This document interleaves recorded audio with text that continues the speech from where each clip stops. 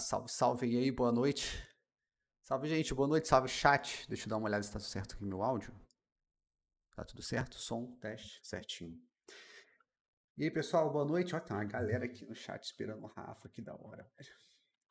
A gente tava trocando ideia aqui agora mesmo, agora, agora. Por isso que eu demorei para começar a live. Estava com um assunto show aqui. E aí, pessoal, deixa eu só ver se tá certinho o áudio aí. Acho que o Dagoberto já, assim que eu vi o áudio, ó, qualquer pessoa me dá um retorno aí pra se tá ok.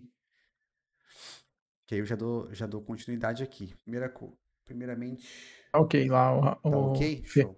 Então, boa noite para todo mundo, cara. Sejam todos bem-vindos. Mais um podcast. A gente tá no episódio 14 já, da hora. Empreitada tá dando muito certo. Tão certo que a gente conseguiu trazer o Rafa para trocar uma ideia com a gente hoje. Que, cara, cara super gente boa. Cara, acho que é o professor mais conhecido do Brasil, posso dizer isso? Acho que deve ser o cara mais, o professor mais conhecido do Brasil. E o cara aceitou trocar uma ideia com a gente aqui hoje, muito da hora. O Dagoberto convidou e, e o Rafa prontamente aceitou o convite. Não precisa nem falar muito, né? O cara todo mundo conhece, o cara super carismático, gente boa. É muito conhecido pela didática e tudo mais, né? Pelo nível de experiência. E vai ser muito bom. É a primeira vez que eu, tô, que eu vou trocar ideia com o Rafa também, né? Eu nunca tinha falado com o Rafa. Vai ser legal conhecer pessoal, pessoalmente, né? No, lógico, no home office. é, hoje vai ser legal trocar essa ideia, cara. Então, sejam todos bem-vindos aí. Fiquem à vontade no chat, quiserem ficar mandando pergunta, né? A gente vai lendo aqui conforme. Se a gente conseguir né, abrir um, um espaço aqui, a gente achar uma brecha, a gente vai lendo as perguntas. Fiquem à vontade. É, já queria chamar o nosso convidado para a gente não usar muito tempo do cara, que ele falou que depois daqui ele vai voltar a trampar, cara. Então não vamos ocupar muito espaço do cara, não. Salve, Rafa. E aí, boa noite. Olha aí todo mundo aí, o Rafa e o Dagoberto. Fala, querido Felipe Dagoberto. Como é que vocês estão? Fala todo mundo do chat. E aí? E aí? Boa noite. Deixa eu ver se tá certo é... aqui o áudio, tá certo. Ô, ô Fê, eu já vou só falar uma coisinha. Já aumenta um, dá um grauzinho no teu microfone. No meu mic? Peraí. É, o pessoal ah, tá falando que, que tá baixo. É que eu abaixei da última vez que tava estourando no ouvido de todo mundo. Agora acho que tá som. Ah, agora tá certinho. Ah, lá. Aqui. Eu dei uma mexidinha aqui no meu, no meu, na minha câmera também, ficar mais é, legalzinho. Agora você tá vendo o retorninho aí, né? Show. Show. Aí é, fica mais tá certinho, né? Isso aí. Então é isso, cara. Seja bem-vindo aí, Rafa. Obrigado, cara, pelo convite. Muito bom trocar essa ideia com você, cara. Primeira vez que estou tendo essa oportunidade. Imagina, foi uma honra e, primeiramente, aproveito até para pedir desculpa. Eu sei que vocês vão dizer, não, não nada a ver. Mas assim, o Dagoberto tinha me mandado mensagem, eu demorei muito para ver, sou, tô muito out desse negócio de, de internet, é muito difícil eu parar para ver mensagem privada. Facebook eu já abandonei. Eu e também. Instagram eu tava, eu tava com, sim, eu não muito difícil ver. E aí eu voltava aqui para as coisas que eu tinha que fazer, aquela desespero do dia a dia, daqui a pouco eu via a mensagem da Dagoberto, Rafa, e a live, e a foto, não sei o que, aí tinha que correr e entregar. Peço desculpas aí pela demora, não foi por nenhum momento de descaso, não. Eu gostei uhum. muito do convite de vocês, mas é porque realmente eu tá. Ah, nossa. Falta de, de conseguir administrar tempo e tudo. Cara, ah, Rafa, fica tranquilo. Nada, tá? tranquilo. Tá? Porque, Até, é, porque já a gente marcado. entende porque a rotina é de todo mundo Mas já é estava assim. marcado também, né? Foi muito, tipo, já estava é, marcado é, a data, o que era importante, fechou. Aí a foto foi uma mais uma ocasionalidade ali, eu ter uma foto para poder divulgar para o pessoal vir, né? Mas realmente, assim, fica tranquilo, porque acontece isso pra caralho. Bicho, o Dagoberto às vezes manda mensagem que eu fico sem responder. E é que a gente trabalha junto, hein? Às vezes depende, eu fico o dia inteiro pra... Fui responder o Dagoberto a mensagem de manhã ontem, sei lá, 10, 10 para as 8 da noite, falando, cara, não dá pra fazer. Porque eu, eu faço live quarta também, mas ontem eu tava zoado, assim, eu tava me sentindo muito mal, tá? né? Porque eu dormi mal os últimos dias aí, porque minha filha deu mais acordada de madrugada. E eu não tô mais, eu não tô mais dormindo. De, eu, antes eu, cara, varava a noite trabalhando. Traba, eu ia dormir duas, três horas da manhã, acordava seis, sete. Me sentia um, cara, o homem de ferro. Aí eu parei com isso e, cara, essas últimas noites me quebraram. Aí ontem eu não consegui fazer a live. Nem avisei pessoal ontem na, no stories, na, porque eu realmente estava muito zoado ontem, cansado, assim, tava tipo, destruído. Nem avisei nos stories lugar nenhum, eu simplesmente cancelei a live. Eu falei, ah, foda-se. Não tava conseguindo, não. É, mas dá nada, cara, dá nada. É, mas e aí, cara, então você tá trabalhando bastante? Você falou que depois vai continuar daqui, sair daqui, você vai voltar pro trampo, velho. Tá, tá pegado aí? Pois é, cara, é, eu tava até falando com o Dagoberto, né? Tipo, passei por um monte de coisa aí, depois vocês acharem interessante se, se quiser por aí. Eu, foi o que eu falei para ele: pode falar qualquer assunto, coisa boa, ruim. Para mim não tem problema não. E aí quando você fica um tempo assim, vocês sabem, né? Hoje em dia a gente não tem mais direito de ficar doente. Ficou. Ficou, lascou. Quando você volta, tem um turbilhão de e-mails, mensagens, reclamações e um monte de coisa assim, de um monte de troços dizendo, tá aí para você fazer. Você, ah, eu vou voltar a ficar doente. então, tô correndo atrás para deixar todas as coisas no lugar, tudo que atrasou no trabalho. É, nem tô pegando coisas novas, é só coisa antiga mesmo que eu tô correndo muito para e correndo no bom sentido, porque uh, não, não, não dá, para fazer de qualquer jeito, então você vai fazer o melhor possível. E aí uhum. a coisa demora. Aí o que, que você faz? Sábado, domingo, madrugada, de manhã, não, tarde, noite. Tem hora. Ah, tá dando um Mas foi o que eu falei pro, pro Dagoberto. Tô conseguindo pelo menos sair para ir pra academia. Então a carcaça. Tá, tá. Lá tá de fora tá bom. Nada, eu tá. falei para ele, eu até perguntei. Eu falei, cara, eu não tinha noção da idade do Rafa. Aí ele me mandou, ah, tô com 42. E eu, né? Falei, caraca, eu sinceramente achava que ele tinha mais. Eu falei, pô, não, ele falou, ah, obrigado, né? pô, realmente. Sacanagem. Eu falei, cara, que sacanagem, né? Tipo, que indelicado também, né? Falar que o cara parece mais velho. Ô, ô, pinto cabelo, tá? O pessoal fala, você não tem nem cabelo branco, claro. É, mas é, se for esse caso. Tonalizante. Se, você for... pô, mas Rafa, você não tem cabelo branco ainda, shampoo tonalizante. Ah. É, olha. Assim não que a gente assim, se presta a fazer, meu Deus. Senão fica é brancão, aí. Mas, mas você tá charmoso. Ah, então, isso aí não tinha como fugir, cara. Desde os 18 aí já. Já tinha um já charme, tava. né? Não tinha como já fugir. Tinha, não tinha como fugir muito. Mas, é, ô Rafa, eu acho, não sei, eu acho que seria legal, né, a gente contar um pouquinho, dar uma palhinha do que, que rolou, porque eu acho que é importante a gente falar sobre esses assuntos com, com a galera. Tipo, de desmitificar algumas coisas, né, em relação a, pô, não é, sempre, não é toda hora que você tá 100%, que você aguenta fazer alguma coisa, então acho que seria legal, se você sentir, claro, confortável em, em conversar, não precisa dar detalhes a fundo, mas eu acho que é legal, porque a gente tenta o máximo possível sempre trazer para a galera o que acontece, tanto nos bastidores, quanto que acontece com a gente, o que acontece com os convidados, então acho que é legal isso também, né? É, assim, o Felipe ele chegou a falar que tava, né, me sentia um homem de ferro, fazendo um monte de coisa. É isso, quando a gente tá com saúde, garra, vontade, vontade de realizar as coisas. Aí a gente cria, vamos dizer, vocês também trabalham com cursos, então cria uma comunidade e você sabe como essa galera é gente boa, como essa galera tá ali contigo. Você vê as pessoas evoluindo e você vê que tem coisas para você fazer para ajudar nessa evolução e elas estão seguindo um cronograma e de repente você vê que alguma coisa vai atrasar, então e aí você se sente responsável, né? Porque é óbvio, está conduzindo os estudos de um monte de gente, então a gente quer realizar muitas coisas e tá com saúde, vai entrando em projeto, vai realizando e vai fazendo. Eu além de tudo ainda trabalhava na Diorama também, né? Uhum. Aí no caso é com produção, e, e na minha escola era né, com o lance da aula. E aí, quando eu até hoje não sei exatamente se foi por, em decorrência do Covid, eu sei que depois do Covid eu tive crise de esquecimento, assim, o que, que eu quero dizer com isso? É como se o Felipe, de repente, ficasse cinco minutos sem lembrar o nome da filha. Hum. Tipo isso, eu esqueci Caramba. o nome da minha irmã, é, da minha mãe, às vezes sumia, assim, eu ficava uns três, quatro minutos, assim, dá um pane, né? E aí, o tempo passou, melhorei um pouco, né? Digo um pouco porque às vezes esquece algumas coisas, mas a gente não sabe também se é um pouco da idade, com, com a quantidade de coisa que tem para fazer. Não, pô, tá novão. Eu vou me rir. Mas não chegava. Tá novão, tá novão. Isso, obrigado. mas, mas não chegava nesse nível mais, né? Mas eu, às vezes estava escrevendo um, tava escrevendo aqui um documento até para mandar para Juliana. Eu fui, por exemplo, fui citar Michelangelo, peguei as imagens dele, aí eu, o nome desapareceu da minha cabeça. Aí eu olhava o trabalho do cara e ficava rodando vindo na minha mente. Então isso estava acontecendo e aí você começa.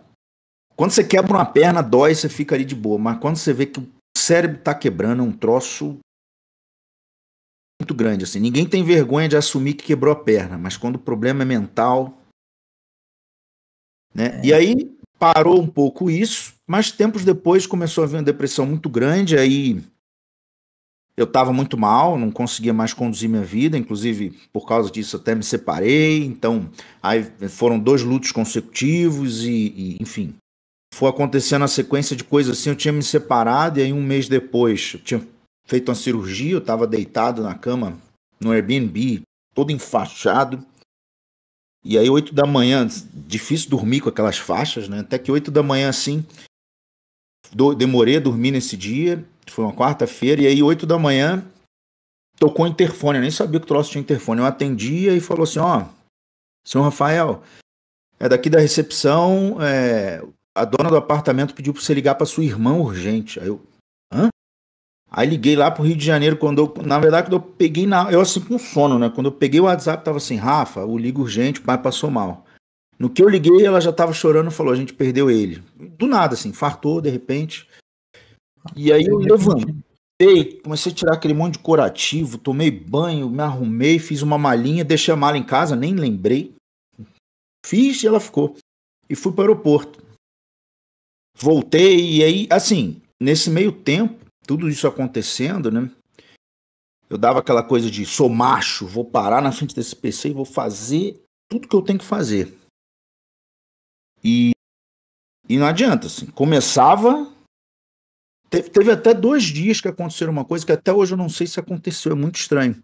Mas eu tava assim, de repente na cabeça, pum, bateu no teclado e eu abri o olho assim. Ah, eu não sei se eu desmaiei, se isso foi só uma coisa da minha cabeça. Isso aconteceu duas vezes. E foi muito estranho. Você levanta assim, você fala, ah, acabei de abaixar a cabeça, eu apaguei. Você fica meio assim, aí eu levantava, vou beber água. Aí o chão tremendo, tremendo, tremendo. Tá dando merda. E era problema de transtorno da ansiedade, né? E, enfim, aí você não quer assumir, não quer dizer isso pra esposa na época, você não quer dizer. Ninguém sabia. Minha mãe, hum. família, amigos, ninguém, ninguém. E aí, quando falava, o que, que você está fazendo? Ah, tirei umas férias, tirei umas férias. Por isso que eu tô deitado o dia inteiro olhando para cima. E aí, às vezes, eu sentava na frente do computador, cara, eu tenho que fazer essas coisas. E aí, pum, começava a tonteira, tonteira, aí a boca formigava inteira, eu levantava e pum, vou desmaiar, e deitava. Aí ia pro hospital, pro São Camilo aqui do lado. Fui lá várias vezes, as pessoas já até conheciam, ah, esse cara é maluquinho, vem aqui, diz que vai morrer vai embora. Você já até percebe isso tem aquelas cores, né, do quão urgente é o teu problema. Ah, Primeira sim. vez que eu cheguei, vou infartar, vermelho. Aí depois foi diminuindo, até que me deram uma branquinha, com, com uns desenhos assim de cartoon. Eu olhei e falei, é, realmente, não me levam mais a sério. Foram nivelando, né? É, é falou, não, aí deixa, é um doidinho. Aí é, opa, é um isso aqui é o... que aparece aqui de vez em quando. E, e aí, nesse, nessa coisa, né, eu, eu cheguei a conseguir gravar algumas coisas para a escola do Academy, para coisas do Hotmart. Inclusive um crocodilo, não sei se chegaram a ver, eu lancei um crocodilo, que eu comecei a gravar na época que eu estava bem. Deu na quarta aula em diante, foi gravado na raça, assim, nunca publiquei. Quando eu comecei a, a melhorar, eu melhorei porque de um, depois de alguns meses, eu assumi e falei, ó, acabou, minha cabeça não funciona mais. Parou de vez, não sei o que, que é. Não sei se isso tem a ver com Covid, não sei se isso tem a ver com psicóloga, os remédios. Assim, aquele monte de remédio tem que tomar de ansiedade para ficar acordado, para dormir, para depressão, para deitar, para acordar, para chutar alguém na rua. Um monte de remédios, assim, tudo já estava na, na, na, última gramatura ali. não, como é que se fala? Miligramagem? Não sei como é que se fala. É, já tudo no talo já. E, e os, os médicos falando para mim, ó, vai ter que comprar duas caixas porque não tem nem mais como comprar num tamanho maior. E aí eu fui, procurei psicólogo, foi a primeira pessoa a saber de tudo que estava acontecendo. E aí você vai procurando ajuda, aí falei com amigos, aí o pessoal da Revolution, o Gu, nossa, foi um irmão assim, sempre foi um irmão. Foi a segunda pessoa a saber de tudo. E aí eu fui, né, aos poucos, contando para minha família, até porque minha mãe percebeu que tinha algo errado quando eu fui no Rio de Janeiro. E aí com muito remédio e ajuda dessas pessoas, eu consegui ficar vivo de novo, né? Mas tô uhum. lotada que ainda tem, ainda tem que passar por essa fase. E voltei agora a trabalhar. Então, é olhar para trás e ver tudo que ficou que ficou atrasado. E todo santo dia, de domingo a domingo, trabalhando. Eu tenho o, o, tanto o Academy como. Ah, inclusive quando eu pego o Crocodilo e essa galera de novo, assim, para publicar, eu olhei os vídeos e falei, cara, olha a cara do indivíduo dando aula. Dá para ver que esse indivíduo. Não tá legal. Vão olhar e vão dizer: que, que, que esse cara. Que, qual a cara dele? Ele perdeu gente da família? O que aconteceu? Uma bad vibe, sabe? Que eu falei, cara, não, não dá para passar essa bad vibe. Deletei tudo. Caramba. Aí foi refazendo tudo de novo. Aí você vê que o, o crocodilo da metade para frente, eu já tô aqui, na, nessa casa aqui. Uhum. Eu já tô aqui uns 3, 4 meses. Então comecei a deletar tudo e regravar. Eu tenho um curso no Hotmart também, que é de três meninas assim que eu, que eu esculpi. Também tinha um monte de coisa pronta, deletei tudo que tava nessa época. E todo dia subindo um monte de vídeo lá. O negócio tá bem adiantado já. Tô subindo vídeo todo dia, todo dia, todo dia e toneladas de e-mail, gente, ó, falta isso, falta aquilo, tem não sei o que, tem não sei o que lá, tá faltando isso, tá faltando aquilo, você prometeu tal coisa, tarará, tarará, Rafa, isso, Rafa, aquilo, Rafa, não sei o que. Eu, bom, o que eu tenho que fazer é tomar remédio e trabalhar. Sem remédio eu ainda não consigo. Outro dia eu esqueci dois dias, já quase apaguei. Aí eu lembrei que é, não melhorei em nada. Quem tá segurando é, é medicamento. Enfim, é ralar para conseguir tudo. As pessoas, de uma forma geral, são muito fodas, assim, de um bom sentido. Uhum são fofas demais, né? Não, você não avisa antes que, ó, vou dar uma parada aqui que eu tô mal porque você não quebrou a perna, quebrou a cabeça. O problema é cerebral, então foi o que o hum. Dagoberto falou, até para desmistificar. Depois que eu falei pra psicóloga, para um amigo, pra mãe, eu fui perdendo coisa, mas no início eu assumi né? é que é sua cabeça. Tem pessoas que te admiram, porra, você é um cara centrado, não sei o que, de repente você olha pra pessoa e fala: Não, tô ferrado, minha mente não funciona, pego dinheiro e gasto o dia inteiro sem parar, tô zoado, entendeu? Você não consegue admitir isso, né? Aí você não avisa isso. Enfim, foi todo esse processo. Só que agora eu tô botando tudo em dia de novo, né? E voltar a trabalhar com. Tô, tô voltando. Que, que, qual é o. Bom, tem final feliz? Tem. Na verdade, um meio feliz que não chegou no final ainda. Mas tenho meio feliz, porque depois que passa tudo isso, e mesmo que seja com a ajuda de remédios ou o que for, e a, o pessoal lá da, da escola, por exemplo, da Revolution me manda, às vezes, muito e-mail, assim, quando o aluno manda um negócio muito carinhoso, sabe? E ela fala, nossa, as pessoas gostam muito de você. Aí ela me manda, eu vejo aquilo.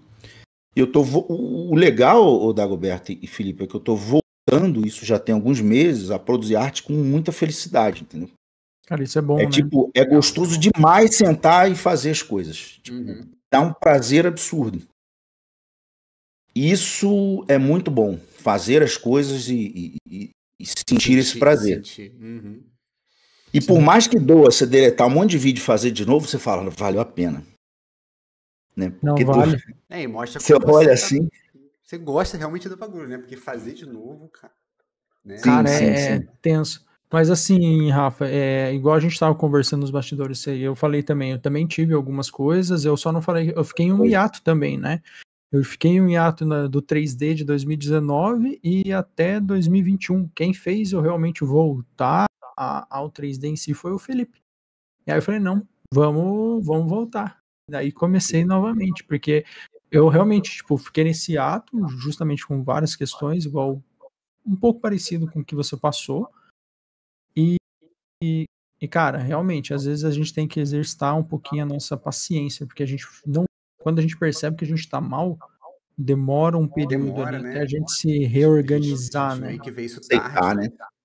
E, e, assim, às vezes a gente não quer assumir. Realmente, eu fui perceber isso. É, isso depois, conversando com meu cunhado, com meu pai, quando eu vim para cá, porque eu estava morando em São Paulo, é, agora eu tô morando no Paraná novamente, eu tô em Apucarana aqui.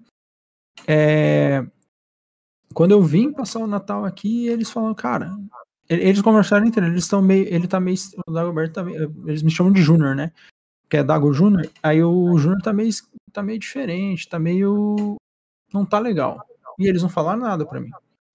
E aí isso foi de 2019 para 2020. Em fevereiro de 2020 eu voltei para cá. Aí falei, cara, não aguentava mais. Deu aquele boom, aí foi quando tudo colapsou. Aí eu. Mais ou menos igual. Aí eu tive esse tempo também de respirar, voltar. E aí, realmente, o que fez é, é aquela. a gente vai vendo, igual você mencionou, os alunos vão falando coisas, você vai recebendo, porque assim, realmente, Rafa, você é um cara que, assim, desde que eu te conheço, teu trampo, que é de 2015, quando você começou, eu acredito, a, a, as aulas, eu acho que eu entrei ali perto das primeiras turmas, eu falei, cara, realmente o cara é, é muito bom no que faz, tem uma didática foda, e, e, a galera curte muito o jeito que você fala. Não, tem, não é à toa que a galera chama de fofo, né? Porque você realmente é um cara muito gente boa, cara que tá sempre disposto a ajudar. Então, realmente, pô.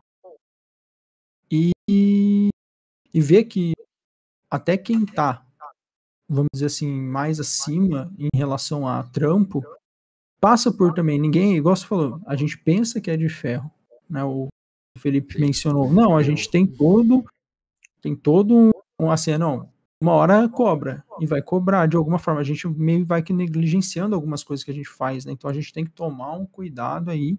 Isso também faz parte do amadurecimento nosso, né? É muito louco. É, cara. Mas... Eu não, eu, eu eu jurava que você pode ser tipo invencível, saca? Eu falava isso pro Dagoberto, falei, cara, essas paradas não me atingem, velho.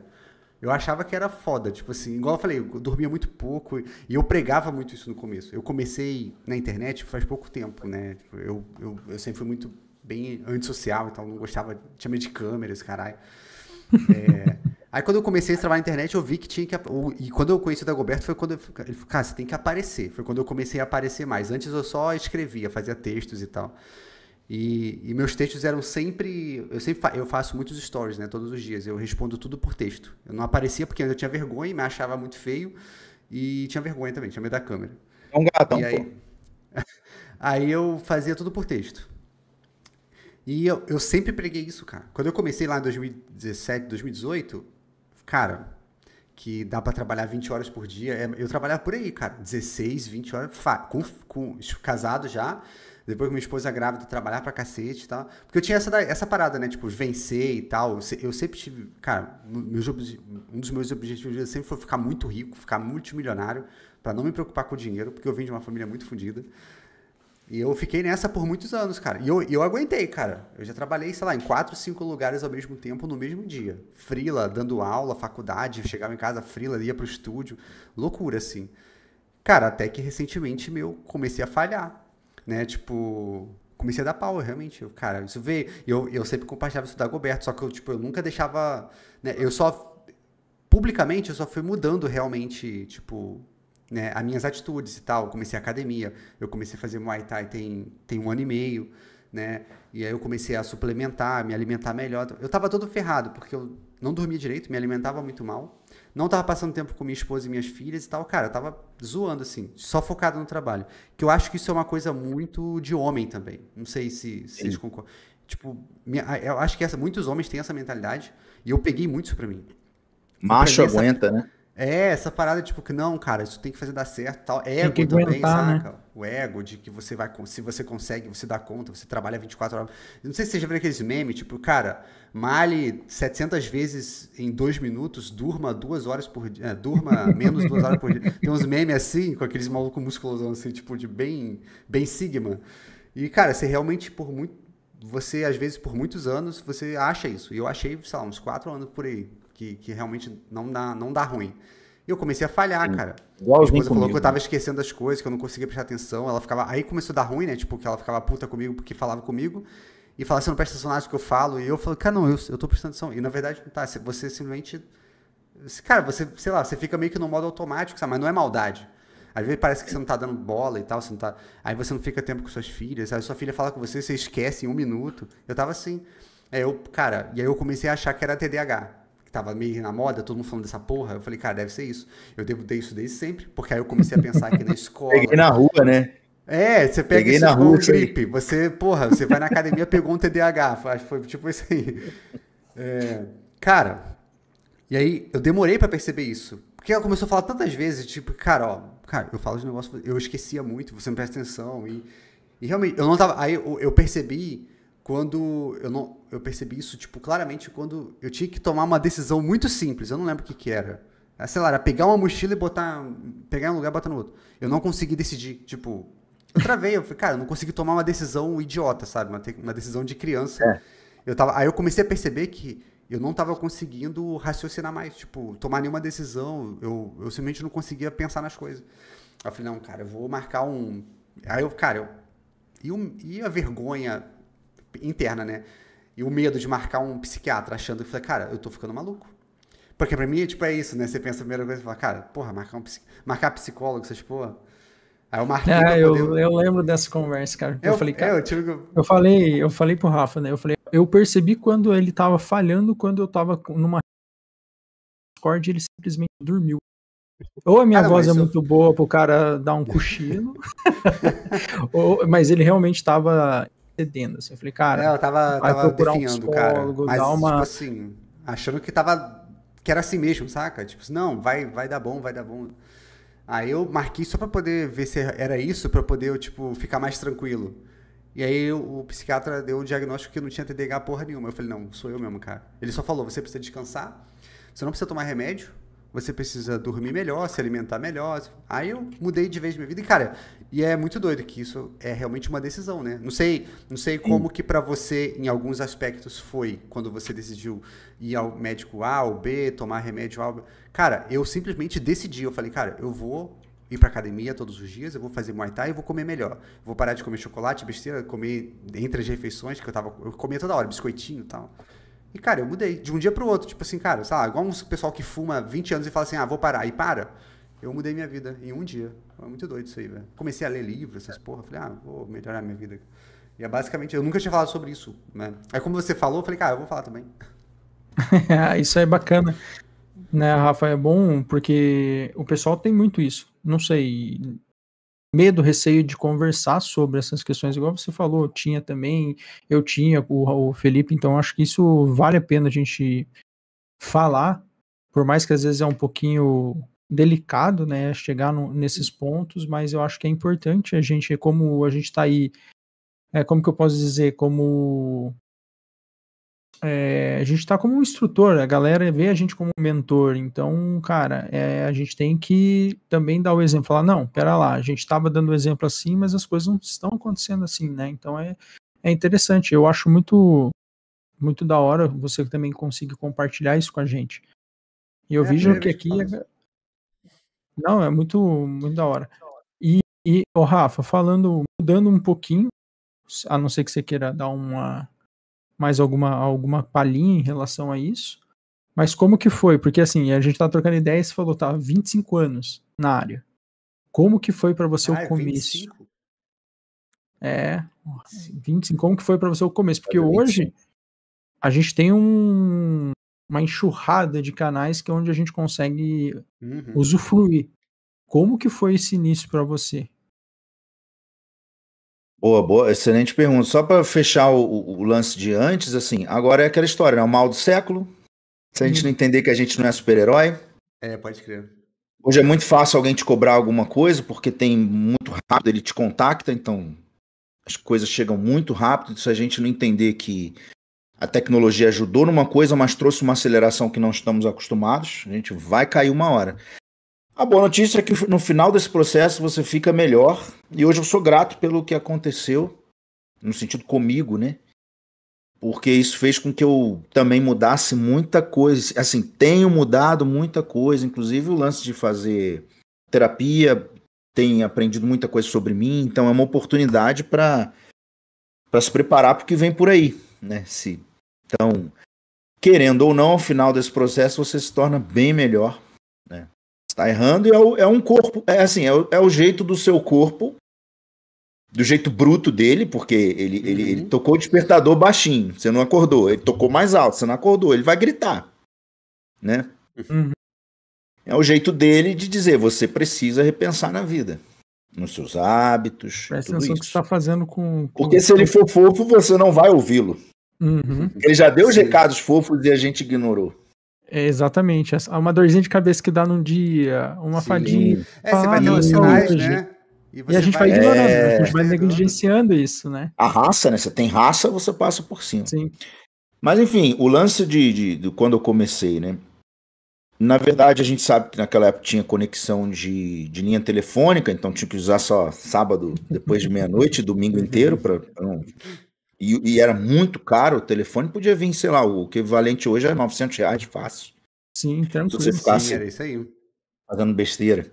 E não Já pagava muita 5 coisa, né? mil pra ter uma linha, né? pra ter a linha, você pagava uns 5 mil. Olha como é que era diferente. Mas, enfim, querendo ou não, a gente tinha ali o site do, do 3D1, do André Vieira. Tinha um site do grande Marcelo Souza, tá aí um cara para vocês um dia entrevistarem, Ah, ele porque veio aí, começou já. tudo por causa. Ah, Já A gente veio, né? falou com ele, falou do, do É. site dele, do fórum.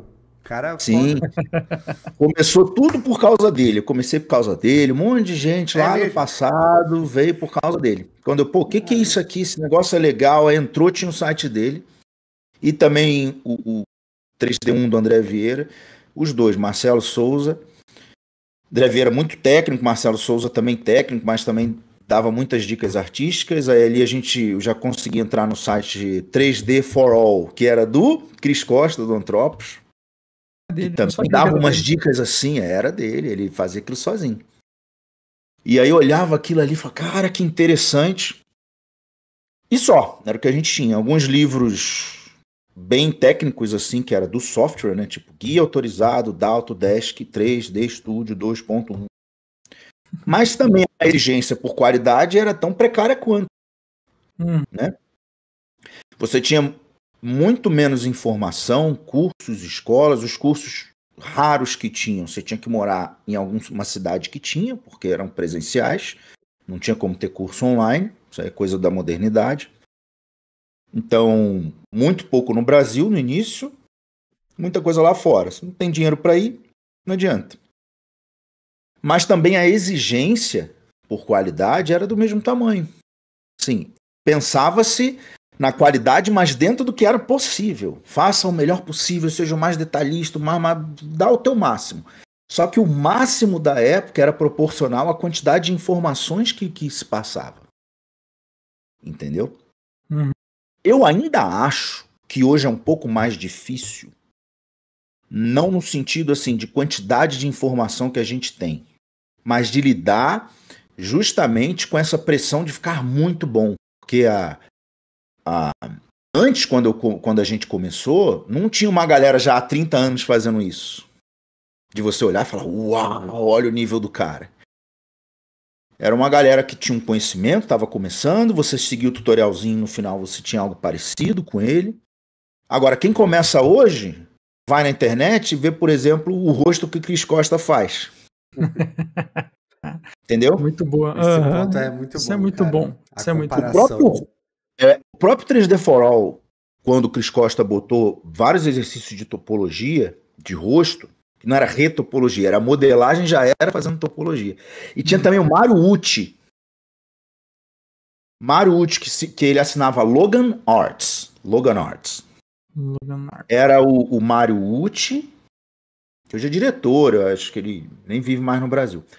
Mas ele na época era modelador. Então ele tinha um, tutorial de poly by poly, era no Soft Image, mas você podia fazer, obviamente, em qualquer programa. Então corta aqui, faz esse círculo, vai fazendo a topologia desse olho, projeta mais a pálpebra para que a luz fique bonita. No final tinha um rosto assim, na pose A, bem legalzinho, mas você ali, vértice a vértice, você chegava muito próximo. Entendeu? Hum. Você saía do zero e chegava muito próximo. Se eu hoje chego do zero para fazer o curso lá Fly on the Wall do, do Chris Costa, zero, zero, zero. Ah, vou começar, o que, que é isso aqui? ZBrush. Aí eu entro no curso dele, nossa, tu apanha sem nem saber de onde veio. Põe que nem. Não tem como chegar a 1% do nível, porque Uhum. tem uma distância muito grande aí. Nossa, isso é muito bom você tá falando. Isso, é isso. Sim. Então, assusta, né? Empolga Uhum. ver essa galera. Porque antes o, o próprio Chris Costa da época, todos esses que eu. O Marcelo Souza, toda essa galera que me, que me inspirou muito. Eu ia lá e fazia os exercíciozinhos. Quem não fez aquele tutorial da Joana Dark? Era Ah, eu todo em vi. azul. O cara botou a cor azul na, na malha 3D e foi esculpindo ali, poly by poly. Nossa, você terminava porque você botava o desenho atrás.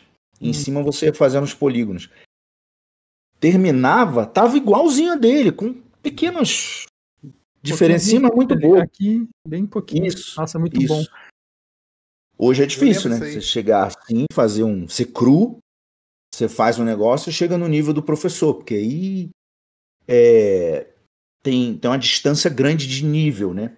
Sim. Em contrapartida, um monte de cursos, opções. Então, eu acho que a gente tem que conseguir. Acho que o grande desafio, eu digo acho porque eu tô chutando, porque eu não, eu não vivi isso, eu vivi o passado, assim, de começar junto com a galera. Eu não sei o que é começar hoje. Né? É eu lembro quando eu comecei, não tinha nada. Hoje já tem tudo.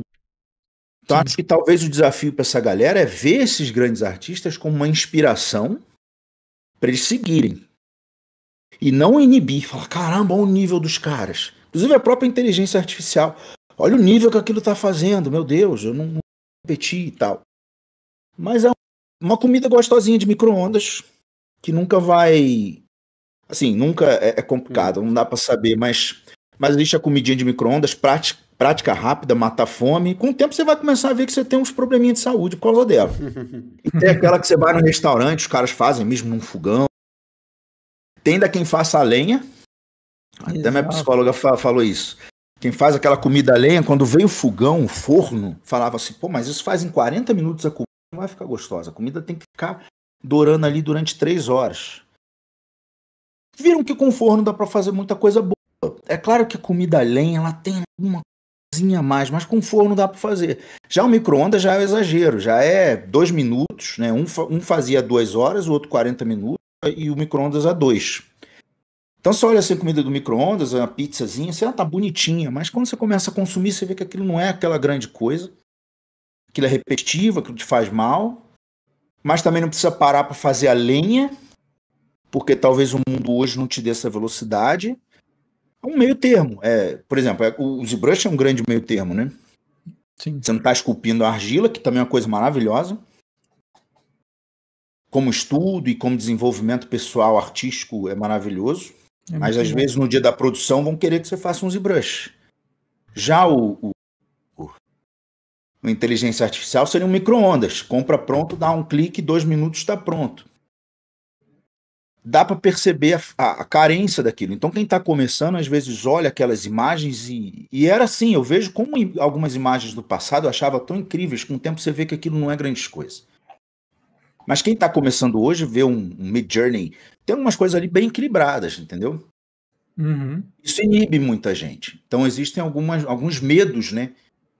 Muito grandes. Mas se a gente conseguir usar próprias imagens do Mid Journey como inspiração de forma e mancha para em cima criar algo maior ainda. Ver esses grandes artistas, como um, um Fausto De Martini, que também é da época. Nossa, já fazia uhum. coisas incríveis ali desde aquela. É, foi Fausto é, Marcelo Souza, Mário Uti, Fausto, Cris Costa e o Logan Arts. É, o Mário Uti é o Logan Arts. Então, Mário Uti, Cris Costa, Marcelo Souza e o Fausto de Martini. Esses quatro aí surgiram e foram todos para outro país e trabalhando com coisas grandes assim, muita qualidade, foram despontando. Hoje você abre, você olha o Instagram, você fala, meu Deus, Enquanto eu tô aqui no próprio domingo. E tinha, tem isso, né, o Dagoberto e Felipe? Não sei se vocês repararam. Eu passava um final de semana em paz. Hoje, você tá um sábado assim, você acorda de manhã, ah, hoje eu vou pra academia, volto, vou ficar de bobeira, vou jogar um videogame. Aí rapidinho você entra no Instagram, vem uma imagem absurda, várias imagens absurdas. Uhum. De quem? André Castro, Abraão II, Mariana Steiner. Não, vou ficar falando aqui, Bruno Câmara. Uma porrada de gente. Não, vai, né, aquela lista. Uhum. Maria Panfilova, a Letícia Gillett, nossa, a própria Vicky, que é esposa do Bona. Bona é incrível pra caramba, a Vicky também faz trabalhos lindíssimos, não, não posta tanto, mas ela tem trabalhos incríveis. Aí você vai vendo essa galera assim, pipocando tanta coisa, é como se fosse assim, ó, sem vergonha, tu vai ficar aí no videogame? Sábado o cara tá trabalhando, acabou de postar. Não, a gente se viu agora, essa cobrança é pelo lazer, né? E não significa que ele, pô, beleza, se ele postou hoje mesmo, mas também não significa que ele não tirou uns dois dias de descanso, entendeu? É que é. sempre tem alguém postando naquele dia, não é, é que a gente mundo. vê, é vê uma é, enxurrada. É muita gente, não tem time, né? Você não tem, existe mais aquela pausa. Realmente, você falou, vai ter gente postando na segunda, é, no domingo, no sábado, e você fica sempre com essa culpa, né? Nossa, é foda isso. Cara, não tô produzindo, não tô produzindo. Aí, é, tipo, cara, você se pune gera... mentalmente. Isso já é uma ansiedade. Por tá tirando uma folga. Pô, e aí, aí você compra 30 cursos, né? Sim. Vai você seguir, entra numa escola e segue aquilo ali. Devagar. Sim. Consumiu? Tá, agora eu quero ir para um outro ponto. Ah, eu quero estudar tal coisa. Tem nessa escola? Não, tem na outra. Ou tem num curso que eu comprei, vai lá. Só que antes eu comprava lá o curso Guia Autorizado da Autodesk. Desculpa, 3D Max. Aí eu só tinha aquilo para estudar. E algumas dicas do André Vieira lá. Então eu ia lá, fazia aquilo. Hoje, assim, não tinha como me, me desvirtuar e pensar em, em tentar fazer outro curso. Só tinha aquilo. Agora você chega e, nossa, é tanto site, muitas opções de cursos e sistemas completamente diferentes, pensamentos diferentes. Aí você baixa 30. Hum. Aí, não... aí começa a assistir um pouquinho do um, aí quer assistir do outro, do outro, só que às vezes são pensamentos um pouco com métodos coisas... um pouco diferentes. E às vezes são coisas distintas. Às vezes o cara tá, ah, agora eu vou ver o ZBrush. Ah, então beleza, vou fazer o curso do Rafa. Ah, não, agora eu quero quero fazer animação. Aí entra dentro da, Sim. parque. Aí fala, pô, mas espera lá, o cara tá ciscando em vários pontos, né? Então ele não vai nem para um nem para outro. E realmente, Sim. o cara fica de um lado pro outro ali, que nem uma barata tonta, e, e aí o que, que, eu faço? Eu acho que isso tem acontecido bastante, tá, Rafa? É, não é. sei se com se tem relatos aí dos teus alunos, o pessoal aqui real, realmente, ah, eu não sei para onde que eu vou, o que, que eu começo. Eu falei, tá, mas né? Tipo, então, aí tem essa questão que, que a pessoa quer. Às vezes a pessoa não quer. Aí beleza, se a pessoa não quer, se, experimenta um pouquinho de cada coisa e vê o que, que dessas coisas, qual que mais chama atenção, né? Ter calma, né? Eu vejo pessoas Sim. de 25 anos dizendo, cara, porque eu tô ficando velho. Opa, tá vendo? Isso é clássico. Você, ah, você tá com 25 anos achando que tá velho, é realmente a gente tem que repensar na vida. Porque não tá, tá extremamente novo, né? Eu hoje me sinto novo para começar a fazer minhas coisas, novos cursos, novas aulas e novos empreendimentos. Então, um cara de 25 está muito novo ainda. Eu acho que a grande questão é manter, é, para não chegar nesse ponto em que a gente falou, porque infelizmente chega. Eu também, até meus 37, 38, eu falava, esse negócio de bad vibe, bad vibe, essas coisas não é comigo não. O negócio aqui, ó, dia inteiro. Quando deu o problema, você é obrigado a repensar. Se a pessoa puder administrar isso e não chegar nesse ponto e ter uma vida melhor, mais saudável e com calma, porque dá para fazer muita coisa boa. Tem muitas opções, muitas aulas, muitos livros hoje em dia, cursos. Então essa grande oferta aí é um, é um, é um ponto que tem que ser positivo, né? Se a gente não conseguir entender o, o bem que isso faz, isso acaba virando um motivo de mais ansiedade. Aí quando eu comecei, era livre desses problemas. Hum. Por isso que eu acho que hoje, com mais oferta, é mais fácil aprender e ficar bom. Mas é mais difícil lidar com a questão mental, de ansiedade é. e pressa. É mais difícil ter paz, conseguir relaxar, igual o rapaz falou ali, é difícil relaxar. É, é difícil. Entendeu? Mas se conseguir. É porque tudo mudou agora, né? Talvez daqui a 50 anos as pessoas já vão ser educadas de um outro jeito, já vão, já, o mundo já vai saber como educar, como levar a coisa para frente. Eu acho que a, a gente está tá no meio da né? transformação. Né? É isso que eu ia falar, no meio de, é, de uma tá transformação tá nessa, de gerações e a tecnologia, mudança. né?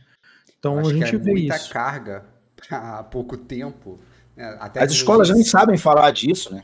É, não é. Escola muita dificuldade de, primário. De, sim. Sim.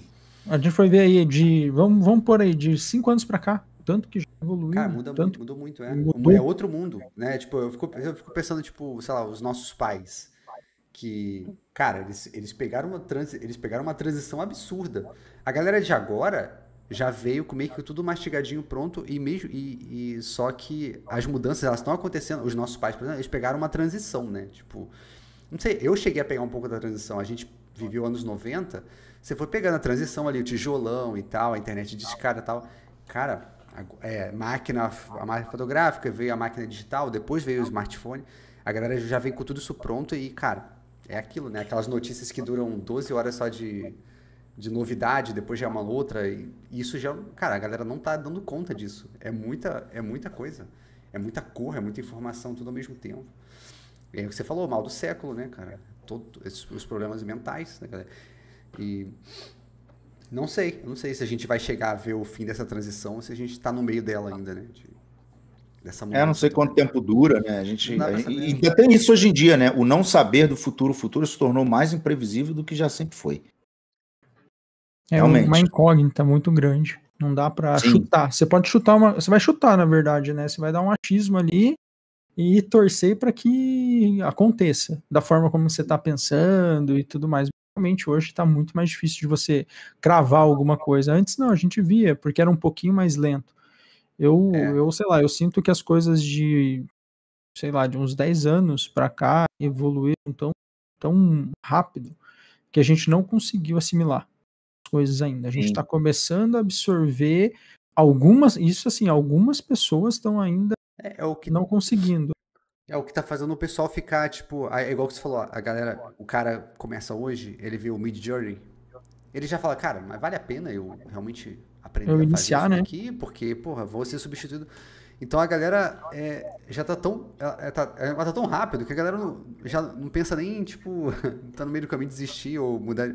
Ela nem começa, ela já, já desiste antes de começar. Fala, não, cara, eu acho que vai dar ruim porque eu vou ser substituído e tudo mais. A, o, o lance da inteligência artificial é que agora eu acho que o assunto deu uma esfriada, porque deixou de ser novidade, igual era lá, cinco meses atrás, quando a parada explodiu. Ainda está acontecendo, mas a gente Cara, eu, o que eu vi de gente perguntando se valia a pena começar a aprender e tudo mais, se, com medo da área de, de isso acabar, é, tá, tá muito louco. Então, é, isso está gerando um, um outro tipo de, de ansiedade na galera, né? Que tá com medo de ter um futuro. Com medo, né? De não ter futuro, de ter um futuro incerto, de tal, de, sei lá, ficar desempregado, ser substituído. Tá meio, é, o tá Daniel Castilho é, corroborou com isso, né? Ele escreveu uhum. ali, acho que hoje em dia, ainda mais, né? Tá temos muita pressão em preciso dar certo. Isso uhum. gera muita ansiedade, fazer com que consigamos uh, não consigamos focar, esperar a evolução acontecer e tal. É, é aquela coisa, né? A gente está vendo o mundo inteiro com crises e crises e crises de guerras políticas, toda uma zona do caramba, e a gente vendo as pessoas ali morando na rua. E as pessoas dizendo, mas você vai fazer arte? Ai meu Deus, esse menino, essa menina, por que, que resolveu fazer isso e não sei o quê? Ai, você tem que provar para sua família, arrumar um bom emprego, um bom salário, então tem que provar muita coisa. Antes era meio que certo, ó. Meus pais me passavam isso. Estuda, faz faculdade, faz bem a faculdade, você já vai conseguir um bom estágio, vai atrás e, e você vai seguir sua vida. Hoje parece que precisa de um pouco mais, às vezes as pessoas ficam com esse medo, com essa ansiedade toda. Né? É, eu vejo... medo é muito ruim, que ele às vezes paralisa, né? Mas eu vejo também medo uma outra coisa, Rafa, que o pessoal também tem resultado igual a gente estava falando. Realmente, com a informação, o cara vai começar, igual você mencionou, do, vai fazer o do Chris Costa lá o curso. O cara vai. A primeira vez que contato com o software, o cara não vai atingir. Ele não, vai ter vai, que. É todo o processo. Então, Realmente, porque a gente percebe, eu, eu venho percebendo isso justamente por conta das perguntas que o pessoal acaba mandando para nós.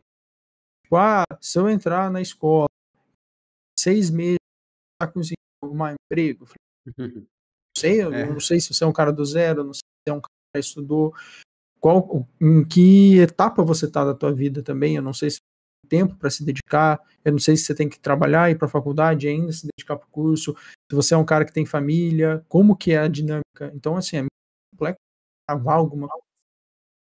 É muito louco. Não sei se acontece por aí essas questões com. Mas é o pessoal que vem perguntando. O meu tá cortando? É, é mas, mas tá dando para ouvir bem. É, tá dando pra ouvir. É, mas o, o cravar, é. Realmente cravar. Vou trabalhar quando? São seis meses tal, essas coisas são muito difíceis. Um rapaz ali acabou que subiu, mas ele falou que é velho com 34 anos, né não? Ah, tá, eu Mas ele perguntou o... sobre software orgânico, né? Qual é o nome dele?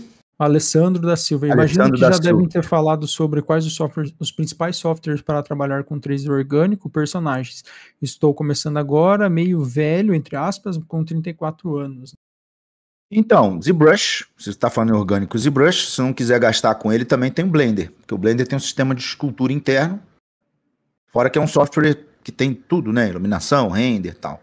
Mas quando você fala em modelagem orgânica, eu penso primeiramente no ZBrush. É, não quiser pagar a mensalidade dele, nem usar de outras formas, que eu não recomendo também, então você tem o Blender, que é gratuito.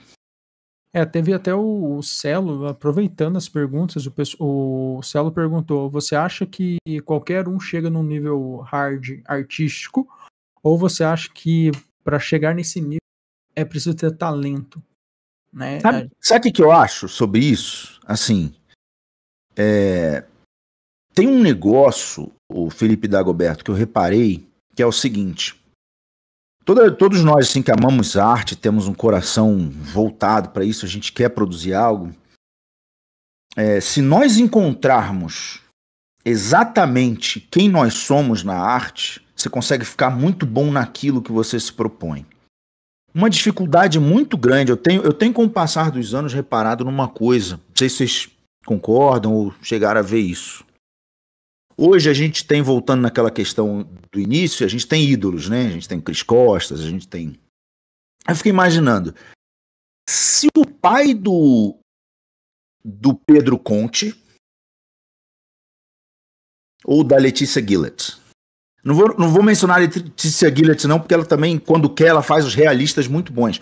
Mas vou falar assim: o Pedro Conte, para quem, bom, se alguém não conhece, não conhece, Uhum. É, é, ele e a Letícia Gillett, assim, são deuses bizarros. Vitor Hugo, nessa, nessa questão de arte cartoon, eles são maravilhosos. Né? O Pedro Conte, eu fiquei imaginando, se o pai do Pedro Conte fosse o Fausto De Martini. E ele, Pedro Conte, conheceu arte através do pai, aquele tipo de arte que o pai faz, e, e admira, né? Se admira muito e quer ser igual. A gente tem muito isso hoje, né? Quer ser igual fulano. E ele passasse a vida inteira tentando fazer exatamente o que o pai, Fausto De Martini, nessa minha ideia aqui, faz. Ele pode até ficar bom. Mas eu acho que, como pai, não. Não é por falta de talento, seja o que for. É uma mente e um coração diferente o Fausto estava numa palestra que ele. numa, numa live que ele deu no YouTube. Ele mostrou uma foto de um avião assim. Na hora que os caras estão, acho que alimentando o avião, colocando, não sei se era combustível, ah, tinha umas partes embaixo do avião da máquina aberta assim, com vários fios, né? Aí gente, olha que coisa mais linda isso aqui. Gente, isso é uma das coisas mais lindas. Então, é um cara que vê essas máquinas, esses tratores gigantes, fica olhando assim para rodando e fica, nossa, que negócio lindo. Você volta o seu coração, sua mente para observar aquilo, para adorar aquilo. E o trabalho do Fausto é extremamente autêntico. Você olha o trabalho do Fausto e vê ele no dia a dia, as coisas que chamam a atenção dele, as coisas que ele gosta, o que, que ele pensa, você vê que de fato essas coisas são a mesma já o Pedro Conte, por exemplo, é uma pessoa que vê o mundo de outra forma. As pessoas que veem o mundo cartoon, eles veem muito assim, você está falando com, a, com ele, ele está vendo sua expressão, ele está vendo que a expressão ela é sutil. Ele dá voz a essa expressão. Ele sabe fazer com que aquela, aquela, aquela, aquele sussurro, que é um movimento suave de um olho, de um olhar para o lado, ele faz com que aquele sussurro vire um grito. Ele consegue fazer com que aquelas pequenas sutilezas venham com intensidade. Não é exagero. Exagero é passar do ponto. Mas é trazer aquilo com muita clareza. Ele vê o mundo dessa forma. Então eu comecei a perceber que muita gente, ah, eu quero ser bom como o que Deus o tenha, que Deus o tenha, o Kim Jong-un. Uhum. Só que ele tem uma forma de ver e de processar arte, desenho de um outro jeito. Tem muito a ver com a história da vida dele. Você pode aprender um pouco as técnicas dele, adaptar para o seu, mas não, não vai pegar uma folha gigante e sair tudo. Tu, tu, tu, ele era sinistro, cara. Nossa, ele era... cara, gigante, maravilhoso. Eu nem vou dizer que é, que é menos ou mais, não. Para mim, não, mesma não. coisa. Karl Kopinski, que era amigo dele. Uhum. Mas o Karl Kopinski, apesar de usar as mesmas ferramentas, é um desenho diferente, um processo um pouco diferente. Pra, no final, os dois fazerem grandes coisas. Então, quando a gente para de querer ser o outro e começar. Porque às vezes a gente fica forçando a barra. Eu tive alunos de cartoon que queria muito fazer o realista, realista. Mas por que não? Porque eu tenho que primeiro ser bom realista para depois estar permitido para fazer cartoon. E eu também gosto do seu trabalho. Calma. As é... regras, né? Colocam regras é... que às vezes não existem. São... Ele mesmo criou aquela regra de, sei lá. É, ouviu? Ouve, né? É. E aí você chega e fala assim, ó, peraí. Você não vê o mundo dessa forma. Eu, eu vejo, por exemplo, uma imagem clássica eu vou num, num, museu e vejo aqueles vasos com aqueles de excesso de detalhe, aquele. Cara, eu acho aquilo incrível. Então eu fico observando muito, essas coisas me chamam a atenção durante o dia. Eu tava hoje subindo mais um vídeo, que a gente tava batendo papo no backstage, eu tava, na verdade, subindo um vídeo. Eu falei, ó, tô trabalhando aqui. Lá de um curso que eu tenho no Hotmart, as três graças. Então eu terminei mais uma temporada lá. Tava subindo o último vídeo.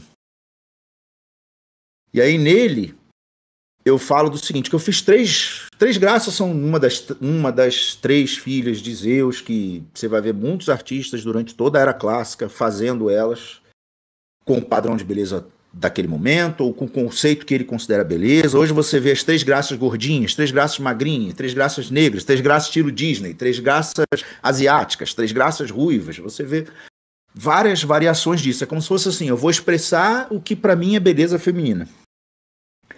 Isso foi uma ideia, inclusive, da Ju, que trabalha comigo, falou: Rafa, por que você não faz esse tema? Terminou assim essa etapa, eu olhei para o trabalho assim e falei: gente, as esculturas do Partenon feitas por há 500 anos atrás, eu abri, falei: olha, olha a dobra do tecido e muito de como eu encaixei essas meninas. É, na hora eu não vi, eu fui fazendo.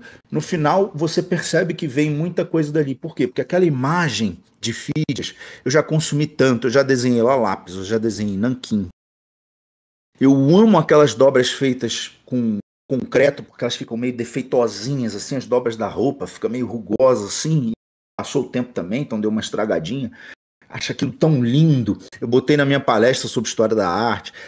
Tem um momento que essa imagem aparece gigante, assim, são três mulheres assim, uma deitada no colo do outro, já não tem mais cabeça, né? Mas só vê os tecidos, assim, uma imagem incrível. Eu já consumi tanto aquela imagem, imagens desse tipo. Quando eu fui fazendo as três garras, move para cá, move para lá, tem uma coisa no cérebro ali inconsciente que está comparando com coisas que você gosta e estão registradas na sua cabeça e empurrando mais para cá, mais para lá, mais para cá.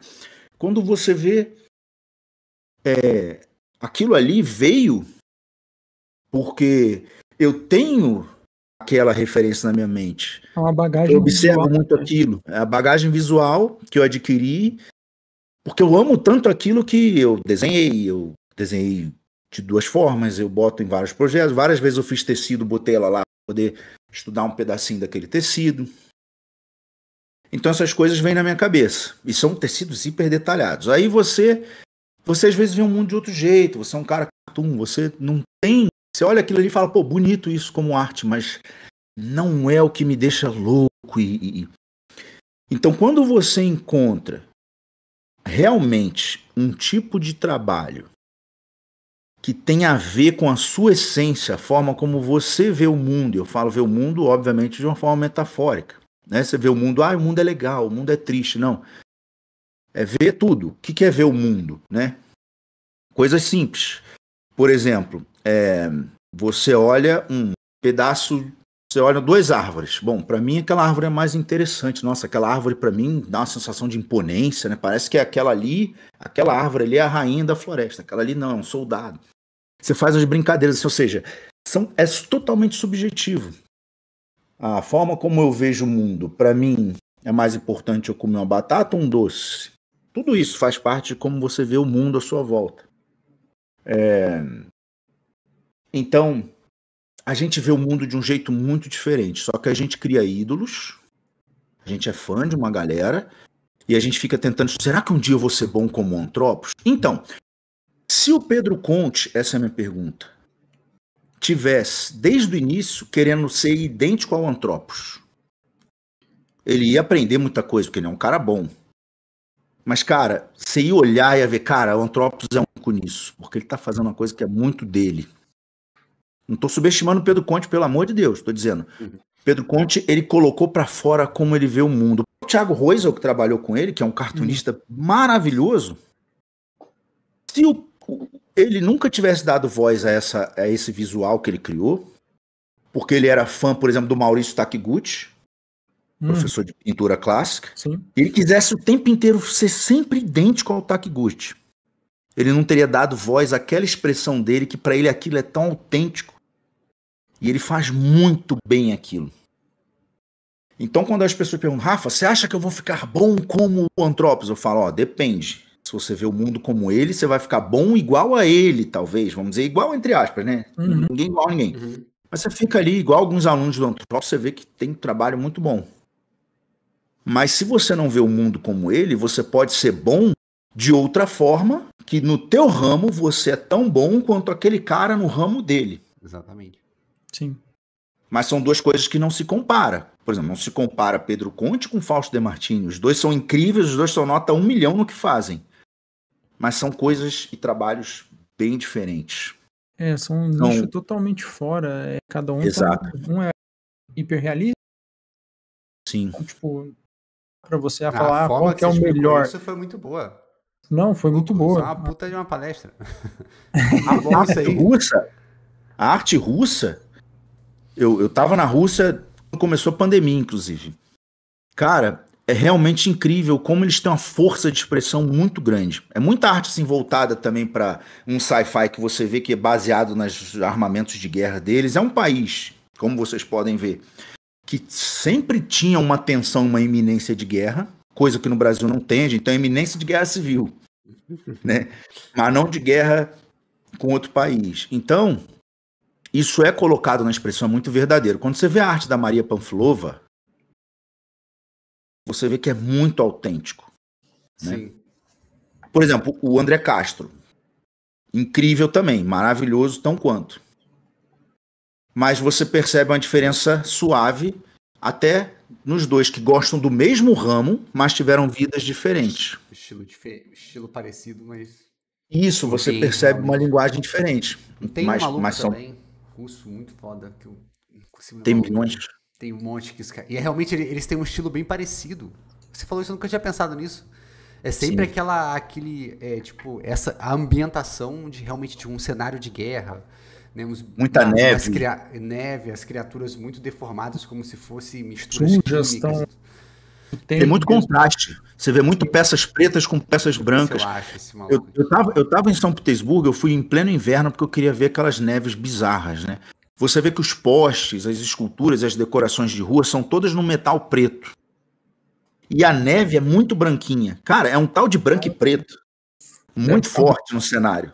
É muito. Você vê assim, um monte de, de é, canhão de guerra na frente do Museu do Hermitage, assim, em São Petersburgo. Tem os canhões de guerra assim do lado, tinham pelo menos, né? E eles com aquele metal bem escuro. E a neve vai acumulando nos topos assim, na lateral não, né? Uhum. Então tu vê um branco e preto, branco e preto. Aí eu fui no museu lá de, de trens antigos, aqueles trens da época da, da União Soviética, com aquelas estrelas amare... é, vermelhas gigantes, assim. Aquilo foi feito para você se sentir um micróbio. Porque o troço é assim. É gigante, né? Com as correntonas, meu irmão. E você vê que aquilo, aquilo andou. Preto, preto, preto também. E as neves em cima, nos que estavam pelo menos do lado de fora, de neve branquinha. Então você vê muito esse contraste. E a arquitetura deles, você percebe assim muita coisa, né? Quando você olha, por exemplo, a própria arte dos orientais, né? O Zelong-shu chinês. Quando você pega eu tô lendo um livro agora que é toda a história da China de sete anos, sete mil anos, desculpa, contada através da arte. Então eles vão pegando desde um vasinho encontrado lá longe, por que, que o vaso tem aquela cor, como é que era o estilo de vida naquela época e tal. Então é maravilhoso. Vou até depois pegar o nome para dar para vocês. É, falo, eu ia que eu boto para dormir. Eu posso pegar ele ali agora daqui a pouquinho. Vocês abrem, sei lá, alguma pergunta. Eu vou lá. Beleza. Pego. É um livro maravilhoso. E assim, você olha assim os detalhes, os desenhos, você fala, cara, tá aqui, você vê de onde o Zelong Shu saiu. É, é, é, eu tenho muito isso para mim. O que a gente consome ao longo dos anos ali vai contribuir com quem a gente quer se expressar dentro da Sim. nossa vivência e o que a gente vai Sim. colocar na arte.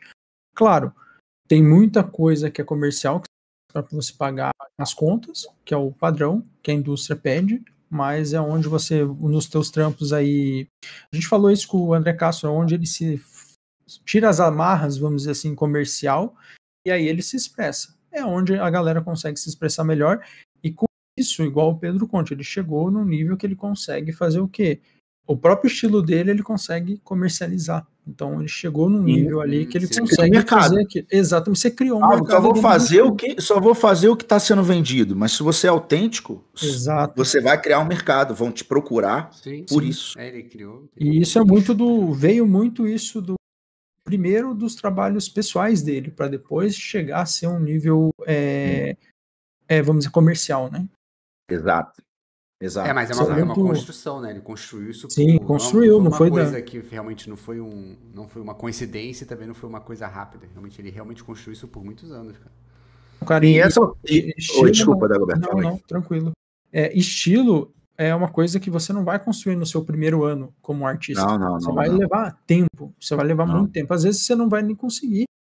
Não, eu não quero desmotivar ninguém, mas talvez você não se ache.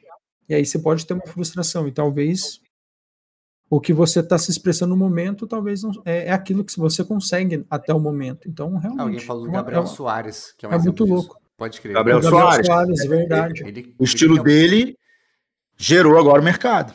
Ele criou, um, é, ele criou um mercado, o nome, Ô, Rafa, nome dele é absurdo. Você ia Exatamente. falar uma coisa, a gente meio que trombou. Não, é, o, o lance é o seguinte: é, primeiro, né, essa coisa de estilo. O, o Grassetti, uma vez, numa entrevista, perguntaram para ele o que, que, tem de tão interessante no Brasil. Ele falou uma coisa interessante, né? É um país multicultural. Uhum. Então, isso nos dá uma certa vantagem em alguns aspectos, claro, de vários outros lugares. Por exemplo, a gente no Brasil, a gente vê rosto asiático, a gente vê japonês, chinês, coreano, a gente vê rosto africano. A gente vê no Brasil aquele africano, vamos dizer, entre aspas, mais puro, e a gente vê negros que já são, vamos dizer, pessoa morena, né, meio já está mesclado com a, com a etnia branca. Você vê pessoas com rosto mais indígena ou misturado, ou no meu caso, né, que é branco com índio. Você vê um monte de, de variações de cores, de de estéticas de cultura. Né? Você vai aqui na Liberdade, em São Paulo, o bairro todo orientalzinho. Hum. Você vai, ou seja, a gente tem um mix cultural muito grande. Você imagina, por exemplo, quem vive no Japão vê sempre os mesmos tipos de rosto. Sim. Uhum. Sim. O pai, o irmão, o amigo, é todo mundo que estudou na escola. Claro, não são idênticos, mas hum. a variação entre eles não é tão grande como a gente tem aqui esse range, esse intervalo de variação não chega aos pés em canto nenhum do planeta Terra. Você vai nos outros países da América do Sul, por exemplo, no Chile você vê muita gente descendente de, de indígena mesmo. Na Argentina, muito lourinho, gente branca. Então, o Brasil é, acredito, pelo menos pelo que eu, a não sei se me apresentarem outro, mas dos duzentos e poucos países que existem aí, é o que mais tem variação, esse range essa diversidade de, de etnias, de, de tudo, né? De... O que dá variação, inclusive, de biotipo físico, de, de mais gordinho, mais magrinho. Você vê que os japoneses têm um tronco um pouquinho mais curto e a perna, o tronco um pouquinho mais longo e a perna um pouquinho mais curta em relação ao africano, que tem o tronco mais curto e a perna mais longa. A uhum. gente aqui misturou tudo, a gente tem de tudo. Tem, entendeu? Tem, é, muito... é bem misturadão mesmo. Arquitetura, nossa, você vai no centro da cidade, isso é tipo Europa, e você vai É, em um outro lugar parece outra coisa. Aí você, você vai, vai no, por exemplo. Num bairro, é igual você mencionou, vai no centro, é Europa, no, você sai um pouquinho, vai. Você nem saiu direito do centro ainda, você já começa a ver construção totalmente fora, né? Variação de paisagem. Exato. Então, a gente usando isso a nosso favor, isso melhora. Agora, essa questão de, de encontrar sua voz, né? O que, que eu quero como artista, é só não confundir. Eu admiro aquele cara ou eu quero ser igual. Hum. Ótimo. Só não confundir Ótimo. isso, entendeu? Eu posso admirar muito a jornada daquela pessoa e como ela, ela, ela, em vários aspectos, leva a qualidade, os cuidados dela na arte dela. Isso não significa que eu tenho que confundir. E, ah, eu gosto muito desse cara, eu quero então ser palestrante igual a ele, eu quero falar como ele. Calma. Se você encontrar o seu jeito de falar, você será o único nisso. E qual é o seu jeito? O seu jeito, na verdade, não é 100% seu. Nada é 100% nosso. A gente nasce e não sabe nenhuma língua. A língua que a gente aprende já não é nossa. Já dão pra gente. O sotaque. Você uhum. nasce no Rio de Janeiro, você fala igual todo mundo dali. O nosso que eu falo, porque assim, a gente é uma cebola, tirou todas as cascas, é, cada casca é uma influência externa. Quando você tirar todas as cascas, não sobra nada. Quem sou eu? Hum, tirando as influências externas, eu sou nada. Esse nada é você. Agora, quem que você escolhe para se espelhar?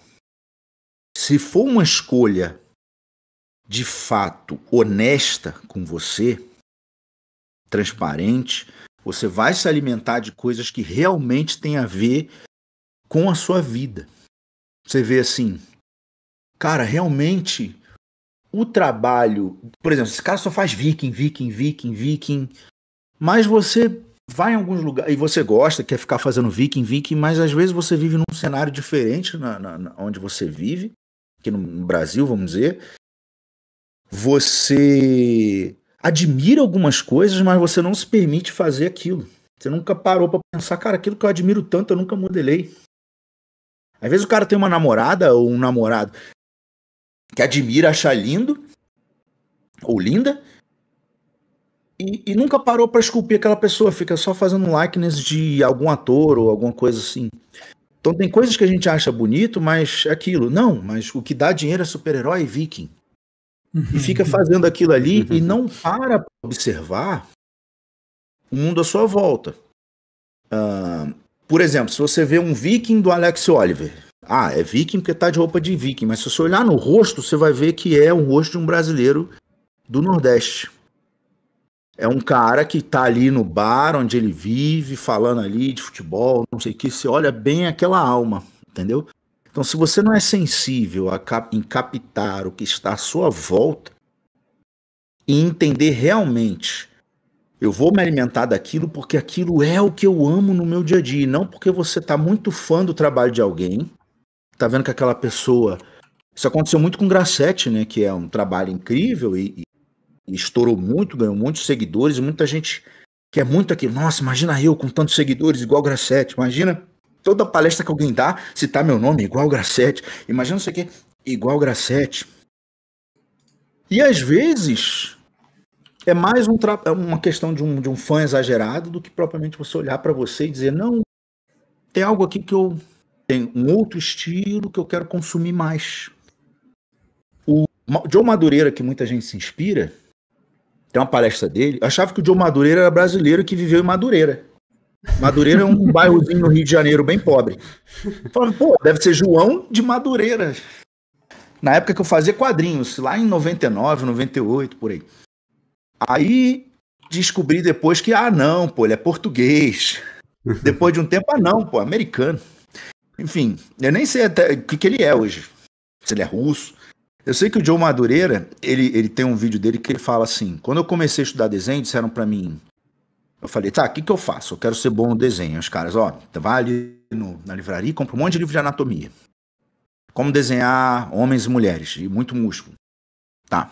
Ele ia lá, ficou pegando e repetindo tronco, braço musculoso, mulheres muito curvilíneas. Aí ele, tá, eu fui entendendo algumas questões anatômicas, mas aquilo me deu alguma base de algumas coisas, mas quando eu comecei de fato a virar artista, quando eu comecei a estudar artistas, e não anatomia. Você entende anatomia como só uma ferramenta que faz parte de um processo. Mas quando você estuda outros artistas, por que, que eu gosto tanto de Norman Rockwell? Norman Rockwell. Rockwell, tudo junto.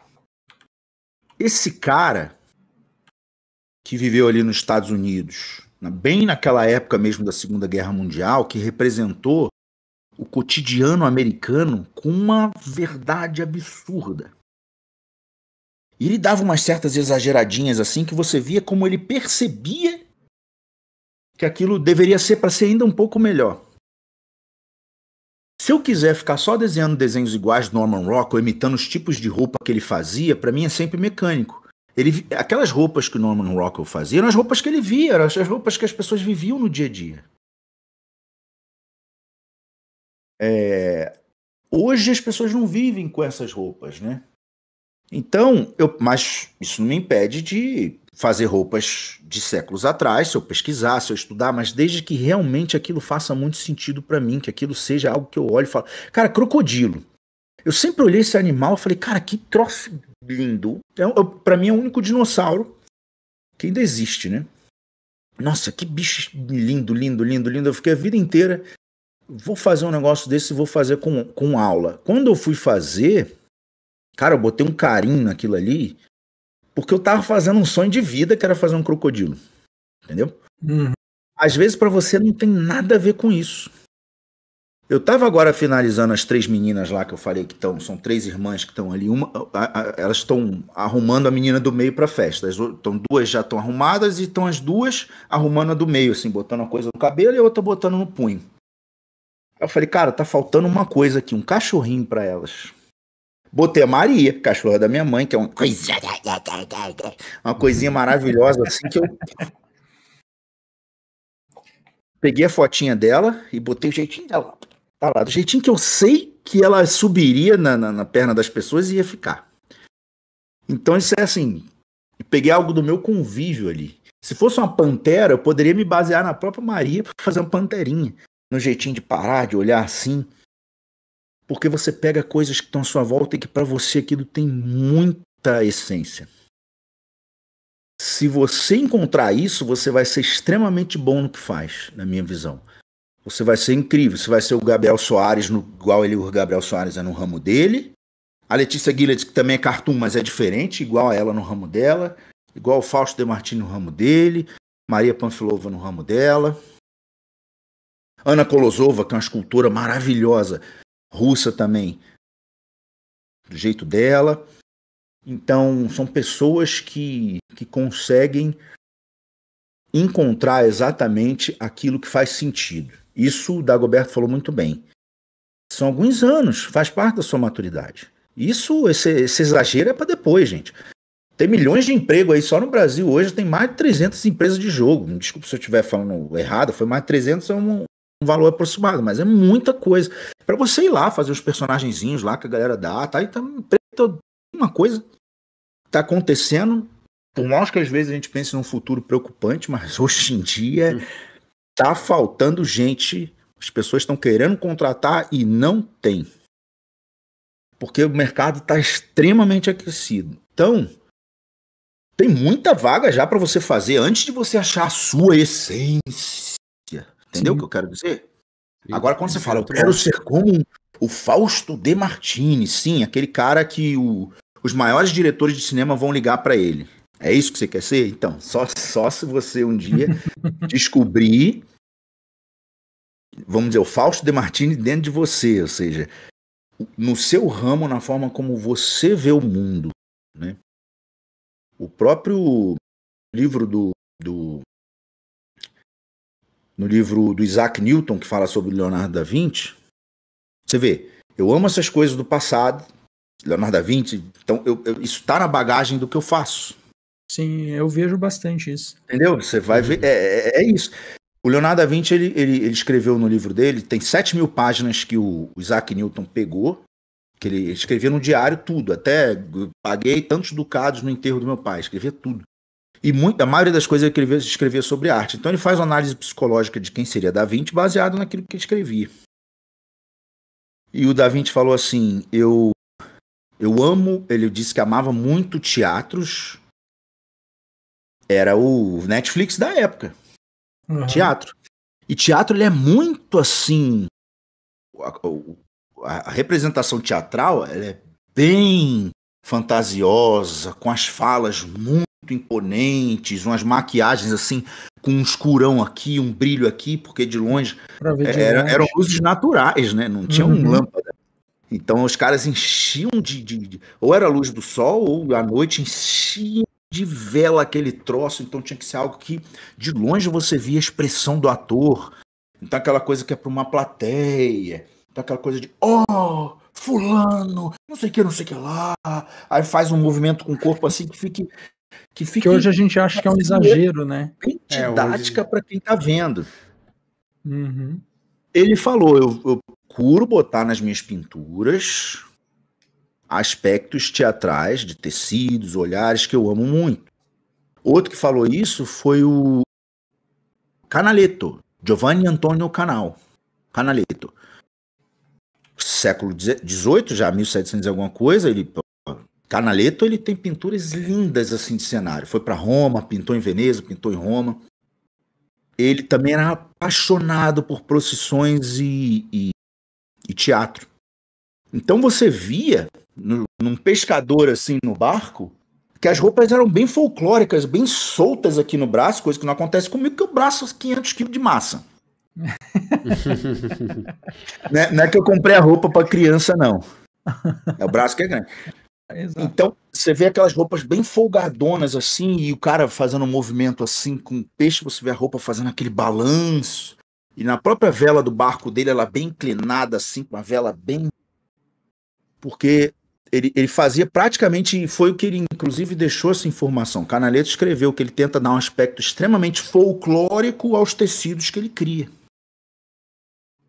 Então você vê o tipo de coisa que eu amo ver, que eu amo fazer. Então se eu procuro colocar isso na minha arte, aquilo é autêntico. Autêntico não porque eu inventei, estou copiando, claro, mas estou copiando algo que realmente eu amo. Entendeu? Então, assim, se é, eu tentar ser cartunista claro. como o Pedro Conte ou com a Letícia Gillett, eu vou fazer um negócio legal. Mas não, se você olhar, você vai ver, não, Rafa, tu tá ali seguindo os negocinhos, mas a solução que eles criam de design cartoon para várias coisas, para eu alcançar, eu tenho que morrer e nascer de novo. E ter toda uma história de vida igual a deles. Os filmes da Disney eu vi no passado, quando eu era criança, depois nunca mais vi. Hum. Depois de velho, agora. Agora que eu falo é de dois anos pra cá. Eu comecei a ver tudo de novo. Nem lembrava de nada. E vendo com um olhar assim, o que, que eu aproveito disso para o meu trabalho? Mesmo que uhum. seja realista, você, é, a comunicação, o, o aspecto folclórico do movimento e tudo. E vendo o quanto aquilo é genial. É diferente de uma pessoa que consumiu aquilo a vida inteira. O que, que eu vi na minha infância inteira? He-Man, só bombado com machado. Fazia luta. Eu ficava vendo os filmes do Arnold, do Van Damme lá batendo. Eu ficava dentro de casa, dando chute pro alto. A mãe passava, dava um chute na, no bumbum dela.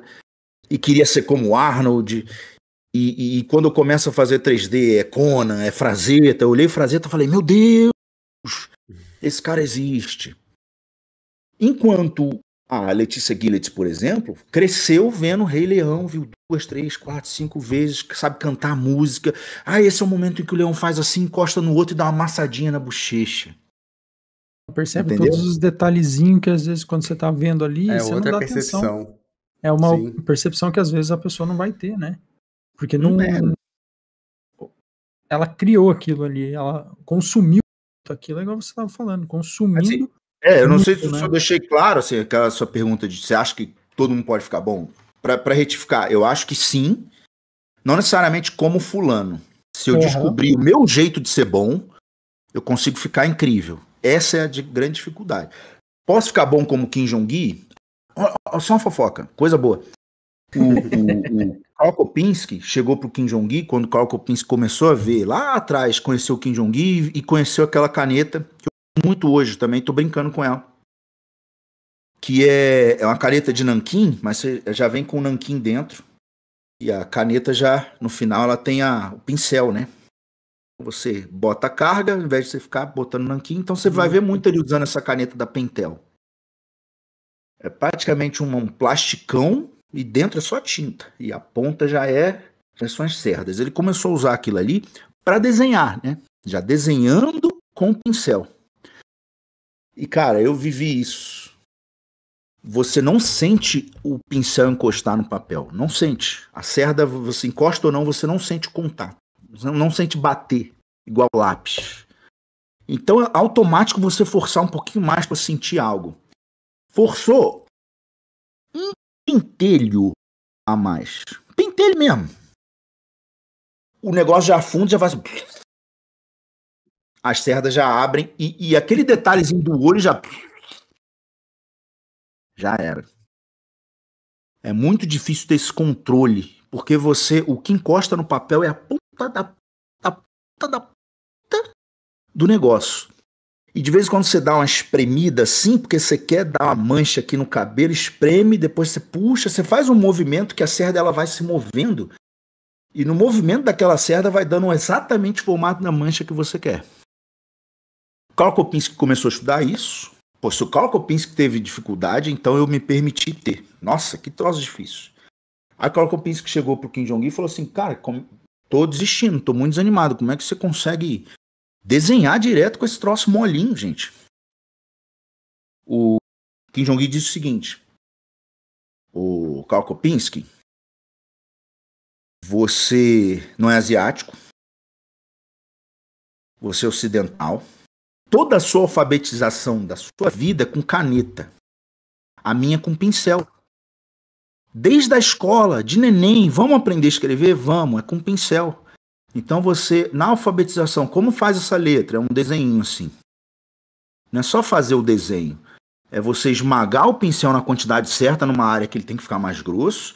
Aí você faz um movimento assim, aí ele tem que ir pro outro lado, mas antes ele dá uma chicotada, ou não. Ou ele faz um movimento curvo, ou é uma letra que desce, aí ele, ele vai para um lado, mas você sente um biquinho para o outro, ou seja, quando ele vai descer, ele faz um negocinho assim e depois ele vai para o lado. Aquele, aquela reboladinha que ele dá, a ponta do pincel dá uma chicotadinha, faz um detalhe da palavra ali, depois e volta. Só fazer aquelas letras, é numa vezada só. Não é preencher com lápis e depois ficar pintando, não, não. É numa só. Dá aquilo tudo. Aí eu comecei a ver no YouTube os caras fazendo isso. Você bota em hipercâmera lenta e fala: Ah, aqui, olha, afundou um pouquinho. Fiz, eu fiz páginas e páginas e páginas. Assim, tipo, 50 páginas, com um monte de, de letrinha assim. Uma merda. Mas quando chegou na a primeira, uma merda. A última, também uma merda. Mas um pouquinho melhor. E eu já tava com um pouquinho mais de controle. Ele falou, cara, nossa alfabetização inteira da nossa vida é escrevendo com isso. Isso, isso é a nossa ferramenta de escrita. Pra, e a gente também usa caneta. Vocês não, vocês só usam caneta. Então isso fez parte da minha alfabetização, cara. Foi desde neném. Então dá um tempo, vai devagar, que você vai pegar o jeito. Ô, Rafa, você falou uma coisa que eu acho que é muito interessante. Você falou, eu peguei e fiz um monte. Muito. O pessoal hoje quer fazer um, dois, no máximo três trabalhos e fala, pô, é isso. Não, você vai errar, vai voltar. Essa questão de sempre repetir, né? É, to, é uma repetição, repetição que você vai te deixando Sim. melhor. Eu não vou nem dizer perfeito, que para mim a gente nunca tá, fica perfeito. A gente está sempre evoluindo. Nosso trabalho nunca é, acaba, né? Como um artista, vamos dizer assim. Você está uhum. sempre em evolução. Você não pode olhar para o teu trabalho hoje e o teu trabalho de cinco anos atrás e falar, putz, tá exatamente igual. Então você não evoluiu, você só tá fazendo a mesma coisa. Então, é realmente evoluir de pouquinho em pouquinho. Eu acho que é aí que você vai também conseguir é, atingir o objetivo, igual você mencionou, ah, quer ser igual o fulano, ciclano, é através disso. E a tua bagagem, principalmente a tua bagagem, o que, que você consome, principalmente.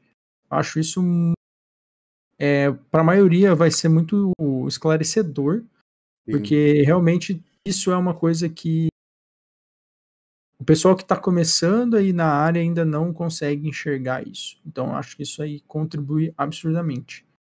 Ah, obrigado. E o que você consome já tem que ser verdadeiro para você, né? Sim, eu gosto de realista, amo consumir Disney. Ok. Mas você consome aquilo ali, pega aspectos daquilo ali pro seu trabalho. Exato. Não é, não é que, ah, não, ou eu faço uma coisa ou faço outra. Não. Mas é o fim. Quando eu vejo uma coisa, eu já tô na minha cabeça convertendo ela para um. Igual o cara que é empresário. Tudo que você. Ele olha uma coisa acontecendo, ele. Hum, isso aqui dá dinheiro. Hum. Então você olha uma coisa acontecendo, nossa, aquilo ali, se fosse um, um personagem em cima, ia ficar incrível. Né? Começa a ver. É... é, e tem muito essa parte também, né? A parte comercial. Que. Hum.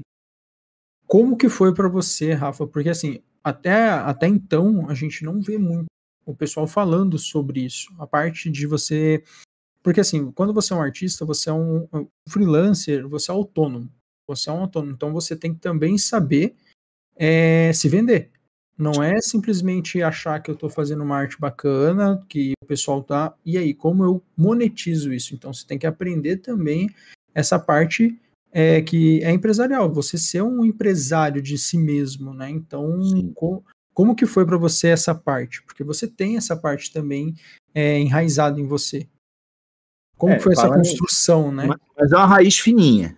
A raiz de Jequitibá mesmo, aquela raiz de Jequitibá, sabe aquelas árvores que 50 pessoas é. dão mão para abraçar? Uhum. É o Gracete. Ele é um cara que sabe muito, assim, não só a parte artística, mas de fazer as pessoas verem ele como com verdade, né?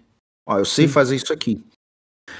O que, que acontece? Para mim não, não foi simples no início, porque eu também fui criado com uma certa cultura, não pelos pais assim, mas a cultura envolvida ali, né, o ambiente em que você vive, que é um pouco de é um sinal de, de falta de caráter você falar das suas virtudes, né? Você fala, sou bom nisso, eu sei fazer isso, é uma arrogância. É visto, não é bem visto, né? Então, você acaba às vezes fazendo grandes trabalhos, dizendo, ah, as merdinhas, ah, não vale muito não, essas besteirinhas que eu faço. A gente diminui achando que isso é sinal de virtude.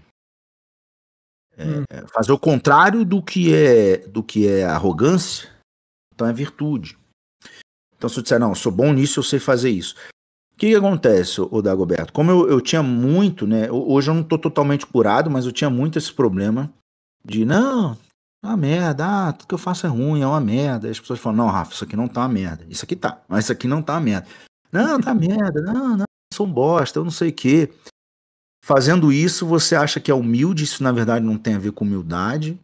Acho que humildade eu aprendi, posso estar errado, mas eu aprendi que tem mais a ver com você saber o tamanho que você tem. Se você acha que é menor do que você é, você não sabe o tamanho que você tem. Hum. Se você acha que você é maior do que você é, você também está errado. Então, ter a noção do tamanho que você tem, e isso não te faz melhor do que os outros. Pelo contrário, se alguém tiver em alguma situação na vida menor que você, porra, inspire essa pessoa. Mas eu fui dessa de de não, vou cobrar pouquinho, não, só eu vou cobrar um real, porque não vale nada, isso é uma merda. E na verdade eu dei minha vida para aquilo, mas não, é uma merda e tal. Então o medo de, de se mostrar e de se vender vinha muito, talvez inconscientemente, do medo de assumir que eu conseguia fazer aquilo. Hum. Aquilo realmente podia ser útil, aquilo tem um valor. Quando você sabe do valor que aquilo tem, de forma honesta, ou seja, também você não está supervalorizando uma coisa, Sim. nem desvalorizando, que é o mais comum, é desvalorizar. Você consegue olhar para aquilo com honestidade. Não, eu sei que isso aqui também não é tal coisa, mas também tem um valor aqui. Você consegue levantar a cabeça, olhar para alguém, se lançar no mercado com coragem. Quantas pessoas têm um trabalho que já podia estar tá aplicando em grandes empresas, mas não aplica? Isso tem muito. A cabeça muito. dela, ela é um bosta. Muito. Tem, tem muito mesmo. Tem muito. Nossa. Entendeu? Sem contar que se você aplica e tá faltando alguma coisinha, eles vão te dizer, ó, oh, se você melhorar um pouquinho mais a qualidade disso, daqui a seis meses manda de novo.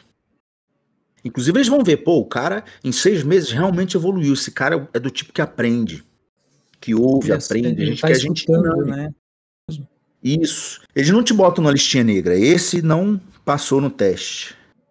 Então ele nunca mais vai mandar e-mail pra gente. Né? Só teve um tiro, uma oportunidade de provar que era bom. Não. É, as empresas estão precisando de gente, então elas conversam com você. Algumas não, mas a maioria vai mandar uma mensagem dizendo assim: ó, melhora só isso aqui. E, e, depois, quando você melhorar, em seis meses, aplica de novo. A gente ficou curioso, que seu trabalho tem muita coisa boa, né? Até para ver sua resiliência, você quer mesmo trabalhar lá. Às vezes os caras já viram que você tem um nível muito bom, só que eles não estão precisando agora, mas em breve eles vão querer alguém. Aí fala, ó, tá muito bom, mas melhora mais esse pouquinho, só para ver qual é a tua.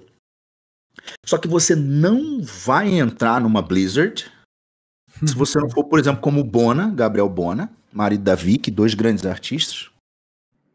Porque o Bona, ele é humilde, ele sabe o tamanho que ele tem. Ele vai dizer, não, eu sei fazer isso, eu sei fazer. Isso não é arrogância. É, pô, Passei minha vida estudando esse troço. Eu vou agora dizer que eu sou um bosta? Cara, uhum. se algum amigo meu me disser que eu sou um bosta, eu vou ficar ofendido com ele, mas eu posso me xingar à vontade. então, ele aplicou porque ele disse: tô no nível dos caras. me botar lá, eu vou estar dentro, pô. Senão ele nunca teria aplicado. E vou além. Ele nunca teria nem chegado naquele nível se ele não acreditasse que pudesse. Então, quando ele falou, um dia eu vou trabalhar na Blizzard, então ele lutou para isso, para chegar no nível. Só lutou com aquela força e violência inteira, porque ele acreditou que ele chegava, que ele tem capacidade. Os outros conseguem, por que, que eu não? E de novo, ele fala é da história de quando. Bom, né? Ele fala da história, aquele lance da verdade do trabalho. Quando a mãe dele, que sempre foi muito unida com ele e ajudou ele demais no processo, ele era bem pequenininho, sei lá, 6, 7 anos. Aí ele, mãe, eu quero um jogo chamado Diablo. Aí ela foi, comprou e ela jogava com ele. Parceira, né? Aí ela instalou o jogo e ela ficava assistindo ele jogar. Aí ele fala do momento em que algum personagem, que eu não sei qual é, entrou na, no, no estabelecimento onde ele estava e, falava assim, flash meat, carne fresca, e ficava farejando. E ele, com a criança, como uma criança, vendo isso no computador, igual eu quando vi Mortal Kombat a primeira vez, arrancando a cabeça ali. Hoje se tornou uhum. tão banal, mas pra época eu fiquei Nossa, chocado. Então ele, ele lembra daquilo, aquilo é muito. Sabe? Logo, é, ele foi crescendo jogando jogos da Blizzard, observando, amando. Todos os estudos que ele fazia lá na época da Revolution, que ele estudava, ele fazia algumas coisas que tinham um pouco daquela cara. Porque ele, ele vivia naquele processo, ele amava aquilo, ama, né? E acreditou que conseguia, acreditou que tinha a capacidade. Então, o que a gente tem que fazer hoje, o Dagoberto, a pergunta é muito boa, é parar de dizer eu sou um bosta, eu sou um bosta, ninguém me quer. E dizer isso não é sinal de virtude, ficar me diminuindo. Eu não, eu não me torno melhor, maior, uhum. melhor que os outros, porque eu digo que eu sou um bosta. Também, ah, sou o melhor do mundo? Não, mas, cara, eu tô estudando, isso aqui tem um valor. Olha o que eu faço hoje. Ah, mas a anatomia não tá mais perfeita do mundo, não é pra tá? Agora, o que, que eu fazia antes? Quando eu abri o ZBrush a primeira vez, ou o Blender, ou o Maya, o que, que eu fazia? O que, que eu faço uhum. hoje? Cara, eu aprendi coisa, cara. Se me botarem numa empresa e se eu der um errinho aqui numa anatomia, vai ter diretor lá dizendo melhor isso aqui, vai mostrar um exemplo. Então, é, equipe é, vai, vai ter ninguém perfeito assim. Ah, é, nossa, o cara vai chegar ali. Não, durante Sim. a produção, você vai ter que fazer alguns ajustes. Você Eu pode seguir. valor, sim. sim. Você pode seguir o que for. Você vai ter. Então, isso também. É praticar é... essa autoconfiança, né, Dagoberto? Sim. Porque é... eu acho que isso é importante para você se colocar cara. Ter coragem de botar as coisas no ArtStation, evoluir, tirar o que é velho, botar o novo, o tempo inteiro ali, mandar mensagem para grandes empresas, porque você acredita que um dia pode entrar. É, isso vai tomar um monte de não, igual o Gustavo Grupo vai. fala. E dois anos depois a, a UETA disse não para ele, dois anos depois, não, porque ah, não tem vaga agora. Aí você fica chateado, dois anos depois falou: e aí, tá de boa? Vem pra cá. é, é, é, ideia, um ele, muito batata. Não, Gustavo Grupo é Deus. Tu planta um monte de batata, uma hora você começa a nascer e começa a dar, dar problema. Você fala, meu Deus, é muita coisa. Aí o problema é invertido. É, é aí é, é conseguir tentar. É, administrar é um monte de coisa que começa a aparecer. Começa já vi casos de. É, já, cara, já, já mais de uma vez, gente que falou, cara, Felipe, pô, cara, tô desanimado, não, não aparece trabalho para mim, ninguém tá me chamando, não consigo pegar frila. Manda seu portfólio aí. Ou às vezes eu entro no perfil da pessoa, lá tá o portfólio lá. E aí o cara tem dois trampos, velho. E o último trampo dele tem, sei lá, 12 meses. Tem mais, Sim. dois anos. E o cara tá, tá desanimado porque ninguém tá chamando, porque ele só. E, e, porque ele mesmo não, não foi atrás, entendeu? O cara não evoluiu, ele simplesmente ele fez uma ou duas coisas lá, achou que estava o suficiente, falou, não, já aprendi a fazer, agora eu vou tentar. E tudo bem, você tentar, você, ter, né? você tem dois trampos e você tentar, tá certo, só que você tem que tentar e continuar produzindo, continuar evoluindo tal, porque essa é a resposta que você vai ter ao longo do tempo, né? Conforme você vai, tipo, cada não que você recebe deveria ser tipo um incentivo de, não, preciso fazer mais, preciso fazer mais um trampo, vou melhorar, vou tirar aquele, ou então vou fazer aquele melhor e postar de novo. Não, eu não sei, não sei o que tipo é. de imediatismo é esse que a pessoa, né, tipo, ela, ela chega até um ponto e não passa mais dali. Ela acha que todo o resto vai acontecer, sei lá, por algum tipo de é, eu, milagre. Eu, falar pro, Eu gosto de falar pro pessoal que tá, ah, não tô vendo se eu tô evoluindo ou não. Eu gosto de falar para ele, pega um, um, trampo teu antigo e refaz. E olha com honestidade e, e refaz, boa. E refaz. E aí você vai saber o quanto você evoluiu de lá para cá. Ah, não tô conseguindo enxergar, porque o cara às vezes está tão cego dentro do, do, universo dele ali, que o cara não tá enxergando e ele tá evoluindo, tá tendo uma, uma melhora. Mas ele fala, pô, então faz o seguinte, pega um trabalho teu antigo e refaz hoje. Você vai ver o tanto de problema que você tinha antes e o tanto que você resolveu. E aí você vai ter um comparativo. Aí, ó, você consegue ver. Isso é, é um exercício que eu acho bem interessante de, de se fazer. É um bom exercício, né? É que às vezes você olha para frente, né? Você Sim, tá desenhando, aí fala, pô, mas eu ainda tô longe do Kim Jong-un. Então, eu posso, posso andar o dia inteiro. Eu vou na direção do sol e vou andando.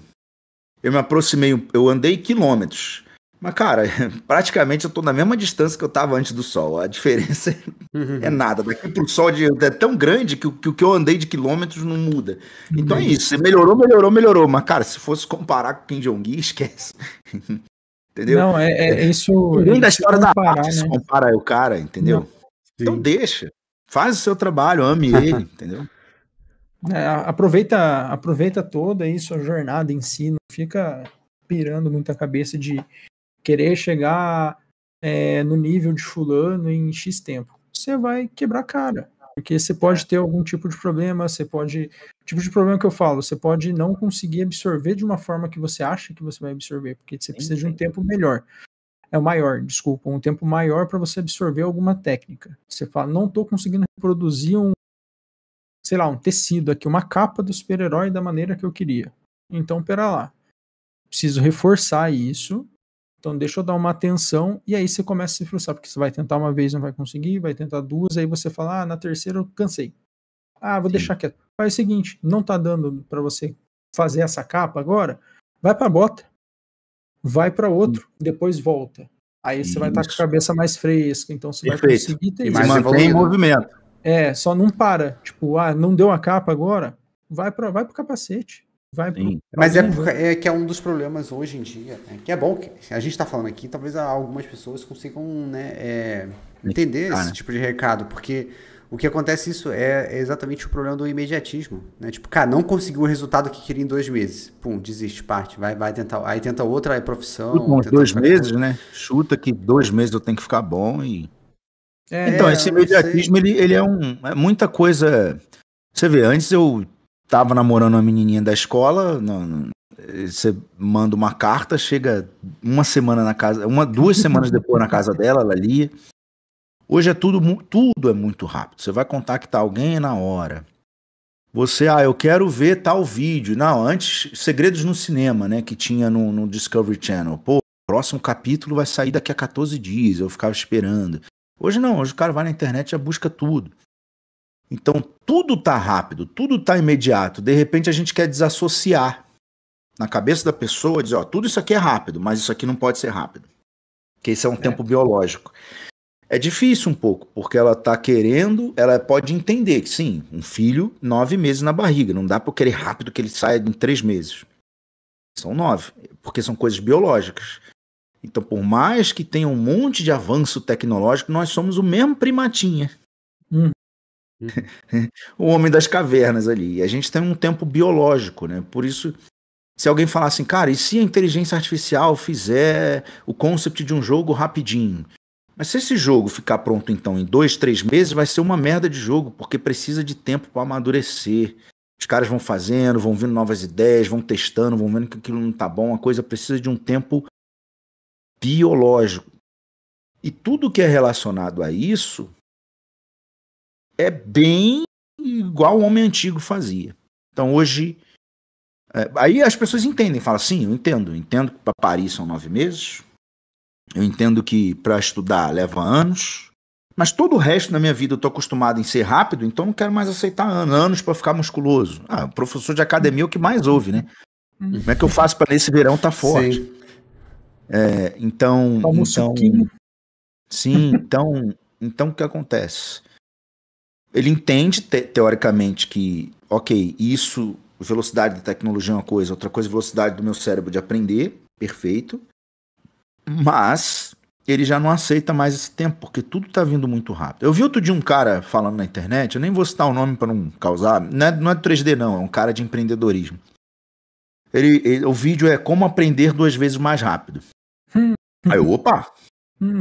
eu também quero. Aí eu cliquei. É, não, o que ele diz é o seguinte, todos os vídeos que você for ver no YouTube, bota duas vezes mais rápido.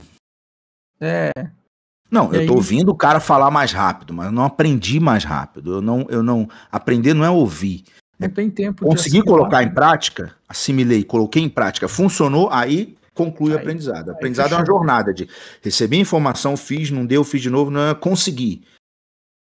Aprendi aquilo, entendeu? Então, não aprende duas vezes mais rápido. Agora, como ouvir uma pessoa falando duas vezes mais rápido, você acelera o vídeo. Agora, Sim. como aprender duas vezes mais rápido, não adianta acelerar vídeo. Você acelera às vezes porque ah, já vi essa aula. Já vi, já entendi, já tô fazendo um monte de exercício. Só queria rever para dar aquela. Aquele é, toquinho mais. Deixa, Isso, deixa aí você acelera. esquecendo algo, né?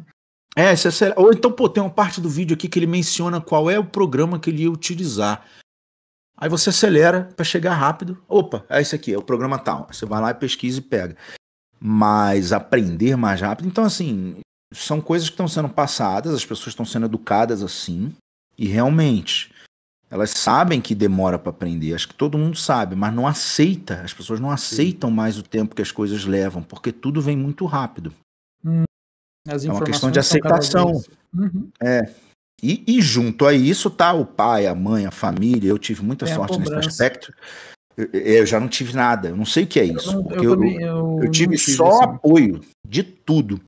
Mas eu fico imaginando, pô, meu pai, que é, é o meu maior herói, se ele que tivesse me, me agredindo, dizendo, vambora, pô, não vai conseguir nada com isso aí não, hein? Se ele não acreditasse em mim, eu não sei como é que seria. E, e, e às vezes o pai não é por mal, é por, por amor, tem medo de que o filho se ferre, então ele diz, pô, tu não, não vai se dar bem nisso não. Hum, é, eu... é por amor mas ele, de uma certa forma, o herói do cara tá dizendo: Eu não acredito que você consiga viver disso. É, porque ele não tem a perspectiva Entendeu? que a gente tem quando a gente está olhando, a gente está dentro de uma bolhazinha hum. e a gente está vendo várias pessoas falando sobre aquilo ali. É possível. Sim. E, Sim. assim, eu também tive sorte porque meu pai sempre falou: o que, que você quer fazer? Ah, você quer ir, então vai. E sempre Sim. me deu esse, esse suporte. Ele se falou, e aí, tá dando certo? Ele, ele, a cobrança que ele tinha, e aí, tá funcionando? E aí, você tá gostando? Precisa de ajuda? é isso, isso beleza, é um tipo de apoio ali que, que é saudável, vamos dizer assim. Agora, hum. que é saudável para a pessoa, né? Agora, realmente, mas a maioria eu vejo que os pais às vezes não têm um, um conhecimento.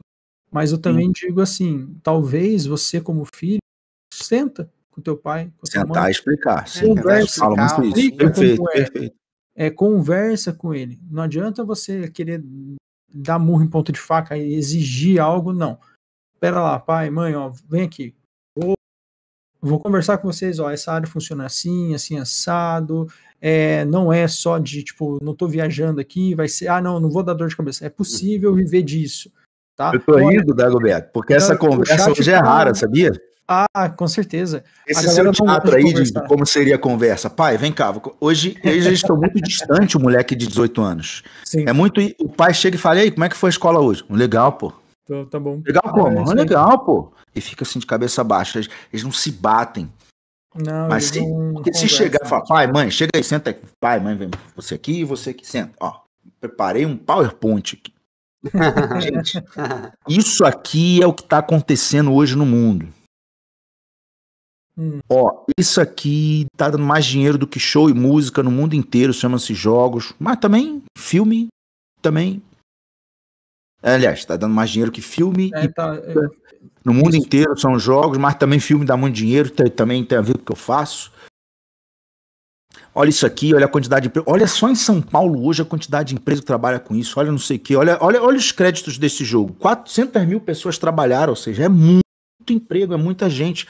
Eu não vou aprender arte para ficar sentado no chão, fazendo assim, todo mundo que passa fala, moço, posso modelar você cinco reais. Não, não tem nada a ver com isso não. Todo respeito a quem faz isso, claro. Mas aí o seu pai tá com medo que você passe necessidade, não é que não seja um trabalho digno, é pela necessidade, né? Então, não, é isso aqui, pai, é isso, isso, isso. Só que tem muita dificuldade, né? Eu tava vendo o Dagoberto falando. Pai, mãe, senta aqui. Eu é, fico vendo hoje os, os, meninos com, com as famílias, né? Que às vezes tem muito conhecido, aí tá lá com os filhos. O pai chega e fala, aí, tá no churrasco, fala, filho, quer carne? Hum. Quer carne? Hum, não, pô. Pega aí. Aí o moleque pega. Gostou? Hum. Quer mais uma? Não. É uma coisa muito assim, você vê que não tem é, ah, Os pais estão bem distantes hoje do, do, dos filhos. Né? Então, então os é... pais também têm uma dosezinha de culpa. Não, não, porque no celular e reclama que, que o filho também não conversa. É, eu tô é falando que são os pais que estão distantes é do, filho, filho mesmo. É, não é do filho. O filho é, o reflexo do, dos pais mesmo. Os pais são distantes. Sim. Ah. Eu vejo assim, eles trabalham pra caramba. Hoje a rotina de muita gente é o quê? Trabalha, mas assim, não tem o tempo. Mas o teu filho ali, ele necessita de um tempo.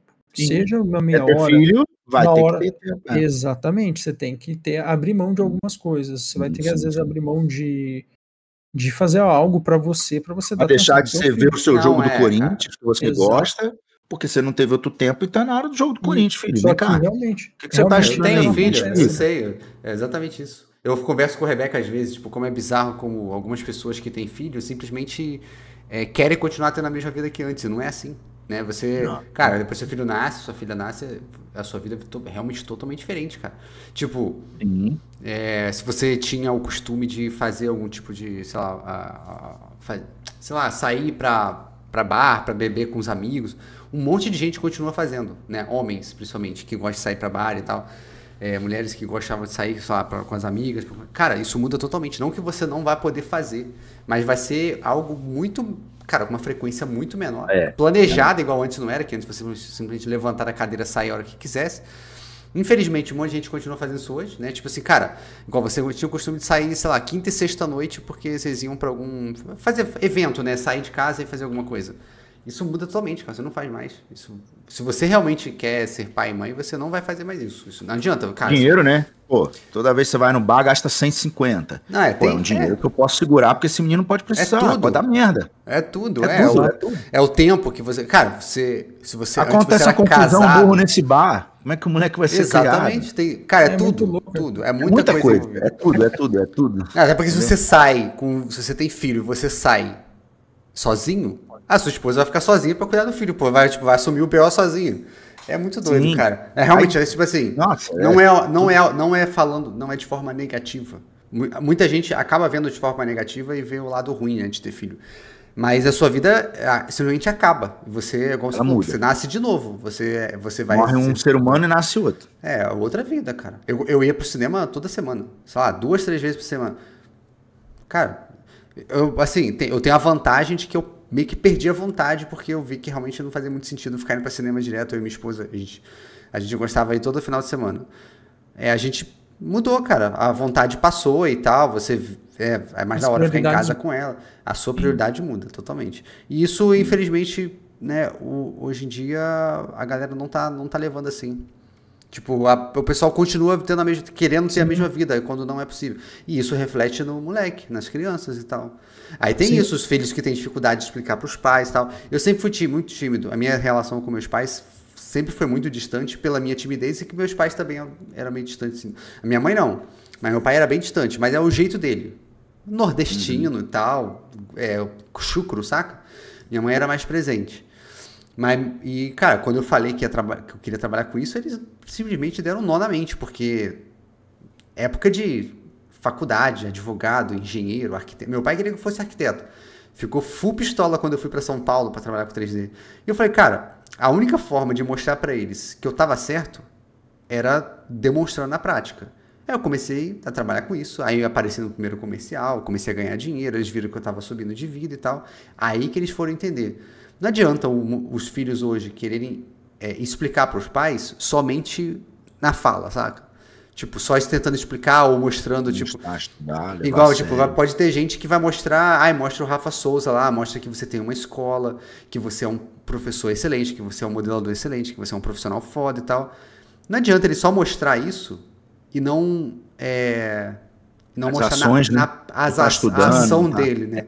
De não estar tá estudando, de não querer arrumar um trabalho para comprar um PC. Tipo, não, eu vou, cara, eu vou dar um jeito aqui. Eu vou trabalhar numa house e vou comprar um computador. É, o pessoal não e faz outro, isso hoje. ô, Felipe, já viu um médico estudando? Ele tá na casa dele, em silêncio, lendo um livro. Já viu um modelador 3D estudando? A TV tá rolando sacanagem. É, tá, sim, música pra cara alta. Entendeu? E tá no Discord com a galera dizendo, ah, seu puto, não sei o que, se fuder, isso. puto. Pai, aí vai o cara e fala, o que você tá fazendo? Tô estudando com os amigos. Ah, Entendeu? É, é outra vibe. É, é, estranho, é que é difícil de outra entender. época, entendeu? É outra época. Sim. Não, não tem nem. A, a minha irmã gostava de falar que eu conversava com meus amigos imaginários, cara. O TS, tá ligado? Uhum. Quando eu, eu trocava ideia com meus amigos, eu falei, meu. É porque ela não conhecia as pessoas, eu tava sozinho no quarto falando. Entendeu? Então eu falava com meus amigos imaginários. Então é, é bizarro, cara.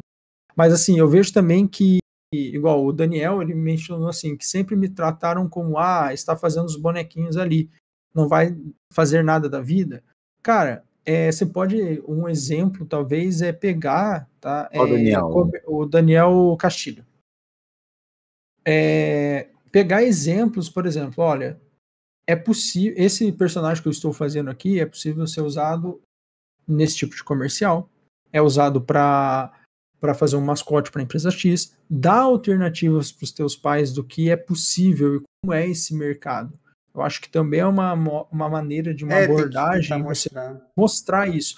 Ah, não adianta você pegar, pegar o Rafa, pegar o Grassetti, pegar é, os caras que já estão grandes, já estão ali e falar, olha, esse cara consegue, porque eles vão entender, pô, o cara pode ser exceção aquilo ali. Mas e aí mostrar, olha, existe um mercado gigante de entretenimento que precisa de pessoas que façam esse tipo de bonequinho. Então é uma coisa que dá para você. Claro, você tem que conseguir conversar com teus pais sobre isso. Porque realmente você conseguir ali um apoio, se você não vai ter o apoio, aí faz exatamente o quê? Arruma um trabalho fora Aí da área, já que- que você não é. consegue, É, e aí você rala. Aí você vai juntar Dagoberto, grana. Pode falar. é, é, é- é com carinho, assim, é sem maldade, mas, mas o que que acontece? Galera, quando começar a pegar freelancer e ganhar em dólar, na hora você vai ver a família apoiando toda. Mundo. Não é que eles sejam mercenários, estão de olho no teu dinheiro, são safados, Não. não. Mas quando começar, antes, é, ai, meu filho tá com os negócios lá que fica gritando tal de, de, de discordar lá com os meninos, diz que tá estudando, então ele já fica fazendo uns, uns homens lá pelados, não sei o que ele tá fazendo. Aí vem a notícia Depois lá do, fa- do- do jornal Não, do aí- Discord do moleque lá que. daquela- Isso, aí começa, aí começa a ganhar em dólar. Ah, meu filho é um artista, ganha em dólar, é internacional. Já Entendeu? um pouco o papo. É, realmente. É, eu realmente. lembro quando. Não, quando eu, quando comecei eu, a ganhar come- um salário quando eu. Nossa, É. cara, é outra história. Quando eu saí, quando eu Então- fiz o primeiro comercial lá, quando que eu fui pra São Paulo, tipo assim, cara. Eu fui, meu pai ficou pistola e tal. Quando eu fui, cara, voltei pra Búzios, quando eu voltei para nas férias, né, de final de ano, e eu com o celular ficava mostrando pra todo mundo o comercial da Sky que eu trabalhei, com a Gisele Bündchen, e eu ficava com o celular assim, tipo, cara, ó, isso aqui eu que trabalhei, ó, eu que fiz essa moto e tal. E aí minha mãe ficou toda toda, cara, quando passava na televisão, meu filho que fez esse comercial. É isso, Sozinho, cara. sozinho. É, você tem que mostrar, entendeu? E, cara, eu tive que sair de casa pra isso acontecer. Eu tive que sair pra outro estado e tal. Não tô falando que todo mundo vai ter que fazer isso, mas de alguma forma você vai ter que mostrar que esse trabalho, que isso é tipo uma coisa que dá certo e tal. Quer ver uma profissão pior ainda pra você conseguir convencer os pais de que é uma profissão e de que pode dar certo? É, cara, pro, pro player. Imagina a treta que é Ah, player, player. Jogar, tipo, cara, jogador profissional de CS. Jogador profissional de, não, sei tá lá, ferrado. essas, Isso porra, aí, LOL. isso aí. Isso aí, cara, hum, é- aí tá essa é uma ferrado. profissão que tem uma barreira muito de, de entrada muito grande ainda entre as famílias e tal. Tem que ser uns pais com a mente muito aberta, assim, pra apoiar o filho a ser um pro player, cara. Tem que ser. ah, Só que o ministro dos esportes agora vai, vai colocar os jogos de videogame como oficiais, como, como esporte do Ah, é? país, vai ter Vai ter televisionar, campeonato. Porque assim, o que, que são jogadores de futebol? Pessoas que estão jogando alguma coisa e a galera paga pra assistir. Sim. O cara botar a bola dentro da rede.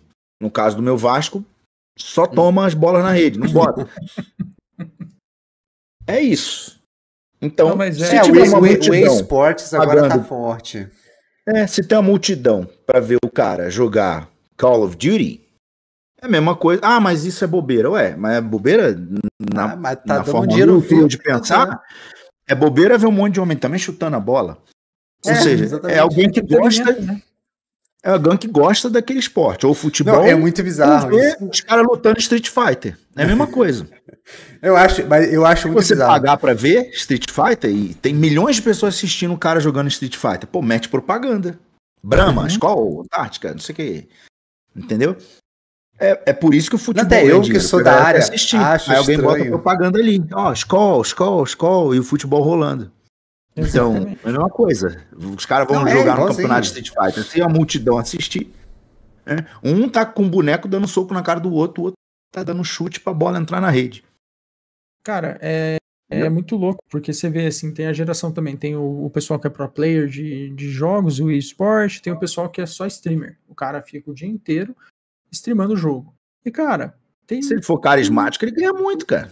Não, imagina, tem uns caras aí que tira É melhor que 200 muita pau, gente. 300 pau por mês. 200 Cano, mil? né, cara? Exatamente. Brincando, brincando. Brincandinho. Porque assim, cara, lógico, é uma construção. O cara não foi do dia pra noite. Sim, como tudo. Isso. Se você for Então é engenheiro, são Exato. anos de faculdade, trabalhar pra caramba pra receber mil reais. É, é, é que o pessoal Quando o cabelo tá normalmente. branco, começa a ganhar dinheiro. É igualzinho. Ah, então é isso mesmo. Exa- Não, exatamente. Ah, olha, ó. Quanto mais branco tem, mais dinheiro tem. Aí pra ninguém Ixi, me assaltar aí na rua lascou. vendo quão rico eu sou, eu pintei. Mas a Lascou. costeleta tá denunciando. Cara, a barba já, já denuncia, já não tem como. Cara, ó, como eu só que, antes que eu perca isso aqui, que eu deixei, isso- deixei Ah, marcado faz tempo, que o André Luiz mandou lá atrás no chat, ele mandou uma, ele mandou uma pergunta muito boa com uma reflexão bem da hora, que eu queria ver o que o Rafa vai falar e acho que o Dagobert também, e eu vou ver o que eu posso refletir também. Que ele falou assim: vocês acham que se vocês não tivessem ficado muitas horas estudando sem parar e muitas horas trabalhando, vocês estariam onde estão? É um Eu acho que não. O, lance da gente ficar doente não é ter estudado muito. É a carga que a gente traz pra cabeça, nesse caso. Estudar é gostoso, é saudável. Você está estudando no que você gosta, você não vai deixar de dormir, porque você aprende muito. Porque assim, ninguém também estuda sem, sem dormir. Você vê que o cara ele já tá no final ali, já tá enrolando, já tá vendo as besteiras na internet. Mas sim, estudar muito colocaria. é, me coloca onde eu tô. Perfeito. Eu acho que o grande problema de tudo é a carga que a gente bota em cima disso. Pô, tô estudando muito, mas eu sou um bosta, eu sou um merda, eu nunca serei como fulano, eu acho que eu não vou ter emprego. E aí vai ficando com aquela coisa no coração. A ansiedade, o estresse, essas coisas estão matando. Não é estudo, não é a quantidade de estudo. Entendeu? Até porque se disser assim, ah, eu vou estudar então a metade. Se você tiver mal da cabeça, você vai ficar, pô, eu podia estar dando, tá dando mais. Tá, então eu vou estudar a metade do dia, outra metade eu vou ficar passeando. Aí você passeia, você fica andando na rua igual um doido assim, com peso na consciência, pensando, pô, podia estar estudando, podia estar estudando, pô, podia estar estudando. Então estuda. O lance é, é, é você ir administrando alguns significados que, que... Eu tava conversando com o Gustavo da Revolution uma vez numa live, ele falou engraçado assim.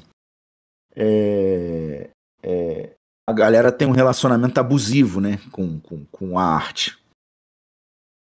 Porque você vê que é, é, não, eu sou uma merda nisso, e não sei o que lá, e, e eu nunca vou ser bom. E, e aquilo que você mais ama, que é a arte, pode um dia ser o que você mais te odeia, o que mais te faz mal. Se uma menina termina com você e você não gosta muito dela, você não tá nem aí. Se você gosta dela e ela termina, você sofre mais. Então, as coisas que você ama são as que mais podem te fazer sofrer. Então, é entender que assim, ah, eu amo muito arte, eu amo muito arte, mas se começar a entrar numa pira muito grande de eu não tô bom, eu sou um merda, eu nunca serei como fulano, e isso é ruim. Estresse, ansiedade é ruim para a saúde. Agora, simplesmente estudar, desde que você consiga fazer de forma saudável, perfeito. Quanto mais você estudar, melhor você vai ser. E quanto e, e outra, e o descanso, o descanso também é importante. Descansar que eu digo é dormir bem e tal. E Uhum. pro artista, o tempo dele vivendo a vida também é importante, tá? Conta muito. Descobrir como que minha arte melhorou quando eu comecei a observar o mundo à volta e não ficar só no Google vendo o mundo através do Google e referência que eu digito no Google. Mas eu tô ali na rua ali, paro para tomar um café ali antes de ir, por exemplo, pra academia, paro e tô observando as pessoas. Cara, eu vejo cada coisa interessante acontecendo. É, é, tudo isso vai pro meu trabalho. Eu, eu indiretamente eu diretamente. Eu concordo realmente não tem. Estudar, se eu não né? tivesse né? me dedicado, não tem. Você quer ser alguém, é aquela coisa. É voltar lá, o pai e mãe falar, você quer ser alguém na vida, você tem que estudar. Não é, tem segredo. Isso é clássica. Isso é clássica. Não tem segredo. É, ficar forte, que... tem que levantar muito peso, treinar pra caramba, comer é, muito. Tem que... Quer lutar, vai apanhar muito, tem que tá, tomar muito. muito soco na cara. É que ela não tem, não existe almoço grátis. Você vai ter que realmente é. estudar, cara. Tem, tem, que pagar o preço. Tem, eu acho que não tem o um segredo. Eu acho que a maioria do, do pessoal procura um segredo de como encurtar caminhos. O caminho é que é, é, é, complicado, porque o caminho de um não vai ser igual ao caminho do outro. Às vezes tem uma pessoa que vai ter um ano e meio ali, vai avançar absurdamente. Tem pessoa, e não vai, é, vai avançar artisticamente muito, mas não vai conseguir um bom trampo. E o cara que está ali dois, três anos, consegue. Mas é aquela questão, é paciência, persistir. No, no momento você não está conseguindo simplesmente arrumar um trampo na área, vamos dizer assim, no 3D em si, cara, faz um bico, dá teus pulos também, arruma um, uma maneira aí, porque não, realmente não é, é fácil. É, não é o problema igual, é a cabeça. É. é, e cuidar, eu, eu acho que assim, cuidar muito disso, não tente sabotar igual o, o Rafael Isadoro, Isodoro. Mas minha dúvida é, você deixa, é, você deixa de se sentir um merda antes ou depois de conseguir um trampo? Na verdade, você já tem que trabalhar isso na tua cabeça todos os dias. É, não é quando você é, pode estar tá pegando isso. um trampo e se sentir um merda. Então é aquela coisa, cuidar da sua saúde mental é necessário. Então, ou seja, Perfeito, você está se sentindo, é, você tá se sentindo um merda. Já vi isso. Gente cara, que conseguiu tem... pegar o trampo e falou, cara, eu acho que eu não dou conta. Aqui trampo. Se ele vou, é diretor da Blizzard? É. Não, não é. Ele, ah, eu tô numa empresa aqui que é menor, então eu sou um bosta. Entendeu? Não adianta. É, então, é, é, é trabalhar. Pode... É, saúde mental aí é. É um exemplo, Dagoberto, disso. Mike Nash. Que Deus o tenha também. Mike Nash, quem não conhece, gente, dita Mike e depois Nash, N-A-S-H, se eu não me engano. Inclusive tem vídeos dele no Gumroad, tá? Como ele fazia os sci-fis lá, vale muito a pena, gente. E foi recente, comprar. né? Ah, esse maluco Isso, o Mike é recente, Nash, tô ligado aqui. Do Sim, do, ele, ele né? fez ali Horizon toda a identidade visual dos robôs do, do Horizon. Horizon, é. Ah, é. Só que ele tinha já colocado alguns vídeos tal de coisa de problema de, de ansiedade, de se sentir não não se sentir bom o suficiente, de, de, de... o cara faz uma, uma, uma toda uma linha visual de mecânica num jogo gigantesco. Você vê que o jogo, aqueles robôs, tem a cara, é, é o cérebro do Mike Nash. O Mike Nash, infelizmente, se foi com 32, 33 anos, tem pouco 36, tempo. 36. Isso, novo, né? É, 36, é. E... Tem um, tem um mês aí, eu acho. E vai, vai ter agora Forbidden. Uh, teve o Forbidden West, vai ter o sei lá, Forbidden East, Forgotten West, vai ter o que vocês imaginarem aí, seguindo aquela hum. identidade visual que saiu do cérebro dele. Quando vocês olharem o trabalho do Mike Nash, vão olhar e vai dizer, ah, dali que veio Horizon, dá pra ver a cara, pelo menos os robôs, né? Sim. Vocês vão ver lá no, no Gumroad dele tem vários vídeos dele pegando um scanner de um cara assim de terno e tudo, tudo começa a esculpir em cima e transforma aquilo num bombeiro sci-fi. Então ele fazia muito esses trabalhos, assim, pegava uma massa, um box, assim, esticava no, no ZBrush e tchá, tchá, tchá, rabiscava para fazer um robô bem rabiscadão, mas já tava a ideia toda pronta ali. E uma ideia que você olhava e dizia, puta merda, que troço bonito. Ele infelizmente se foi dizendo, eu não sou bom o suficiente, eu não sei o quê. Então, gente, isso ah, tem muito com uma, uma, uma cultura mundial, principalmente ocidental, de, de, de quando você aceita suas virtudes e diz, cara, eu sou bom nisso aqui. Isso é um sinal de arrogância, de que você é um escroto, de não sei o quê. E ficar, eu não sou bom, não sou bom, é lindo. Isso, de uma certa forma, te dignifica, te deixa um ser humano tão puro, tão humilde. né? Ah, mas se eu me achar o foda, eu não vou evoluir. Não, não é se achar foda nem ruim. É entender o seu tamanho. Entendeu? Ah, eu posso ser foda, mas dá pra ficar mais foda. Ah, mas eu sou o cara mais foda do mundo. Né, o Chris Costa fazia os melhores trabalhos do mundo da época dele. Ele continua evoluindo, ele continua sendo um dos melhores do mundo, e só que ele é, ele é hoje melhor do que ele era antes. Então, mesmo se você chega no topo, o próprio Kim Jong-un continuava evoluindo. Ou seja, ele, ele era o melhor do mundo, daqui a pouco ele evoluía e deixava ele do passado o segundo melhor do mundo. Cara, o Rafa, o Entendeu? Grassetti falou uma coisa que o, teve uma pessoa que falou assim: "Ah, eu quero, eu vou chegar no teu nível. Você é melhor que você. Aí ele falou assim: você não vai chegar no meu nível, não vai estar melhor do que eu, porque quando você estiver, eu vou estar à frente, porque eu já estou na Sim. minha trajetória. Então, assim. Sim. Eu não vou ficar é, congelado, Exatamente. Não. Eu não vou estar parado no tempo esperando você chegar até mim. Eu vou estar continuando a minha carreira aqui. Então, Sim. tipo, tem muito isso. Então, cara, cuidado. Cuide da sua. É igual a gente tá falando, cuida da sua saúde mental.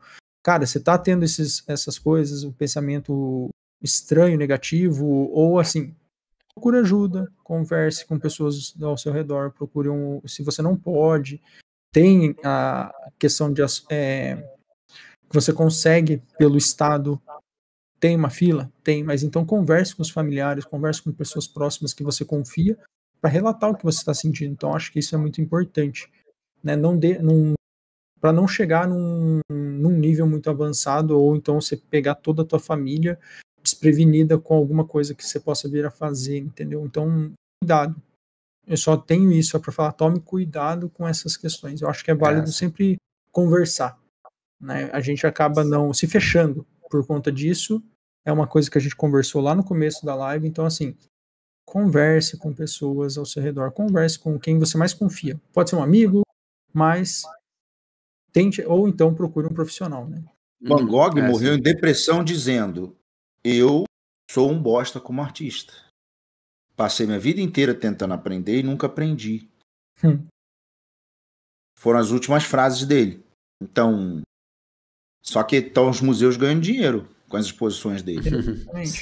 então, assim, é, de novo, eu, cara, com a psicóloga, a minha psicóloga é maravilhosa, assim. Ela fala na cara mesmo. É bom. Assim, ó, é, ó, Rafael, isso daí é, é, o teu ego. Você tá, você tá se botando como um bosta porque você acha que isso te faz foda. Ou indivíduo dotado de uma, de uma humildade tão humildade. linda. O cara faz uma escultura e diz: Eu sou um bosta. Olha que indivíduo maravilhoso. Isso é ego travestido de humildade.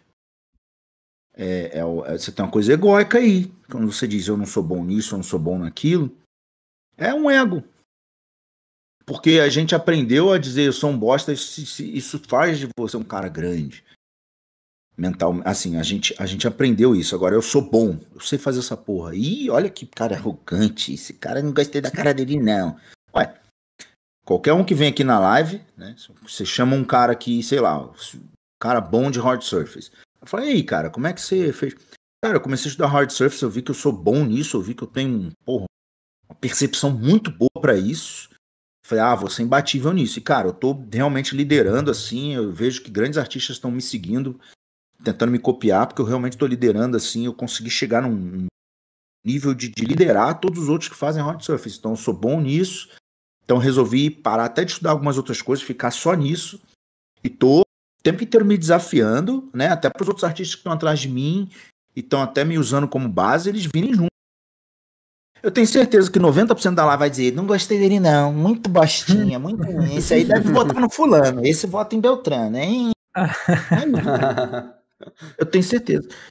Agora, se chama um cara foda aqui e diz, cara, seu trabalho, ele, ah, nada, cara, as besteirinhas que eu faço, as merdinhas aí. Ah, cara, eu fico fazendo os negocinhos, fica todo mundo apaixonado pelo cara. Ai, fofo. eu também aprendi isso. É, isso aí é uma coisa que todo mundo precisa aprender. Isso é um aprendizado, a, cara. A, a primeira Você realmente se acha um bosta? Então eu vou olhar para você e vou dizer, você é um bosta, então você não pode se ofender. Exato. Eu acho que isso Mas é não, bom. né? Você vai ficar puto porque você sabe que você não é um bosta. Você sabe que você não é um bosta, entendeu? entendeu? Isso é muito bom. Então, assim, é, a gente tem que. A gente tem que. Só que a gente fica repetindo essa porra, isso baixa a autoestima. E aí a gente tenta ser grande no sentido da humildade. Mas aí, em compensação, paralisa, não manda portfólio para ninguém, nem evolui tanto, porque também não acredita que vai chegar lá. Gente, nossa cabeça é um. Eu aprendi no passado, nos últimos meses aí, como que ela, ela é hábil em nos enganar. Sim. Uhum. A gente se sabota muito, né? Você tinha mencionado isso. A autossabotagem é constante. Então a gente tem que é, tentar. E eu vou falar, eu ainda faço isso muito. Eu exercito muito isso. Não, pera lá. Eu sei que eu sou bom em fazer isso. Então, por o que, que eu tô com medo? Eu já fiz isso anteriormente. Então, assim, tomar cuidado. A gente tá, é um exercício. Não é uma coisa que vai ser. Do... E pode ser que você tenha, você tá indo bem, está fazendo bem, em algum momento você tenha isso. Ah, não, não acho que eu estou bem o suficiente porque você tomou um não, ou porque aconteceu. Você bateu o dedinho na, na, na mesa aqui, você está tendo um mau dia e você se sentiu um bosta. Pode acontecer. Vai lá, Sim. tira um tempo para você, assiste um filme que você curte, assiste uma série, vai, sei lá. E volta, né? E, volta. volta. Fresca a cabeça, vai dar uma volta, vai na academia, enfim, dá para fazer tantas coisas. Vai fazer alguma coisa que você se sinta bem. Ah, quer dormir? Então vai dormir. Aí depois você volta com com isso. O né? Dagoberto, duas coisas. Uma é dizer eu sou foda, isso também é sinal de, de, de mau caratismo e tal. Ou outra coisa que virou na nossa cultura uma coisa feia é dizer quero ser rico, quero ganhar grana, quero, quero ter dinheiro. Ah, é ofensivo. Não, isso, não vou né? roubar, não vou roubar ninguém, não. Não, não, não. Quero montar uma empresa, ganhar grana, talvez montar uma coisa relacionada a 3D e ficar bom e ficar com dinheiro. Isso é muito mal visto. Sim. Então, meu amigo, quem vê isso mal vai passar a vida inteira com dinheiro apertado. Porque dinheiro não vem sem querer, só vem quando você realmente busca. Essa coisa de consequência, calma. Uhum. Ah, dinheiro é consequência, o negócio é ficar bom na arte. Calma, que eu vi muito bom artista morrer sem dinheiro. É, fala isso pro Grassetti, de né, consequência. Tá, consequência de muita coisa que eu fiz para ter dinheiro. Exatamente. ah, mas você ficou bom na arte. Tá, fiquei bom na arte. Se eu vendo um curso a um real, não vou ter dinheiro. É, é... Tá.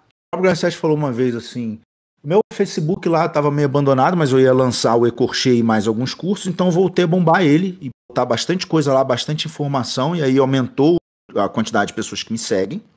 Eu cheguei a 200 mil na época, isso ele falando. E aí eu lancei o meu curso. Porque tem que ter as pessoas para verem que o curso foi lançado para poder ganhar o dinheiro. Uhum. Só ser bom na, na arte.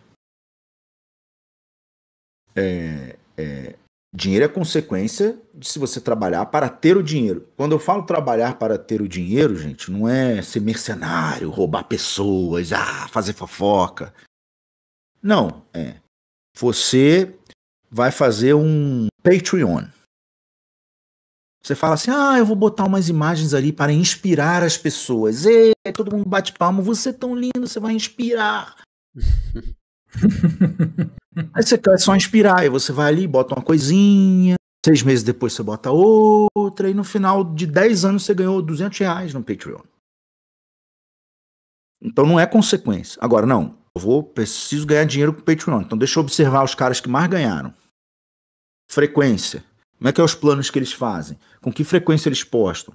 Ah, isso aqui é interessante. Ó. Ele desenha, ele faz alguns desenhos. Um desenho é dele e outro é de alguém que pediu para ele desenhar. Faça o personagem do Street Fighter com seu traço. Hum. Ah, que legal. Ah, mas esses que podem dizer faça com seu traço e tal, é, o, é quem paga mais. Esses que podem opinar. Ah, entendi. Aí você vai lá e faz. Aí você ganha dinheiro. Então, cuidado, gente, com essas mentiras de que dinheiro é. Conse... Gente, não se preocupe com dinheiro. Só estuda a arte, dinheiro é consequência. Hum. Felizmente não. Isso é muito lindo. Mas tanta coisa é linda como um dragão e não existem no mundo real. Quem fala isso, você olha para ele, não é rico. Não, não é para ser ricaço. A pessoa tem uma vida muito assim, certinha, mas deu uma merda, vá pro negativo. Sim. Não é aquela vida é... que não pode dar merda. Não tem borda nenhuma, Sim. o cara não, não fez tem. nada. Entendeu? Se tiver filho, deu uma merdinha, sai da escola particular, já mete na pública. Tira plano Sim. de saúde. Os caras que, que têm mais você olha assim, é bem sucedido financeiramente. E, gente, tudo que você vai precisar, batata tá cara, até batata tá caro. Então, assim, precisa de dinheiro. Então, não é ser mercenário e ligar o que se dane, que se dane as pessoas. Não é isso. Ah, eu tô vendendo esse curso barato, mas é para 200 mil pessoas. Não, esse curso é só para 10 pessoas, então essas 10 vão ter que bancar isso. Então, quando você vê esses, esses, essas pessoas bem-sucedidas, não estou falando de Elon Musk, ah, ah, mal. Não, gente. Estou falando de quem consegue deitar a cabeça no travesseiro dizendo, ah, se der uma merda eu tenho uma sobra. E aí você dorme muito melhor. Você vive melhor. Cara, se der uma merda, meu filho não vai precisar sair da escola particular porque eu tenho guardado dois anos de mensalidade nele. Isso faz você dormir tão gostoso. É o tal da reserva de emergência que Ficou... Mas para fazer reserva com tudo caro, é, você tem que ganhar bem. É, tem, não, não, tem reserva que, que, que, chegue. Sim. Então, assim, é, de novo, não é ser um filho da mãe, tal, é, vou entrar pra política, roubar todo mundo, só usar hotel caro, não é disso que eu tô falando. Eu tô falando que dinheiro é consequência do que você faz para ganhar dinheiro. Porque Sim. eu falava essa frase, gente, não se preocupe com dinheiro, não, seja só um bom artista, dinheiro é consequência. Não, eu vi grandes artistas sem dinheiro. Sim. A vida inteira. E Entendeu? eu vou até fazer Muitos. uma. Entendeu? Vou puxar um ganchinho aqui, Rafa. Eu mesmo, assim... sou, eu mesmo. Não tem grana. Isso, gente, mas é verdade, entendeu? Mas é, vou puxar porque assim, existe também aquela coisa. É zero. É zero. Ah lá, é zero. a galera. Tem muita gente também que fala, pô, eu tenho um trabalho, o meu trabalho é bom, mas o fulano tem um trabalho ruim e tá trabalhando, tá ganhando dinheiro. Aí é que entra a questão, o cara tá aparecendo, o que que ele, você, ele tá fazendo que você não tá. Você pode ter um trabalho bom, mas Eles se você comunica. não apresenta, você não sabe conversar com uma pessoa. Você entra numa reunião, você tá com a cabeça baixa, tá se escondendo e resmungando. Você não vai, é, a pessoa não vai te dar confiança em desenvolver alguma coisa. Porque você precisa saber conversar com as, as pessoas. Então, assim, é, ah, não consigo. Você vai precisar desenvolver. É, eu era relutante muito no meu, no meu começo de carreira. Ah, eu não quero ser vendedor. Quero saber vender. Ah, para quê? E não sei o quê. E assim, eu venho de, de comerciantes na minha família. Então, assim, eu aprendi a vender. Trabalhava com eles antes. Então, assim, isso depois que eu entrei, por exemplo, ia fazer uma entrevista de emprego, consegui um emprego ia fazer um. Conseguir. Por quê? Conseguia conversar com a pessoa, mas isso sem mentir. Conversar, ser transparente. Falou, ó, meu nome é Dagoberto, eu consigo fazer isso, isso, isso, isso aqui. Serve para tua empresa? Ah, serve. Então, beleza, fechou. Ah, acorda os valores e fecha. É a comunicação, é conseguir comunicar, conversar. É a coisa que a gente fala, igual falar com os pais. Tem gente que caga de medo de conversar com os pais sobre coisas simples e realmente, o cara que tem um pouquinho mais é ter a cara de pau. Você tem a cara de pau de se vender, mesmo que o seu trabalho não está no nível que você considera bom. Ah, eu não estou no nível do Gracete. Pô, você vai esperar chegar no nível do Gracete para começar a ganhar dinheiro? Então, meu amigo, tipo, espera aí um bom tempo que você vai ralar bastante. É um então não perigo, tem como. Como é que você vai pagar suas contas? Como é que você vai simplesmente viver? Não, você precisa saber se vender. Então isso é importante, independente se o trabalho é excelente ou não. Né? Porque eu vejo muito, tem muito cara, às vezes, que é, é fraco, vou dizer assim, não é um cara ruim, ou o cara tá no início, e o cara já começa a pegar alguma coisinha, beleza com uma coisinha aqui, já beleza com uma coisa ali. Ué, o cara tá dando os pulos dele. Eu acho que isso é e é outra, Dago. Sei lá, Felipe monta uma empresa de jogos no Brasil. Senta de sócio com ele. Aí vocês querem começar com celular. Então vocês querem alguém que faça uns, uns dinossaurinhos em, em 3D. Você vai contratar o Grassetti para isso? Não, tem vai, vai cobrar quanto? Nem precisa contratar um canhão para matar uma barata. Exatamente. Você vai pegar justamente esse cara que diz eu sou um bosta porque meu trabalho não é igual da Blizzard. Cara, você faz esses dinossaurinhos, dá um trabalho, vai fazer com capricho, com amor, depois você vai ver a galerinha jogando, vai ter um orgulho, cara. Isso vai ser. Vai. Não é só fazer troll na Blizzard, Sim, não. Você é. vai ver que isso tem... te dá um. E é o primeiro passo para você ir avançando. Aí você vai ver que assim, essas empresas não vão contratar o fodão. não dá, não tem como. Ela vai querer. Nem teria coragem. Mesmo se você tivesse um milhão pra dar pro cara, você diz, cara, não tem coragem de pedir pra ele fazer isso. O cara, será que eu, eu não vou pedir? Eu, eu fala, feio, falar você, que eu não vou falar isso com ele, não. Entendeu? Entendeu? Você não tem essa coragem. Então, se deixar o André Castro aí, ó. Beijo grande pro meu filhote. Você vai contratar o André Castro pra fazer uma bobeirinha. Você fica com vergonha, você fala, eu não, porra, eu não vou contratar ele pra isso, não. Ele vai matar um, pegar um canhão pra matar uma barata? Não vai. Então, tem vaga para todos os níveis de trabalho. Sim. Tem vários, eu concordo. É, e, e, principalmente, cara, cara de pau. Eu acho que isso aí é muito bom. Uhum. Você ter a cara de pau. De... O Felipe é um cara cara de pau. Ele é tímido, mas é, ele, é, mas, ele é mas tímido, mais era. reservado, mas ele é mais cara de pau. Ele manda Sim. mensagem, não tem receio. Tipo, não, é, ah, não, nesse sentido eu sempre fui cara de pau, Sim, não. Nesse foi, sentido eu sempre. Foi assim que eu consegui ver o trampo. Mais. Exato. É, eu, eu fui lá, o, Rafa, quando eu fui para São Paulo, é, eu fui, eu, eu fui para lá em 2015, né? Eu, eu moro em Búzios. Morava em Búzios na época e, fui, e mudei para São Paulo, né? Quando eu falei que fui lá para tentar minha vida. Cara, no, na primeira semana que eu cheguei em São Paulo, sem portfólio, sem nada, eu, eu, fui, eu peguei os endereços de um monte de, de estudos ali da, da região de, do, da capital, né? Blanca, e meu vetor. sonho, é, o meu sonho era vetor. Meu sonho de vida era trabalhar na vetor. Tipo, esse era meu objetivo de vida na época. Eu fui para São Paulo com esse objetivo. E eu fui lá na frente da Vetor, cara. Eu fui lá na frente do prédio, peguei lá, foram uns dois ou três ônibus que eu peguei para chegar lá, que eu morava em Carapicuíba. E liguei pra, pra recepção e perguntei se podia falar com o Alceu, porque meu sonho era. Ah, olha a viagem, meu sonho era conhecer o Alceu, eu tinha muita vontade de trabalhar com isso. Queria ver se ele podia me dar uma oportunidade de dar um PC para poder sentar e trabalhar, que eu ia aprender e ia ficar bom. Eu fui lá, cara, eu, eu fui muita cara de pau. Hoje eu fico pensando, cara, que absurdo, ninguém me dá um emprego. Mas a atitude de ir lá mostrou que eu realmente estava dedicado a conseguir isso. Porque, cara, eu fui com esse objetivo. Eu não fiquei esperar, eu não, eu não esperei ficar igual o Grassetti, por exemplo, para ir lá pedir um emprego para os caras, entendeu? É, e eu sempre dei esse exemplo para os alunos, os seguidores e tal, que, cara, tem, tem que ter atitude, entende? Você não precisa ter exatamente, cara, ter. Esperar chegar em determinado ponto da sua vida para tentar algo. Cara, tenta, cara. Se você tem um trampo no portfólio, você vai tentar. Aí você, se, você, se você tem 10 trampos, você vai continuar tentando, cara. 20 trampos até você conseguir, cara. Você, você, só não pode parar ou ficar com vergonha, com medo e tal. Eu nunca tive vergonha de mandar mensagens para para pessoas tipo da internet, igual tem gente que, que tem vergonha. Né? Eu já vi gente que aluno que falou que tinha ah, nunca apliquei porque eu tenho medo do meu trabalho não ser bom. Aí eu vou ver o trampo do cara é foda. Entende? É, não pode ter medo, cara. Tem que ter essa coragem, tem que perder, porque realmente, cara, senão fica travado. E, e é aquilo, cara. Se você não fizer, alguém vai estar tá fazendo, cara. Alguém vai estar tá fazendo vai. isso aí. Alguém vai pegar esse vai. lugarzinho. Vai.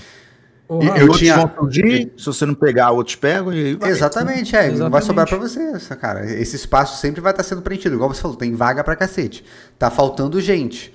É, provavelmente vai ter gente no mercado que dê conta dessas vagas, mas tem gente que não tá, não tá indo atrás, cara. Eu sei que tem pessoas que estão aplicando e não estão conseguindo. E isso é normal, né? Tem a questão do timing também, né? Às vezes você você, você não mandou a mensagem no dia correto, né? Tipo, não no dia correto, não, não que tenha o dia correto. Eu falo, não era o dia que a pessoa né, abriu a caixa de entrada, ou você mandou um direct para alguém no Instagram e a pessoa não viu naquele dia porque caiu na solicitação de mensagem. Tem o timing, então você tem que tentar várias vezes até conseguir. É... Olha o Felipe, olha o Thiago France, Francewell. Cadê? Eu fui muito eu fui... cara de pau. Aí, tá vendo? Eu fui cara de pau, estudo estúdio americano com inglês meia boca. É isso, cara. É outra coisa é. também. Ah, meu inglês é meio não sei o quê. Essa Pô, é clássica. Então vou mandar mensagem para esse estúdio, achando que os caras americanos vão exigir um inglês ultra perfeito, sendo é. que eles, eles só falam inglês, eles não aprendem porra de língua nenhuma além de inglês, que é a nativa deles. Eles admiram muito você chegar Sim. lá com uma certa dificuldade se forçando a falar. Uhum. Porque assim, ele sabe que ele vai te mandar um monte de crítica em, em inglês escrito, que hoje tem Google, que hoje você pode ler com calma se você não entendeu. Se você não entendeu a palavra, você pergunta de novo, ele explica de outro jeito. Nossa, que tem. E outra, toda empresa está lotada de brasileiro. Ele fala, ó, fala com o fulano. Sim. O fulano te explicar Sempre o que eu tem. disse. Sempre tem. Entendeu? Tem os tradutores. Cara, se uma né? empresa lá em outro planeta Quando tu chega lá, tem brasileiro. Vai ter um BR, cara, cara. Tem todas, tem todas. Todas as empresas, você imagina, todos os. Tudo, tudo, tô falando tudo, inclusive McDonald's. Já vamos McDonald's na Rússia. Tem. Eu vi brasileiro lá trabalhando. Tem. que não é McDonald's, eles, eles transformam. É, outra. Entendeu? Outro. Tinha, tem em todos os lugares, a gente se espalhou. É um negócio meio Não estranho. tem, Então, assim, É não tem você- é, não, não tem por que ter essa, essa, essa trava aí que, cara. É a mesma coisa, cara. Vai ter alguém sem falar inglês direito que vai lá e vai tentar e vai conseguir. Cara, tem que a pessoa você tem que ter altitude. Aí você tem fala, que- pô, eu com inglês ruim, eu não mandei. Esse cara é uma cara de pau. Quando tu vê, o cara tá lá dentro. E lá dentro ele começa a evoluir muito o inglês dele. Uma sim, necessidade. exatamente.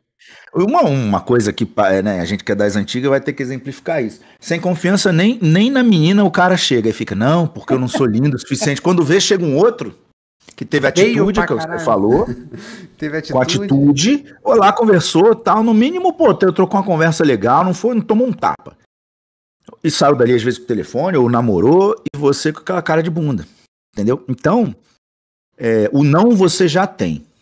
Você hoje não está naquela empresa. Você vai buscar algo a mais. E vai tomar não, porque não é só uma questão do seu trabalho ser bom, gente. Tem que concatenar algumas coisas para você ser contratado. E tem muitas empresas, você vai mandar para muitas empresas, numa delas concatena. Que é eles estarem precisando de alguém com o teu perfil naquele momento.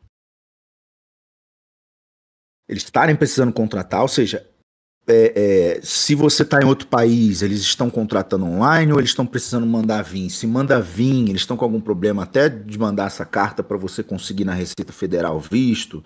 O teu país tem visto para trabalhar lá automaticamente? Ou não? É como os Estados Unidos que você precisa de visto? Ou na Europa que é mais facilitado? Você é brasileiro, mas você tem passaporte europeu? Se tem, sai visto para os Estados Unidos fácil. A gente sabe Uhum. disso. Se não, não. Então, ele sabe que demora mais. Então, concatena um monte de informações para que dê certo. Então, não é só, ah, não me deu emprego porque eu sou um bosta. Não. Não. É, é, é, É é multifator, né? porque é muito multifatorial. E até mesmo quando ele olha e diz, ó, você precisa evoluir um pouquinho nisso, show. Vai lá, trabalha naquilo, evolui e mostra pra ele. Tá aí, ó. Seis meses passaram, refiz. Evolui. Cara, porra, esse cara quer mesmo vir. Uhum. Como é que ele melhorou? Aí te passa um teste, porque ele também fica com medo de saber se É. você pediu ajuda demais pra alguém. E outra, começa a trabalhar numa empresa de jogos aqui fazendo uns bonequinhos pro celular. Que aí, depois de um ano, dois, você tem uma cartinha. O cara vai falar, já trabalhou onde? Trabalhei naquela empresa. E entrar numa empresa dessa é mil vezes mais fácil do que na Blizzard. Mas quando você for entrar na Blizzard, vai perguntar: já trabalhou onde? Trabalhei nessa empresa de jogos aqui. Eles vão entrar em contato com a Uhum. empresa, tá? Esse cara aqui, gente boa, ah, só fazia piada sem graça, diminuía todo mundo aqui dentro, falavam as coisas para as meninas que elas se sentiam mal em estar perto dele. Eram, eram piadas e coisas ofensivas e não sei o quê. Por quê? Porque se essa empresa diz, não, contrata, esse cara é do bem, ela também se queima. Hum. Entendeu? Então ela vai É. falar assim, ó, a gen- a gente, ele não é má pessoa, tal, mas eu também não posso atestar que ele não vai criar um problema aí. Acabou, meu amigo. Já te cortou. Era. Já era, entendeu? Eu acho que foi o Uhum. Danilo Ataíde que foi pra Naughty Dog. O Glauco Long nem tava mais lá, eles ligaram pro Glauco. Se eu não tô errado. O Glauco falou isso numa live. Foi o Danilo Ataíde sim, eles ligaram. Já trabalhou com esse cara? E, pô, Danilo Ataíde é um amor de pessoa, todo mundo conhece, todo mundo que conheceu ele pessoalmente, ou conviveu com ele, ou trabalhou com ele, só tem coisas boas a dizer. Então, é isso, gente. Fiquem ligados. Eu sempre falo, cuidado com as coisas que escrevem em rede social, tá todo mundo vendo. Eu sei que você tem o direito de ter tua opinião, Mas, não tem problema. O problema é o jeito ofensivo de falar. é, a forma como você fala é, é o que vai Sim. te representar, vai te pesar ali. Então tem que ter Entendeu? cuidado. Cu- Cuidado por com exemplo, os usos né, da palavra. Aparece, Dagoberto, um caso, é, é, é, vamos dizer, um caso famoso na internet, na, na internet ou na televisão, que tá todo mundo comentando sobre uma possível menina que estava bêbada, mas foi estuprada. Meu amigo, você não é polícia, não tá no caso. Aí já vão os caras. Ah, mas ela tava bêbada, então tem alguma coisa aí. É, Meu irmão. Exatamente, não. Assim, não faça isso até para você se tornar um ser humano melhor, óbvio. Exato. E também porque nunca vão esquecer. Cara, passam três anos e falam, ah, vou falar com fulano. Fulano é aquele que escreveu que mulher se bebe tem que ser estuprada? Já passa assim. É, já vai mesmo. Como, se a, como se a frase do cara já não bastasse para eliminar ele. Sim. A galera ainda consegue arrumar um jeito de piorar. Piorar. Uhum. Então, é, cuidado. Cara, já trabalhei com, com gente que era muito queimada na Olha o Glauco Henrique dizendo não me ligaram, não. é o Long. Ah, foi o Long sim, que disse isso na live. Foi o Long que disse isso. Se eu, se eu não tô. Eu, eu, eu, acho, se eu não tiver errado, tá? Que foi ele. Mas se não foi alguém. Mas eu acho que foi ele sim.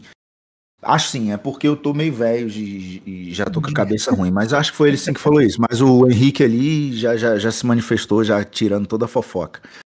Então, gente, a gente tem que tomar muito cuidado com, com, com o ambiente de trabalho, com essas coisas e, e não achar. É, tem isso, né, Dagoberto? Ah, eu quero entrar no 3D. Onde eu vou? Para a Blizzard. Então, então você vai pro alto daquela montanha. Onde é que tu tá agora? Tô no pé. É um caminho muito longo. Você acha que você só vai estudar para um dia já quicar lá? Não, vai galgando, cara. Tem um monte de. Cara, tem Rodrigo Pixel. O Rodrigo Pixel é um cara maravilhoso, né? Artista. Rafa, não quero boa. te cortar, mas a sua câmera deu um. tá desfocada. É. Ela dá uns alguma... negocinhos desses.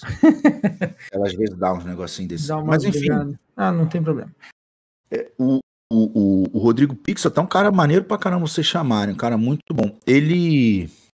Já é a segunda pessoa que indica ele. Já vou chegar não, ele, ele, ele, é indicação. Ele não só, e, e ele não só é um ah, ele não só é um artista incrível, uma pessoa incrível, como ele é muito ligado no que acontece no mundo da nossa profissão. Nunca vi indivíduo tão ligado quanto ele. Ele tem, ele conhece sites assim que tem todo o mapeamento atual de todas as empresas de jogos só de São Paulo, uhum. do Brasil. Tem um mapa, assim, abre o planetinho, o, Bra o Brasil e você vai clicando.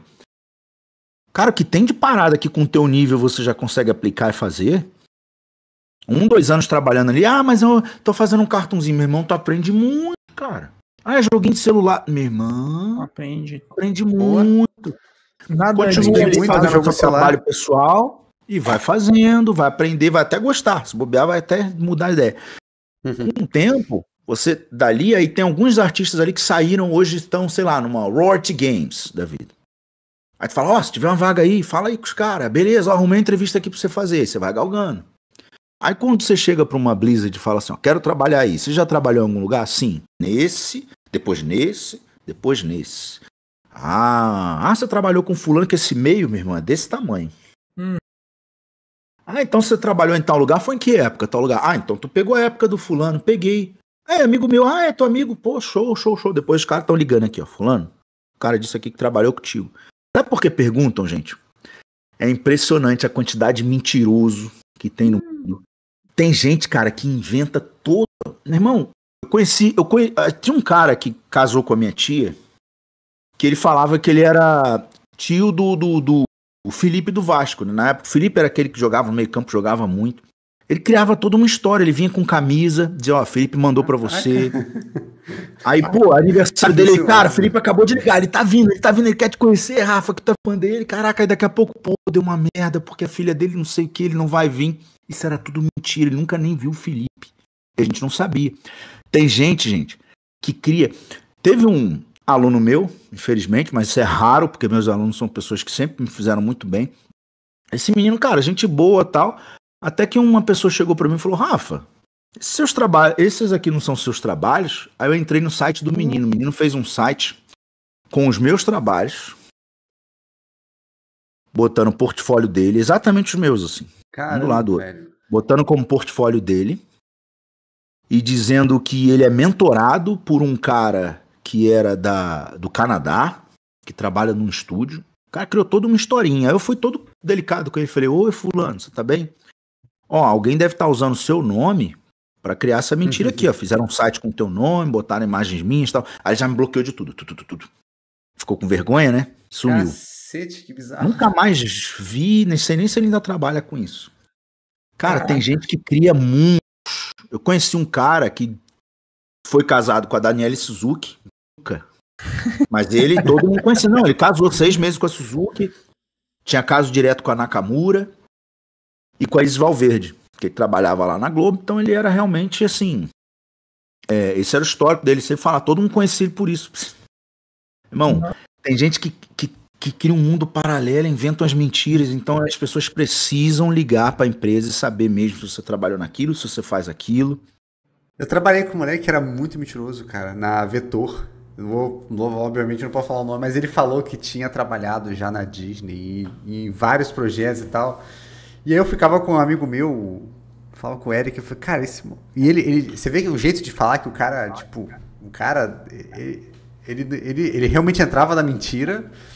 Mas assim, por ser tão caricato, era, zo... era engraçado, entendeu? Era zoado. Eu falei, cara, isso aqui é. Esse cara, é esse cara tá mentindo, isso cara não é, assim, é possível.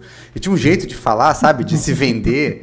Não era num jeito normal, sabe? Sabe quando você se vende? Mas não era no jeito normal, era um jeito muito caricato. Você já viu um, um, um documentário chamado VIP? Que fala daquele cara que mentiu ah, que, era, do... que, era, filho do dono filho da Gol. da, da Gol, esse? Já, esse, esse é muito bom. Esse... Nossa, ele enrolou geral. Até é. aquele, aquele cara lá que tinha um programa, tipo Silvio Santos, um outro lá, esqueci o nome Ele ainda cara. não acho que é a, Mauri, a, Ma, a Mauri Júnior? A Mauri, a Mauri Júnior. Ele enganou muita gente. Caraca, chamou ele pro programa, o filho do dono é. da Gol, cara. A mulherada em cima, aquela coisa. Conseguiu chamar um avião, o avião foi lá no Recife pegar ele no carnaval para transportar ele e os amigos, um aviãozinho particular da Gol. Olha o nível. No final falaram assim para ele: "Como é que você consegue isso?" Ele falou assim: "As pessoas gostam de mentira, elas elas elas elas elas gostam de ouvir a mentira. Gosto. A verdade ninguém sim, quer. Sim. Elas elas pedem para ser enganada. Eu só fa... aí ele para e fala assim: "Eu só falo aquilo que o coração das pessoas querem ouvir." Caraca. E é a grande verdade. Não, esse cara virou palestrante, ele tem livro. É, tipo, é, o é cara virou um. Ele virou um, um ídolo. Tipo. Porque assim. Ele, porque ele tem o dom. Ele tem o dom da fala. Tipo, o cara, ele sabe convencer. Isso é uma coisa boa, só que ele usou de uma forma errada. Sim. Mas e, e, aí, e aí ele, tipo, ele, ele pagou pelos erros lá, acho que ele ficou preso um tempo, né, se eu não me engano. E agora ele tá de boa, tá? O cara já foi no Danilo Gentili, dá palestra hoje, Sim. faz entrevista. O cara ficou, cara. Sim. O que a galera, inclusive, não sabe, que ele, ele, inclusive, antes ou depois desse negócio da Gol, cara, ele se fez de um traficante brabão lá na. Foi onde, cara? Foi na Venezuela. Foi onde que ele até pegar os, os, os bandidões lá, deram um, um, avião pra ele pilotar, que ele pilotava também. Ele quase é caiu, piloto, é. pilotava mal. e os caras, não, é o fulano, é o fulano, todo mundo com medo. Aí tem um momento que ele tá aqui no, no presídio do Brasil, Aí ele contando a história, né? Depois do nada mostra as filmagens reais mesmo, cara, ele no presídio. Que os caras estavam discutindo, assim, foi naquele, foi naquele que os caras foram até pro teto do presídio, com refém o caramba, que era um jornalista que tava, não sei quem era, que eles botaram aqui uma faca, e do nada acabou a rebelião. Foi ele. Ele chega lá, pazigou, pazigou. Quem te mandou? Ele leu o jornal, né? Ele falou, fulano, tô aqui no fulano. Fulano, vem cá. Fulano, Beltrano, você é o fulano, né? Então, fulano chamou aquela parada lá, não sei o quê. Ó, ele já viu no jornal, já viu que aquele cara tinha um filho, uma filha, uhum. filho tá bem. Ó, tô aqui mando do fulano, galera, não sei o que. Aí todo mundo ali, ouvindo ele. Os bandidões todos assim, ah, ah, não, ó, aqui, ó, fulano veio. Aí todo mundo, ah. Ele, ó, acaba a rebelião, solta os caras. Aí os bandidões soltaram, ele solta. Aí veio a Globo entrevistar ele. Aí ele dentro do presídio, assim, ó, a gente aqui, ele tinha acabado de chegar no presídio, a gente aqui vive de uma forma terrível, entendeu? Aí o cara lá gritou, a comida podre, a comida podre, entendeu? A comida... Aí o outro lá gritou, é, tem, tem tapuru aí, tem tapuru, abre a comida, tá cheio de tapuru. Ele ia ouvindo um outro gritando e já ia mandando. E não sei o que, não sei o que lá. É absurdo o que fazem com a gente aqui. Aí quem é que tá no comando? Sou eu que tô no comando. E... Daí tiraram ele do presídio, os caras perigosos, botaram outro canto quando viram, não, conhece não é ninguém. ninguém. no jornal. Não, ninguém. O cara só é bem informado e sabe articular bem. Ele sabe articular. Né? Aquele Ricardo Mac, o bonitão, tava meio que ferrado, já, já tinha saído da novela, sem grana, não sei o quê. Aí, cara, eu vi nesse cara a oportunidade de voltar a bombar. Que o cara, filho do dono da Gol, disse que ia me botar um monte de coisa, ficou lá o Ricardo Mac atrás dele o tempo inteiro na festa. e aquela mulher do, do Cacete Planeta, esqueci o ah, nome. Ah, ela falava assim, gente, ela gritando na festa. Eu conheço os três filhos do dono da Gol, não é ele. Olha só como é que é o mundo, né? Ele ainda falava assim, ela contando, tá? E eu tô vendo as meninas querendo dar para ele, eu avisava, vocês vão dar pro cara errado. Ó a cabeça também, né? Se tem dinheiro, é o cara certo. É, Exatamente. mundo cruel de um grupo minúsculo dessas pessoas, né? Não estou jamais generaliz, generalizaria essas damas maravilhosas do nosso país. Estou falando desse grupinho dessa menina. Você vê o, cabeça, cara. Ela gritando e dizendo para as garotas: "Não é". As garotas olhavam assim, porque elas queriam acreditar que ele era. Aí veio o avião, ela, ah, veio e trouxe o avião. Aí ela, gente, mas não é. Eu sei que ela fez tanto escândalo, denunciou, que aí quando o avião pousou em São Paulo, já tava a polícia esperando. Hum. Aí chegou o piloto, o que tu foi buscar ele? É o filho do dono da Gol. Que filho do dono da Gol, cara? Vem cá. Depois ele foi pra cadeia. Entendeu? A Maria é assim, Paula, cara. né? É a do Cacete Planeta. É isso? É a Maria Paula, eu acho o nome dela. É, e nessa Maria brincadeira, Paula. Ana Paula, é Ana Paula. A Mari, a Mari, beijo, Mari. Mari Simões está aí. Então, é a Ana Paula mesmo. Então, só para vocês entenderem assim, dentro de uma empresa, gente, eu vivi isso. Tem as pessoas que inventam as mentiras tão catastróficas e vai te manipulando. Daqui a pouco tu tá com raiva do dono, ou do gerente, ou daquele outro artista ali, porque o cara inventou um monte de troço para você. Não se metam em fofoquinha, cuidado com o almoço, que esses almoços de, de, de trabalho é só ti, ti, ti, ti, ti, ti, ti. Sim. Se tem uma dúvida com alguém, fala, fulano, você tá aborrecido comigo por causa de alguma coisa? Não, por quê? Não, por nada, só para saber. Pergunte, confira as coisas, cuidado, porque assim, tem muita gente Sim. doida. Tem, tem de tudo. Eu traba cara, trabalhei em lugar que eu já, o pessoal, já tem gente abrindo minhas conversas de Skype, velho, pra poder usar contra mim no dia seguinte. Tem muita gente maluca, velho. Tem muita gente maluca. Sim, é complicado. Cara, é... Rafa, deixa eu te perguntar, mudando um pouquinho de saco pra mala, pessoal quer. Você tá morando onde? Você tá em São Paulo? São Paulo. Você vai no workshop do Grassetti? Cara, eu não, eu não, eu não vou estar aqui em São uhum. Paulo. Vai estar. Tá então eu, eu, não peguei. É, vai Mas... ser segunda, segunda agora. É segunda-feira é. já, é. Tá chegando. Vai ser da hora. Seria ideal se conseguisse colar lá. Segunda-feira. Tá hum. pertinho, velho. Falta o quê? Quatro dias? Tá, Aí, Dagoberto, a gente vai se conhecer, é... velho. É, quatro é, a gente não se conhece, É, hoje, não se conhece não. Então, o Galberto tá lá no sul, eu tô aqui no sudeste. Manda um beijo lá pra todo mundo por mim. Pode deixar. Pro, pro, pro Gracete, o Castro vai estar. Tá, o Castro mandou uma mensagem. O Castro, o Castro vai estar. Tá. O Castro, Castro vai estar. Tá. O André, André tá aí, né? André, vou ver sua mensagem, filhote. Não esqueci, não.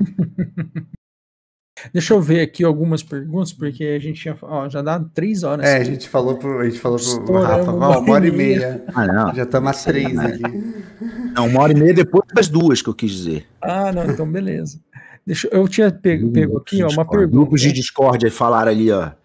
Você vai fazendo as zoeiras no grupo de Discord, quando é, vê tem alguém gravando. Ó. É, toma cuidado. É, o Petrus perguntou, o Petrus Ferreira, vocês não pensam que as AIs, de certa forma, vão desvalorizar o processo de estudo?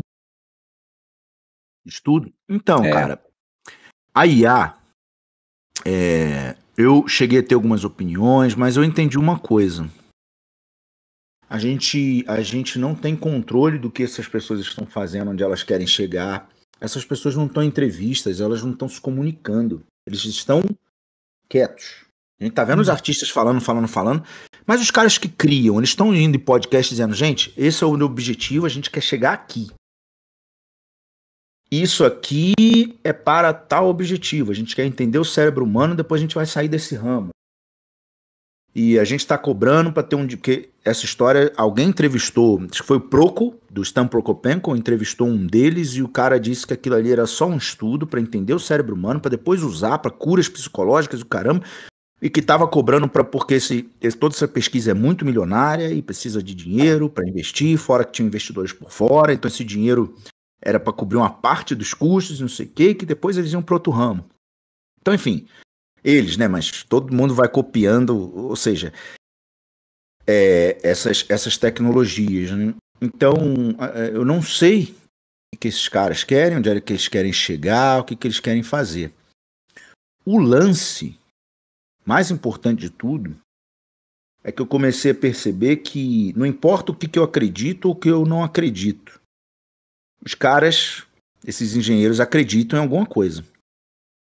Se eles podem substituir, se eles podem fazer com que a arte seja sem, quase toda feita por computação, se não, se isso é só para ajudar, se isso é para aumentar a produtividade de empresas ou reduzir, ou aumentar o, o ganho a partir do momento em que num lugar onde tem 10 artistas de concept pode passar a ter 3, porque o processo fica mais produtivo, mas em compensação mais microempresas surgem, e essas microempresas de jogo conseguem, apesar de ser indie, conseguem fazer jogos quase que um AAA, porque elas também estão usando a mesma tecnologia, ou seja, onde querem chegar? E será que sabem? Ou eles estão tipo, vamos jogando para frente desafiando a capacidade de um computador quântico? Será que seja isso? Ou seja, o, o lance é que eu posso dizer assim, eu não acredito que ele três anos atrás, a gente dizia que não acreditava que um Mid Journey pudesse acontecer. Só que se a gente acredita ou não, que se dane. O que importa é se eles acreditam. Se alguém acredita e se alguém tá o dia inteiro trabalhando naquilo. Sim. Se nós pudéssemos fazer esses engenheiros não acreditarem, ajudaria. Mas muita gente fala, ah, Rafa, mas eu não acredito que um dia não sei o que, não sei o que lá. Tudo bem, eu também posso não acreditar. O lance é, esses engenheiros acreditam que podem? Porque quando o é, homem acredita num troço, ele fica né? ali marcalando, martelando naquele troço. O Midjourney, até... ele, ele, ele é um, um, uma forma muito high-tech de um, de um, de um matte painting da vida, de um pega muita coisa de muita gente e coloca ali. O, movimento que está acontecendo é de, pelo menos nos países ocidentais, que a gente não tem controle se a Rússia quiser usar, porque assim, nem estão com problemas diplomáticos até maiores. O, o que está sendo trabalhado é o seguinte: para que todas essas artes feitas por IA, isso a primeira audiência até já teve nos Estados Unidos e, e deu ganho para os artistas, que é que todas as artes feitas por IA não podem ser direito, não podem ter direito autoral, não podem ser uhum. registradas. Ou seja, eu faço um personagem através da IA e uso como mascote da minha empresa. Se você quiser, você pega aquele mascote e usa também. Sim. Eu não é posso registrar ele como minha propriedade, já que o sistema usou um monte de imagem de artista sem pagar. E não tem como pagar, gente. Se der um não dólar para cada artista, já são os 400 trilhões. Faz o cálculo. Dá para pagar 10 pessoas Sim. E fazer o sistema é, 10 é, cada um de um, de, um, de, um, de um estilo atual, fora que de 70 anos para trás na história da arte. 70 anos para trás, tudo caiu em domínio público. Pode usar. Uhum. 70 anos para cá, você escolhe 10 artistas de estilos diferentes, dá 30 mil dólares por mês, vão aceitar. Não vão ficar, ah, eu não vou aceitar pelo bem da arte. Não, vão aceitar. Acordem, que ó, ó. Bate na cara. Eles vão aceitar 30 mil dólares por mês vitalício hum. Para dizer assim, ó, fulano, você autoriza. Aí você pegar um cara que é sci-fi no 2D, um, um mais hard surface 3D, ou seja, você pega um, um range assim de 20 artistas, estilos diferentes, mais toda a história da arte de 70 anos para trás.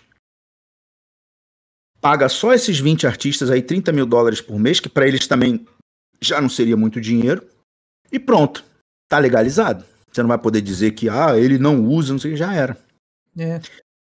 O que está sendo feito, mas, é, é, mas aí teria que ser obrigado a fazer com que a máquina desaprendesse tudo que aprendeu com os artistas atuais que não vai pagar. Então você já cria um problema aí.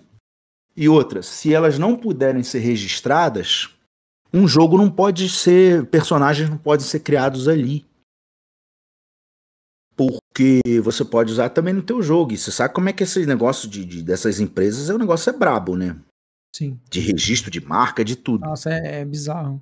Eu acho que uma coisa que tem que ter é tirar de todos esses sistemas de inteligência artificial uma forma de, do cara fazer por segredinho, por exemplo. No Midjourney, se você pagar acho que 10 ou 20 dólares, 20, 30 dólares por mês, no caso, você consegue fazer no segredinho. Você faz lá a tua arte e ninguém tá vendo. Ela não vai aparecer naquele naquele feed lá que todo mundo vai ver. Então você consegue deixar ela privada. Ah, se, é, se você proibir que consigam fazer projetos privados, ou seja, tudo que você estiver fazendo, todo mundo é obrigado a ver acabou, as empresas não podem usar. Você vai ver umas ideias legais, Quando antes de lançar o jogo, aquela imagem já tá na capa do livro do fulano, já, tá, já, é, já é praticamente a cópia de um personagem que também tá rolando em outro jogo. Então não dá, entendeu? Você quebra as pernas nesse aspecto. Só que aí você tem o rebote. Essa galera grande e poderosa também vem pra audiência, porque na justiça é assim. Ganhou, mas não quer dizer nada, porque tem o cara vem aqui e recorre, aí outro recorre, aí outro recorre, aí outro recorre, só aí já é outro juiz, que tem outro entendimento, que tem outra cabeça, o tempo passa, dinheirinho por baixo dos panos, vocês sabem que é assim. Hum. Então não dá para saber o que vai acontecer. Eu o que eu comecei a sentir, o Dagoberto Felipe, quando eu vejo um monte de gente falando sobre A, quando você vê bem as palavras que o cara escolhe, sabe o que eu senti? Eu posso estar errado. Eu senti que as pessoas, na verdade, estão expressando um desejo. Elas querem acreditar naquilo. Tanto aqui é já estou falando da catástrofe, porque da catástrofe, querendo ou não, você assumir que tá vindo uma catástrofe, você meio que relaxa um pouco. Você, ah, ferrou, e você meio que já parte para para reclamação, para se fazer de vítima de um problema que está acontecendo e justificar o fato de você não estar tá estudando. Então, assumir catástrofe é uma forma de resolver o problema, você já começa a partir para outra coisa. Ou pessoas que estão, não, gente, olha só, o cara segue toda uma linha de raciocínio para mostrar que isso não vai dar em nada. Você vê que a linha de raciocínio dele, ele vai. Ele primeiro decidiu no coração dele que aquilo não pode dar certo, a inteligência artificial. Depois ele uhum. começa a, a racionalizar todo um processo só para justificar o que ele decidiu antes. Mas você vê que é um desejo da pessoa. A gente não sabe qual é o mundo daqui a 10 anos. Dagoberto e Felipe, quantos alunos vocês têm de 20 anos de idade? Um monte. Daqui é, a 10 anos.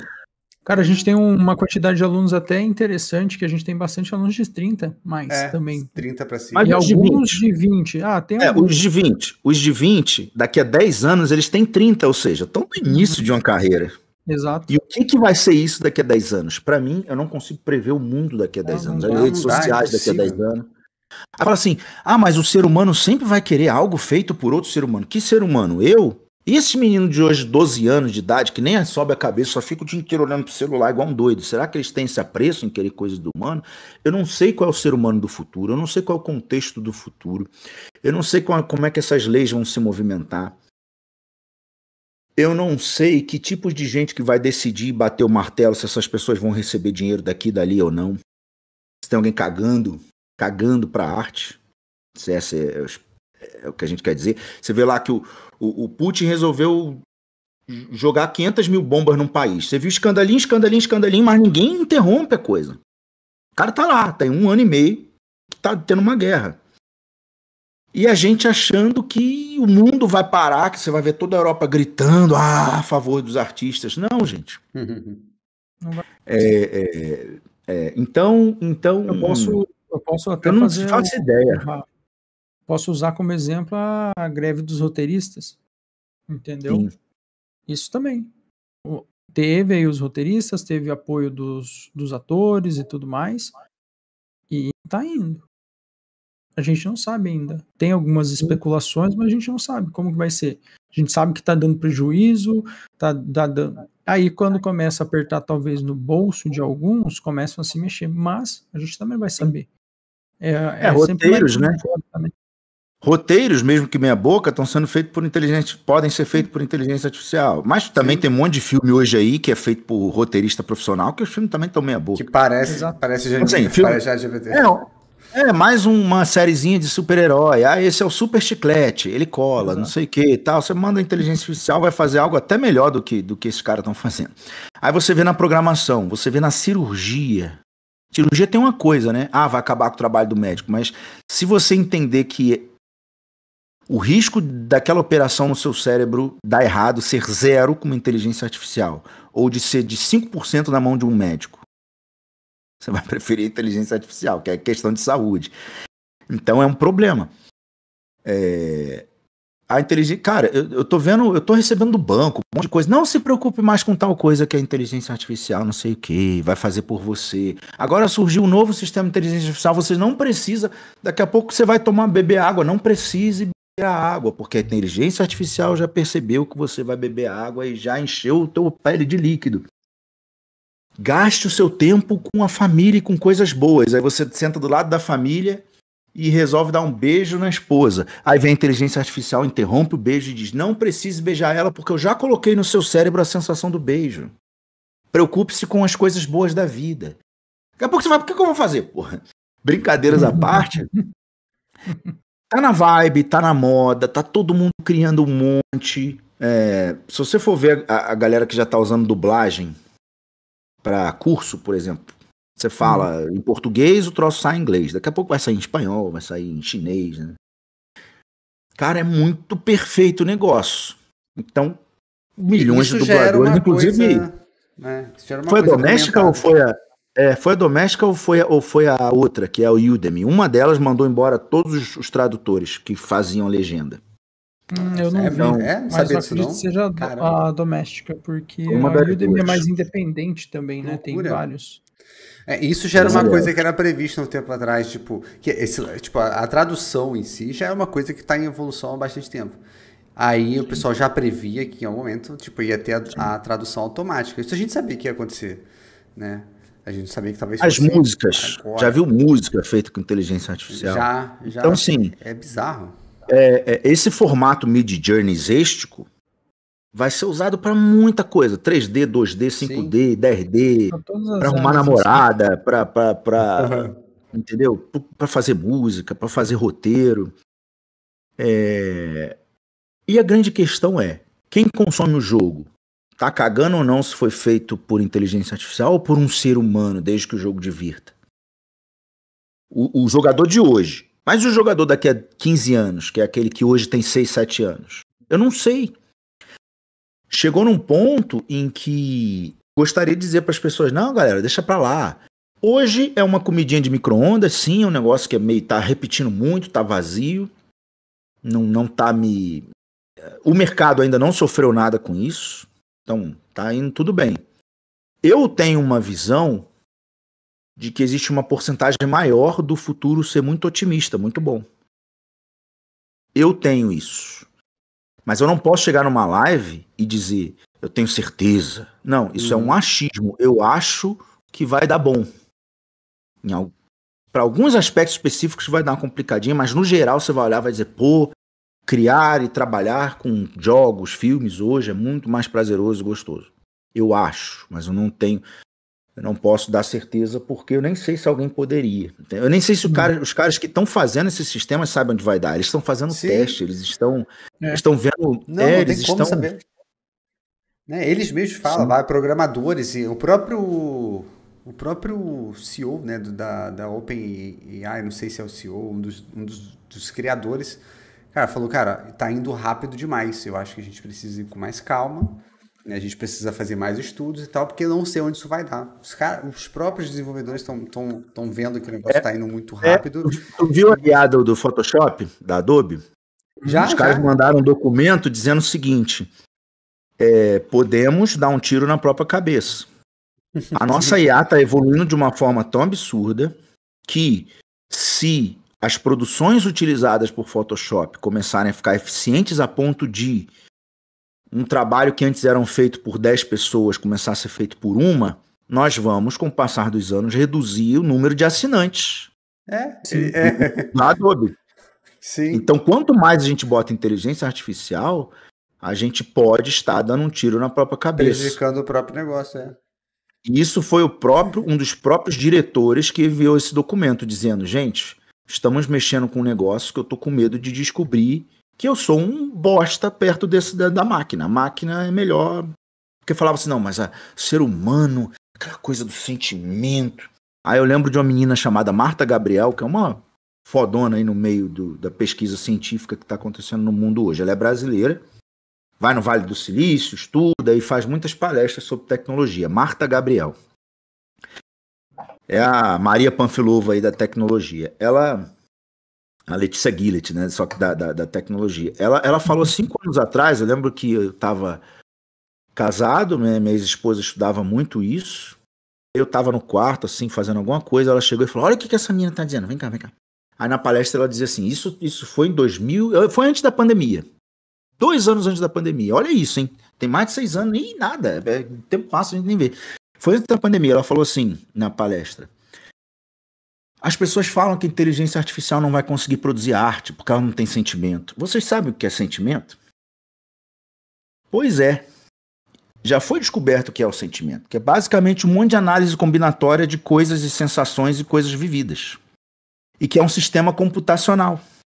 Nada além disso. O cérebro humano, o sentimento não está no coração, está na cabeça. É que você sente um nervosinho aqui, né? Fica nervosinho. Mas é aqui que, que tá o sentimento. E é um sistema puramente computacional. Então elas falam assim: a máquina não tem sentimento. Você sabe o que é sentimento? É... Os cientistas, a galera da neurociência, esses safados, descobriram como funciona muita coisa relacionada a isso e botaram um computador para fazer.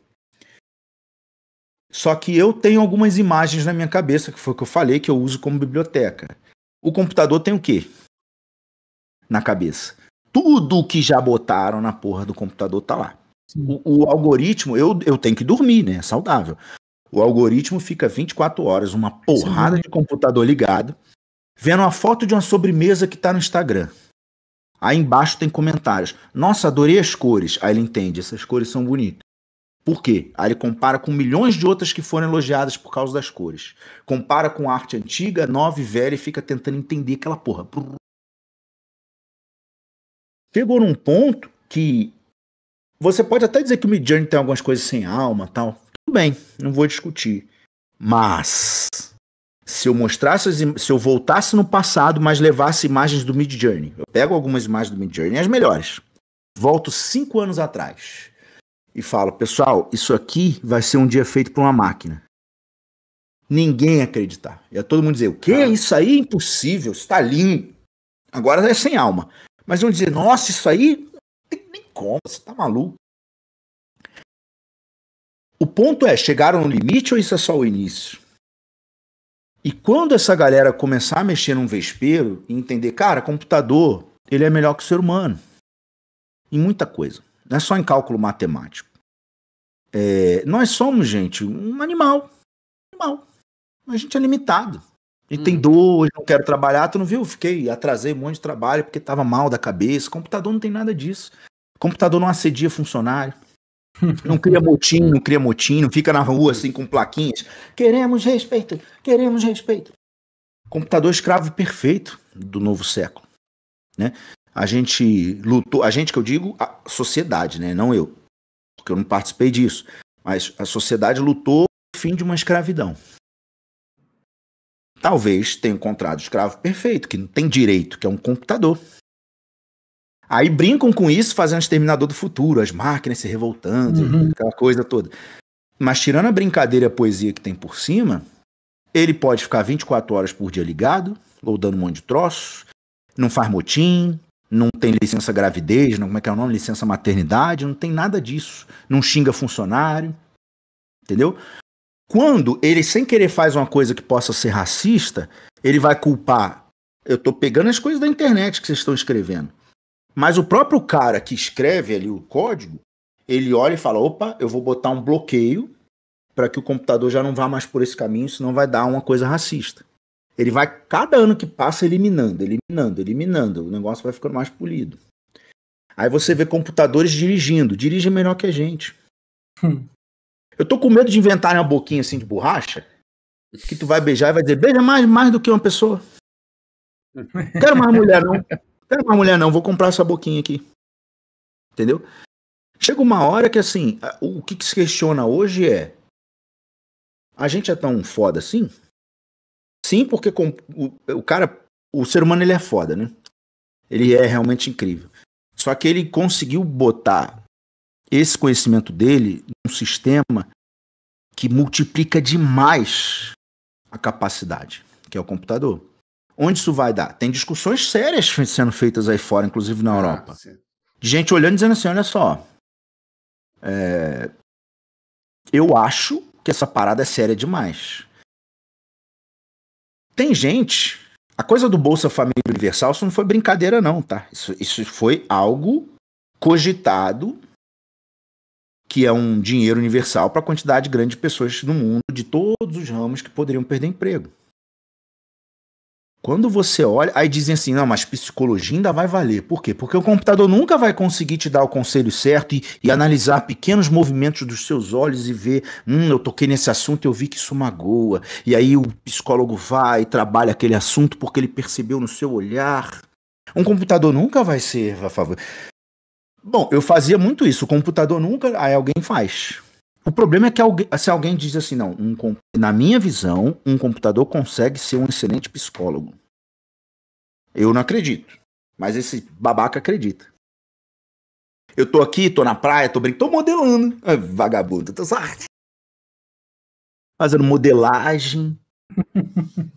Dragãozinho, o indivíduo tá lá. Eu acredito que um computador pode ser melhor psicólogo do que um psicólogo. Aí o, o, o mal amado, corno, ele vai lá com um monte de outras pessoas e dedicam 5, 6, 7, 8, 10 anos porque ele acredita muito que ele consegue fazer um computador que é melhor psicólogo do que os psicólogos. Aí, se um dia fizer um negócio desse, aí vão dizer: olha, você disse que um computador nunca conseguiria, hum. esse consegue.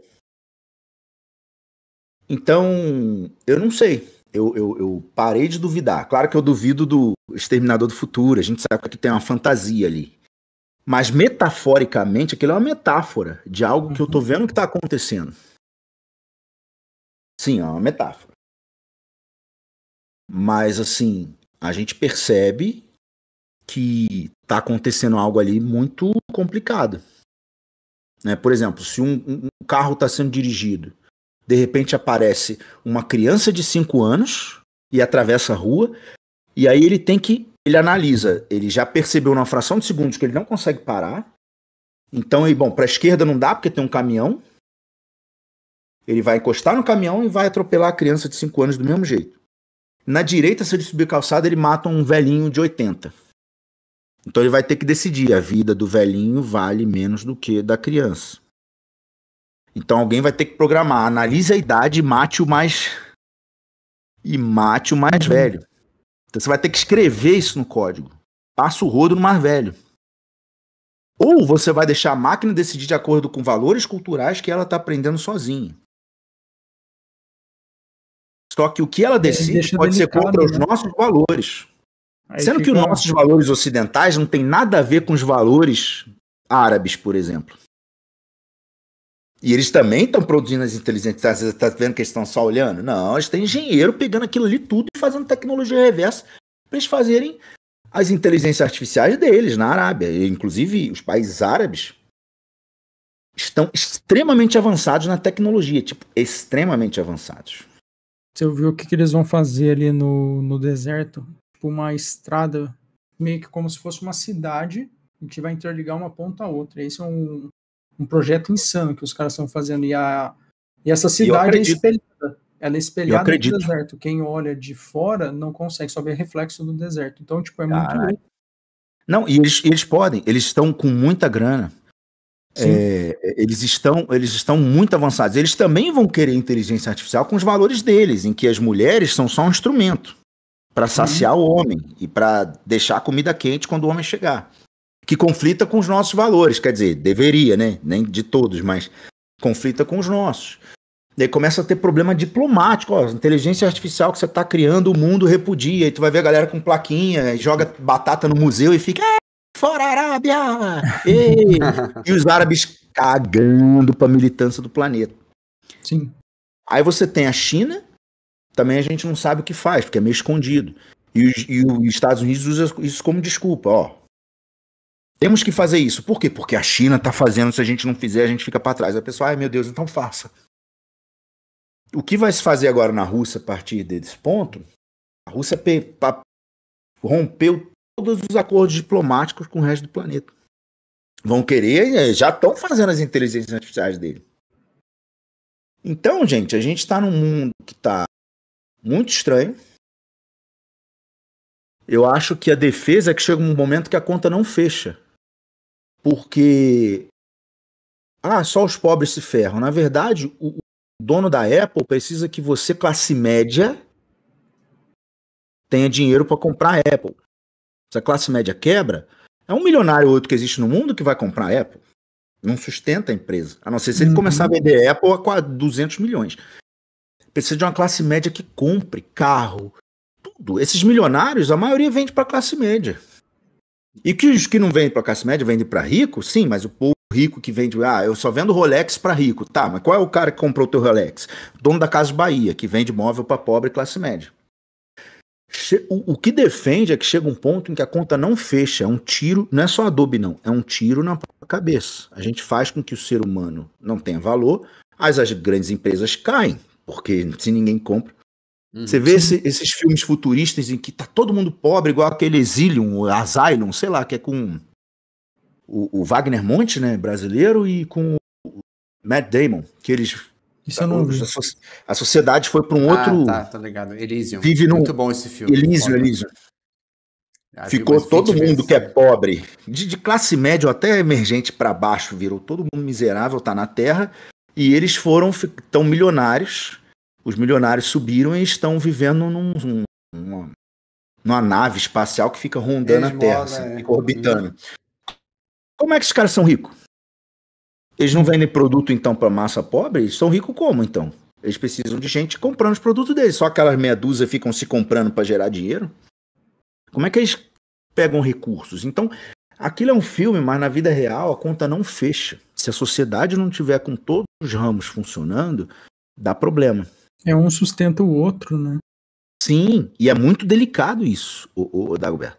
Sim. A forma como todos os pontos da sociedade criou um fluxo ali que ferra geral quando um, quando um caminhoneiro para ferra o país, entendeu?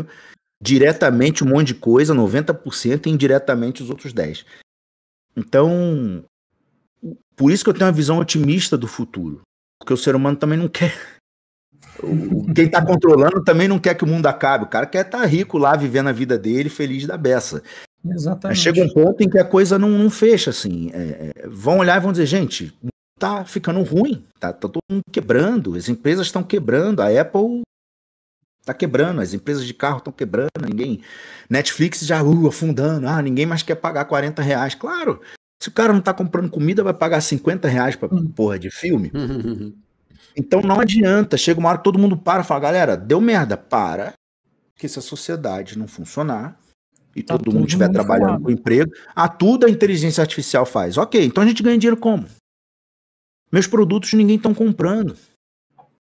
Vamos dar um Bolsa Família Universal. Mas como que a gente não tem dinheiro? A sociedade tem que produzir o dinheiro que usa. Não Se não tem produção, eu não consigo dar, de, dar Bolsa Família. Bolsa Família você dá para uma minoria. Sim. Quando é a maioria precisando, já era. Não tem como. Então, por isso eu tenho uma visão otimista, assim. A gente tem, uh, querendo ou não, as pessoas não querem acabar com o mundo, entendeu? Tem aquela visão de que, ah, estão acabando Sim. com o mundo, é, acabando com a camada de ozônio, é, é. Tá, mas o Ricasso também quer um planeta para viver, ele quer estar tá lá na ilha fodona dele com, com, com o vinho caro. Ele precisa da gente para ele estar tá com vinho caro. Se eu ficar sem emprego, eu não compro mais nada, entendeu? Eu não compro um monitor, paro de pagar na hora os ZBrush e já vou pro pirata. Eu pago os ZBrush. Mas por que, que eu pago lá alguns dólares por mês? Porque eu posso. Apertou, eu tô vendo que eu tenho que apertar na comida, infelizmente o ZBrush vou passar o rodo. Ah, não quero ficar na pirataria, então vou pro Blender. Não adianta, gente, a conta não fecha. Então, essa coisa de que eu fico vendo a galera, ah, o mundo acabou, o mundo acabou. É, mas por que, que os próprios ricos que têm o controle vão querer acabar com o mundo que eles vivem, entendeu? Sim. Então não é bem assim, não. Por isso que eu, eu não tô assustado. Não, eu tô bem tranquilo. Eu não tô, não. Eu vou é, é usar eu, como eu tô relativamente bem tranquilo. E outra, eu tô pegando muita mancha do Mid Journey, tendo um monte de ideia por cima e criando coisa bem mais maneira ainda. Entendeu? É. Isso é, isso é então, é, tô, isso é legal. Eu não tô assustado, não. Eu tô. É, essa parada como um gerador de ideias, como um Google. Um Google não, é excelente. Você digita o que quer e ele, ele faz para você, ele não pega na rede. Nossa, ótimo. Eu acho que isso vai acabar virando nosso vai estar a nosso serviço. É, já Porque está. se substituir o homem, como a galera está catastrofizando o futuro, em tudo, tudo vai ser substituído. Você vai começar a não fechar a conta no mundo. Eu posso até trazer um pouquinho isso com o que acontece com o Blender. Porque o que uhum. acontece? O Blender ele só funciona porque tem pessoas investindo, tem empresas investindo para que ele funcione. Se parar de ter investimento, o que, que vai acontecer? Vai ter, a pessoa vai parar de produzir, porque ela vai precisar. É, o Blender é de graça para você. É, exatamente. Mas eu, por exemplo, pagava a mensalidade do Blender. Apertou um pouquinho, parei. Mas um dia eu volto. E a Unreal, deu quanto pro Blender esses dias? É, desculpa? Unreal deu quanto pro Blender esses é, dias? Exa isso, exatamente. Devo dar doações de milhões, porque senão Exato. não tem Blender. A Blender exatamente. é o seguinte, ó, você pode pagar, paga para que fique para que fique de graça pro pobre. Isso é o Blender. Ele não é 100% Exato. de graça. Ah, ele, é, ele é, é de graça. Feito... Calma, é igual a gente falou, não existe nada. Alguns pagam o seu Sim. almoço. Exatamente, você está usufruindo Acho bonito. disso. Isso. Não, é, isso é bacana. Você está usufruindo Sim. de algo que outras empresas estão financiando. Então, pera lá, ele não é, ele é gratuito, é, mas se não tiver esses investidores ali, ele não ele vai existir. Vai durar. Tanto é que não é, é, é, sur, é não é surpreendente a, a, evolução que ele está tendo, o, como ele está ganhando espaço, porque ele está sendo mais difundido, falado nos últimos anos aí. Então, por quê? Está tendo mais investimento por empresas para fazer Sim. aquilo ali crescer. Então, o que, o que acontece? Quanto mais investimento tem, mais o negócio cresce, mais ele pode contratar um desenvolvedor e evoluindo o próprio sistema, o software em si, né? Sim. Uma própria grande empresa diz assim: vamos começar a usar Blender, eles vão gastar muito no início. Porque eles têm todo um patrimônio já, vamos Sim. dizer, em Maia. Um monte Sim. de plugin. Os plugins dos caras, tudo já, o Maia já é todo recortado no plugin dos caras. Eles têm um monte de rigging já feito, materiais já setado no Maia. Eles já tem um, todo um histórico que para tudo quanto é trabalho eles puxam. Igual o Fausto de Martini vai modelar. Ele abre uma porrada de, de peças uhum. de modelo que ele já fez, tudo organizado e vai roubando. Nem que seja para pegar e transformar. Vamos botar Blender? Vamos. Então, galera, reprograma um monte de coisa, refaz é um, um monte de coisa. Novo contrate pessoas que saibam, porque os nossos aqui não. Espera a galera daqui se adaptar, então vamos dar uma recuada nos nossos projetos, e aí, enquanto o projeto não, não vai mais, a gente tem que pagar salário, então tem que ter esse dinheiro guardado. Então, Exato. não existe almoço grátis. É por isso que eu não tenho tanto medo da inteligência artificial, porque alguém tem que pagar. E se, e se ficar tudo agora é, Mas se não tiver quem para pagar, não vai ter como existir. Se eu não tenho mais dinheiro, se eu tô sem emprego, se, se a situação tá difícil. Ah, Rafa, mas você ainda conseguiu um emprego. E os jovens? Tá, os jovens já não entram mais no meu curso, porque essa parada não, não tá mais dando dinheiro. Então a escola quebra. As escolas quebram, param de treinar pessoas para as novas gerações. Os outros vão aposentando e não tem novo gente entrando. Pô, hoje, com um monte de gente sendo treinada, ainda tá faltando gente no mercado? É. Isso Aí os estúdios começam a querer fazer jogo simples, porque não tem gente para trabalhar. Aí os, a galera lá, os, os, jogadores players lá da internet começam a reclamar: cadê o Call of Duty 10? Cadê o Call of Duty 10? Eu quero God of War 8. Aí começa choro, entendeu? Então não dá, gente. É, não dá para dizer. É, é, é, muito sensível. Assim, tudo quebra bolsa, tudo quebra um país, um mundo inteiro. Colapsa muito fácil, gente. O sistema o sistema você vai mexendo assim, ó, com um monte de mãos, aperta aqui enquanto segura ali, ele é todo assim, ó. Se alguém chegar, ah, não, vou fazer uma mudança drástica, colapsa qualquer sistema. Sim. Vamos botar agora um negócio que muda drasticamente, vai colapsar. Entendeu? Vai colapsar. As coisas têm que ser feitas com cautela, não é nada. E muito fazendo. lento. Sim, muito devagar. Lento. É... Ô, Rafa, deixa eu ver aqui. Ah, essa pergunta é do Tusk. Tusk, Tusk. Já vi, é, é, ele falou que já viu essa pergunta aqui em outro podcast, mas gostou de saber a opinião do convidado. Se você, Rafa, fosse começar hoje no 3D do zero, por onde você começaria? Bom, vamos lá. Primeira coisa é ver, eu quero 3D por quê? O que, que eu vi por aí? O que, que eu achei legal? O que, que eu achei bonito? Né? O que, que eu quero fazer? O que, que me encantou? Né? É modelagem, é iluminação, é não sei o que. Se você já tem essa noção, se não tem, de qualquer forma, se eu, se eu fosse começar hoje, eu ia basicamente começar por dois programas: Blender e ZBrush. Eu hoje começaria pelo menos pelo Blender, porque como é, é um software que não é só de modelagem, é um, é um, é um software completo. Então, a partir dele, eu vou começar a estudar não só o programa, como os conceitos básicos da computação gráfica. O que, que é rigging? O que, que é um forward kinematics? Inverse kinematics do rigging. O que, que é né, o IKFK? O que, que é textura, diferença de textura, material? O que, que é um mapa de roughness? O que, que é o metalness? O que, que é o specular? O que, que é o que, que é o normal mapping? Uh, o que, que é uma curva de animação? O que, que é um, um Quais são os 10 princípios de uma animação? Ou seja, procurando. Porque através do Blender? Não só um programa bom, mas, mas também porque, de novo, como muitos pagam, para mim fica de graça. E tem uma comunidade bizarra se movimentando. O Maya é muito mais antigo assim dentro de indústria, mas a, a cada um tutorial que surge de Maya no YouTube, surge 400 mil de Blender. Sim, isso é real. Uhum. Você tem canais assim de um milhão de inscritos. Cara, tu vai vendo. Tem um então, cara, que eu sigo menina de hard surface. Eu até comprei os cursos dele. Esqueci o nome do menino. Ele tem uma vozinha fofa assim. Americano. Cara, ele tem tutorial. Ele faz muita, mas muita, mas muita, mas muita, muita coisa no canal dele de hard surface no Blender. Usando aquele box cutter. Que é um pluginzinho baratinho para agilizar muito a modelagem poligonal, principalmente de hard surface, máquinas e tal. Ele faz muita peça. Você tem, cara, uma quantidade é muito bizarra, assim, não se acho que se juntar todos os softwares não chega nem 10% do que tem no Blender de informação no YouTube. E cursos, né? Principalmente informação no YouTube. Eu procuraria também uma escola que ensinasse Blender. Porque querendo ou não, a escola me dá um roteiro Aqui que eu estudo primeiro, animação ou, ou, textura, ou a escola ela me dá um. Cara, tem uma galera aqui que já estudou e sabe que você começa entendendo interface. Depois você vai fazer um basiquinho, basiquinho de uma modelagem, um basiquinho, basiquinho de, de uma textura, um basiquinho, basiquinho de movimento.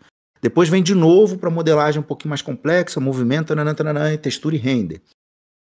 Então a escola ela me guia na direção do que eu tenho que estudar. Junto a isso, quando eu tenho dúvidas específicas, eu vou no YouTube e digito aquela ferramenta. Você vai ter. Porque, assim, como o Blender ele é gratuito, ele tem também uma comunidade que é muito assim de dar informação de graça. Os plugins são muitos plugins maravilhosos que são de graça e quando cobra é 10, 15 dólares. São baratos, eles têm essa coisa, né, de facilitar. Uhum. E aí você, ah, ah, o ZBrush tem escultura. O Blender também tem escultura? Beleza. Então vai ter uma aula aqui em que você, lá no teu curso, ele ensina essa parte de escultura aqui no Blender. Então, ó, vem aqui, vamos esculpir um dragãozinho. Aí você vai lá e esculpe. Beleza. Depois você vai no, na internet, tem aquela, por exemplo, La, Laura Gallagher, por exemplo, dá muita aula de escultura no Blender. tem milhões de gente. Aí você vê um monte de tipo de esculturas do cartoon realista, para o hard surface, para a escultura de pedra, de cenário. Material para estudar a rodo. Então a primeira coisa que eu faria é o que eu fiz parecido na minha época, porque era através de um livro da Autodesk. Que é entender o negócio do 3D. Assim, a profissão de uma forma geral. Tem gente que modela, modela e não sabe o que é um, um, um forward kinematics do rigging um IK, FK, eu acho que assim, ter primeiro uma noção geral de tudo no 3D.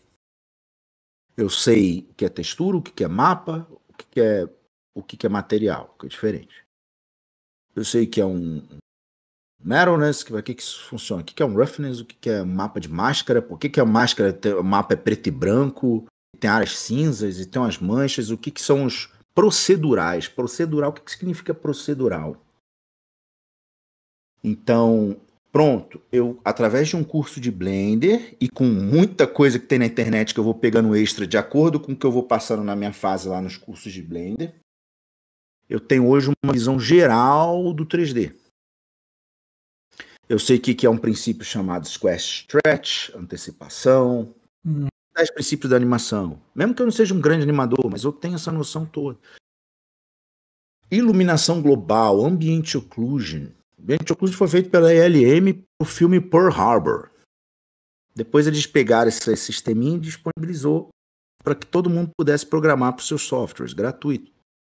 Para que isso serve? O que é iluminação global? O que é refração? O que é cáustica?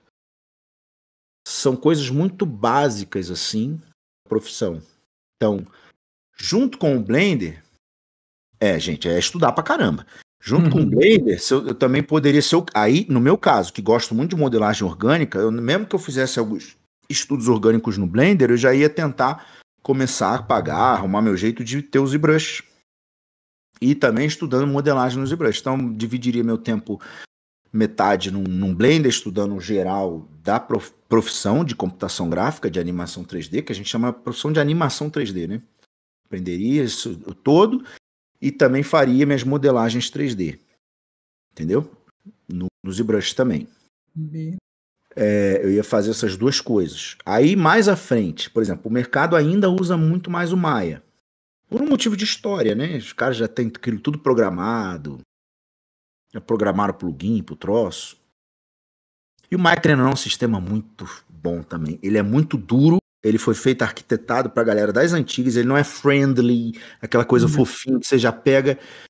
Ah, já sei como usar. Não, não, não. Ele é tipo. Uhum. O, o Blender é o seguinte: ele chega para você e diz assim: o Blender, quando você abre, inclusive ele abre em dois segundos. Ele olha para você e fala assim: vem, Vem me usar, eu estava te esperando. Esse é o Blender. Uhum. O Maia é assim: você chega no Maia, ele olha pra tua cara e fala: No ferro, tá fazendo o que aqui? Cagando pra você. É o que o Maia faz. Ele caga pra você. Mas também é um sistema muito bom. Então, se depois eu quisesse, ou por necessidade também aprender ele, eu ia lá, estudava ele depois. Só que eu já saberia o que é um shader, o que é um material. Né? Como é, o que, que, são ângulos de reflexão de um objeto para poder fazer a, a, o objeto brilhoso e refratário e, e, metais e cromos e refletirem a armadura refletir da forma certa. Por que, que metal reflete a própria cor dele? Por exemplo, o ouro, o brilho é amarelo. Mas um plástico amarelo, o brilho é branco. Aí você vai aprender que existe um, uma pipeline, uma forma de. O que é pipeline? Você vai aprender também uma forma de pensamento que divide materiais dielétricos, ou seja, que na vida real eles isolam a energia elétrica, e materiais que são condutores de energia elétrica. Essa pipeline divide justamente para que materiais tenham cara de metal, qualquer outra coisa que seja condutor de energia elétrica, e os que não são condutores de energia elétrica. Isso faz com que mude a concepção do brilho do espécula. O brilho, o espécula é o que dá a diferença de um acrílico para uma madeira. É, é o principal mapa que diferencia a, a característica ou a matéria de um objeto. Uhum. Então, entender isso. O que, que é o, eu... o John Augustin Fresnel? Ô, Rafa, eu lembro, do, eu hum. lembro do teu curso de hard surface com o Savona. Ah, Vocês explicaram, explicaram isso. Eu falei, porra, foi muito bom. Sim. A questão, é essa questão. Eu falei do John Augustin Fresnel também, que é o, aquele valor de Fresnel. Tá lá que o americano yes. fala Fresnel. Aí tá lá. o que, que é um Fresnel? É, vem do cara chamado John Augustin Fresnel. Eu, eu, usaria Augustin, ou Agostinho. esse nome eu acho mais legal. Agostinho 2, Agostinho 3, Agostinho 0.2. Ia ser bem mais legal se tivesse escrito isso no programa, mas não. Tá lá, pois não. Então, é piada de velho. Então, é, você vai ver que você vai ter uma noção geral do 3D, porque com o ZBrush muita gente veio só modela, mas falando no bom sentido, o analfabetismo na, na questão do, da animação 3D é gigante. Não entende nada do que está fazendo. Aí vai para o substância, sai fazendo aqueles mapas procedurais, sai botando ferrugem aqui, não ferrugem ali, mas não entende exatamente o que está fazendo. Está dando um efeito colorido e está gostando. Mas entender essas coisas vem quando você estuda num curso de um programa 3D, que ele tem início, meio e fim. Aí depois tem um curso intermediário, depois tem um curso avançado, que vai de novo passar por modelagem, animação, rig, não sei o quê, e iluminação, só cada vez mais complexo. Para você ter uma noção geral desse da nossa profissão, né? Você é o médico cardiologista, mas não sabe nem o que, que é uma, um estômago, sabe nem onde fica o pâncreas do indivíduo. Até porque muita coisa no coração está completamente ligada ao resto do corpo. Então, é preciso saber, na minha visão, não é ser especialista, mas ter uma visão geral da nossa profissão. E é muito lindo, assim, é, você ter um conhecimento geral. Eu acho isso muito bonito. Ah, é, se eu for generalista, não vou ser bom em nada. Não, é ser bom em tudo e bom pra caramba em uma coisa específica. Então, é, é um ferrado. Ser o generalista é. o, o, ideal.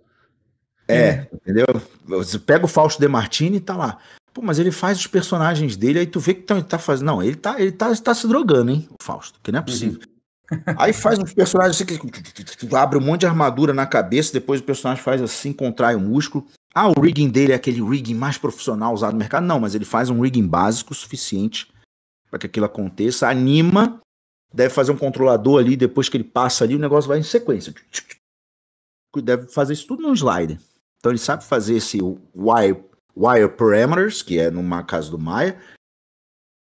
No, no Blender tem, Maya tem, que são os controladores de rigging. Então, ter essa visão geral. E o Blender tem uma coisa a mais, que eu acho que ajuda muito nos dias de hoje, que ele é o que, na minha visão, posso estar errado, tem um monte de programa surgindo aí, eu tô velho e já tô desatualizado, mas na minha visão é o que tem a melhor viewport. Render de viewport, ou seja, o Eve, que tem um nome lindo, que é de um jogo Eve que também amo. Quer dizer, eles não se inspiraram no jogo não, tô dizendo, tem um jogo chamado Eve de nave que eu amo. Eve do Blender tem 200 Es. São, são 100 Es, aí vem a letra V, depois mais 100 Es. Letra E, né? Eve! Uhum. Então, esse cara já te dá muito conhecimento ali para você testar em tempo real a aparência de muita coisa que nele você pode estudar muito os mapas de como você vai usar depois no Unreal que é para jogos. Unreal, essa que está cada vez mais estreitando relações com o Blender. E o Blender também tem a iluminação realista com os Cycles. Uhum. Que é aquela que você espera um pouquinho, mas assim, dá um granuladinho rapidinho limpa. Então, é, é muito importante ter essa noção geral do mundo 3D, sabe? Relacionado à, à modelagem, o que, que é um polígono, Tá, polígono tem quatro lados, mas todo polígono é dividido em duas faces triangulares. O que, que isso muda? Saber disso. Tem, às vezes eu tenho que inverter uma face, principalmente no low poly, para aquilo dobrar melhor. E isso, e aquilo, tá. E o que, que é uma. Por que, que eu faço duas linhas próximas, aquilo ali fica, fica aquinado quando eu, quando eu mando a subdivisão? Eu subdivido uma malha ela redonda, mas num lugar fica uma quina de hard surface, de superfície rígida. Porque eu botei duas linhas próximas, ou três. O que, que isso muda? É topologia básica, entender a organização dos polígonos. Então, tudo relacionado à nossa profissão é muita coisa? Sim, cara. Igual quem vai fazer engenharia. São quatro anos estudando um monte de troço relacionado à profissão. Uh, é uma profissão como outra qualquer, que numa faculdade daria cinco anos Fácil. Olha o IV aí, ó. Ah, são só 4 S. Pensei que fosse 200. Contei errado. Então eu acho isso, isso legal. Quem tiver, não sei se ficou claro, mas assim, eu começaria assim. E eu, e eu ia reservar todo dia, eu, eu, Rafael, ia reservar todo dia para também ficar nos ZBrush esculpindo. Eu ia começar com anatomia, depois eu ia começar a fazer uns monstrinhos, ia aprender a fazer as roupinhas e começar a fazer minhas histórias. É, o Rafa, você Excelente. foi totalmente contra-intuitivo do que a gente fala aqui, né? Porque realmente a gente, dentro da nossa, da, da escola em si, a gente tem o Blender também, mas toda a pipeline a gente ensina ela dentro do Maya, mas você consegue acompanhar ah, Maya, dentro sim. do Blender. A gente sim, trouxe, sim. trouxe o, o Celso, que também está no Canadá, fez o módulo também. O cara, ele passa por todas as etapas. Viu o porte, igual você falou. Aí faz mais, tipo, três assets, aí mostra a escultura. Mostra Não, é a mesma então, coisa. É a mesma, mesma é a coisa. mesma coisa. É, a diferença só que a gente falou, e a gente tem muitos alunos que usam o Blender, coisa. né? Pela, principalmente pela, igual você falou, a facilidade que tem, que ali você entra no site, baixa, não tem todo o esquema, ah, não vou pagar, ah, não vou fazer algo do gênero. Então, realmente. Era mais mesmo, para quem não quer pagar. Mas Sim. É, e a gente fala. fazendo a mesma coisa no Maia, né? Estudando, Sim. todo questão do Ah, 3D porque usando é, Maia. é igual. É o que Sim, mais é usado no mercado. Isso aí realmente Sim. é O compatível. 3D Max eu usei muito.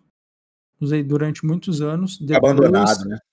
Aí Abandonado. ele tá, ele tá, ele tá funcionando para Arquivis. Arquivis ficou e vai É, ficar o ali. Arquivês adotou Utiliza muito o aí. Max, né? Agora, para realmente para os outros, vamos dizer, outras áreas do 3D, ele tá bem abandonado. E aí eu pulei pro Maia. Eu pulei pro Maia e, cara, eu falei, putz, É, eu parei é- com o Max também. Eu uso Maia e Blender. aí eu, eu falei, putz, Uso mais o Maia. eu achei, quando eu fui pro Maia, eu falei, cara, o Maia é arrastado para modelar algumas coisas que eu fazia assim no Max. Eu falei, putz, tá. Processo horrível aqui, modelar. ali. Aí eu acho a aquela pilha de coisa- modificadores. Não, eu acho que a única coisa ruim do Maia, ao meu ver, é essa questão da modelagem não ser com os modificadores. Ela é mais destrutiva, né? Ela- Você não consegue simplesmente É que o é acavalando. ali. animação, né? Um software mais pensado para pipeline mesmo de animação. Pipeline de, tipo, depois da modelagem, é, você terminou a modelagem, joga pro Maia, aí resolve todo o resto, né? Tipo, É que hoje, com, com o ZBrush, né? Que o ZBrush, inclusive, saiu do Maia. Muitos não sabem. O próprio Pixologic fala. Ah, é? Ah, O Maia, sim, o Maia não tem aquela ferramentinha de esculpir direto? Uhum. Horrível. Diferente da do Blender. É. Só que os caras olharam e falaram: se nós fizermos isso, só que usar isso daí para funcionar como escultura mesmo, com mais detalhe. Aí não dá, disseram na época. Eram outros computadores, porque é muito polígono para ele ler. Esse é o problema. Você pode fazer brush para cavar, mas é muito polígono na tela. Aí eles inventaram um sistema que é polígono. Dentro do, do sistema ele sabe que aquele modelo tem polígono, mas ele não mostra um polígono. Ele pega a área do polígono e enche de pixel. Mesmo pixel do Photoshop. Aí só que tem pixel, tem polígono que está perto da tela, então os pixels aparecem perto da tela, e tem polígono que está longe, os pixels estão longe. Então eles fizeram pixel, que é um pixel com Pixel distância para a câmera. Aí virou a lógica do pixel, pixel logic. Patentearam em 2002. Começaram a vender em 2004. Em 2022, o que aconteceu? 20 anos depois, deu prazo. Para esse tipo de coisa, são 20 anos a patente. Quando perderam a patente, eu estava com um amigo. Eu falei assim: vão vender. Venderam para a Maxon. Que agora que perdeu a patente, meu amigo. Todo mundo tá abrindo aquilo aqui. Já abriram para ver como é. Então, eles, fi- ele- foi isso que eles fizeram diferente do Maia. Vamos fazer uma forma em que, mesmo sendo polígono, ele não mostre polígono, porque realmente não vai computador nenhum aguentar. Mas onde se passaram, hoje você vê o Mudbox, que apesar de ter lá os problemas, e você tem o Blender também, eles conseguem mostrar muito polígono na tela. Sim. Hoje. Há 20 É, anos, não. Hoje Mas também não é a mesma máquina. quantidade de, de, de polígono do ZBrush. Não tem como. Você teria, às vezes, 200 subtools, cada uma com 30 milhões de polígono. Só que ele mostra pixel. Tanto é que quando você dá um zoom, o negócio fica todo quadriculado. Craqueladinho. Não é o zoom dele, o que, que ele fez? Ele aproxima a câmera quando você está modelando. Ele não está dando Uhum. zoom, ele está aproximando a câmera. Se você pegar mesmo ali na tela do lado e mandar dar zoom no trabalho, você vê que ele começa a ficar todo quadriculado. Cagadinho. tudo. É. Não, muito bom. Ô, Rafa, eu acho que a gente já tomou do seu tempo aí, a gente tá perto de quatro horas. Faltam É, sete minutos para quatro sete horas. minutos Caramba, batemos um recorde aqui horas, do, do um podcast. recorde. Sem dúvida. Ah, É. assim. Eu queria. Deixa eu ver aqui se tem mais alguma coisa. Eu acho que o pessoal meio, meio que falou tudo do. O Noob Master perguntou só se o Maia tem. Eu tenho o Arnold, tem, ele é nativo mesmo do, Sim. do Maia, então é tranquilo. E o nome Arnold é por causa do Schwarzenegger. Só pra Ah, galera é? saber. É. Porque ele é Brute sabia. Force. Porque ele é Brute Force. ou seja, Hum, ele faz, força sim, É, ele não usa o GPU, né? Então eles deram o nome do, do, do Schwaza como. É por causa Cara, dele é, mesmo. o nome eu Ah, não sabia. né? fazia ideia disso. Eu sou fofoqueiro, eu adoro ver essas coisas. Ah, é interessante, cara. Eu não fui curioso a esse nível. Não, nem eu. Aí, ó, viu? Mais Sempre uma- fazia assimilar, a- fazia, se assimilava o nome, né? Mas porque é o nome, mas não, mas não achava, não sabia que era que vinha daí não. Louco. Sim. É Eu acho que é isso aí. Uh, fechamos então. Rafa, queria agradecer muito a sua presença aí.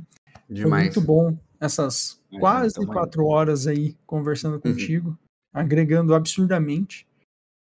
É, muito obrigado aí por topar, por estar com a gente aí. Da minha parte, eu acho que é isso. Não, é, da hora demais. Cara, foi da hora. O... Agora eu entendi por que, a galera gosta tanto do Rafa e fala que o cara tem uma didática excelente. O cara consegue explicar qualquer coisa de uma maneira absurda.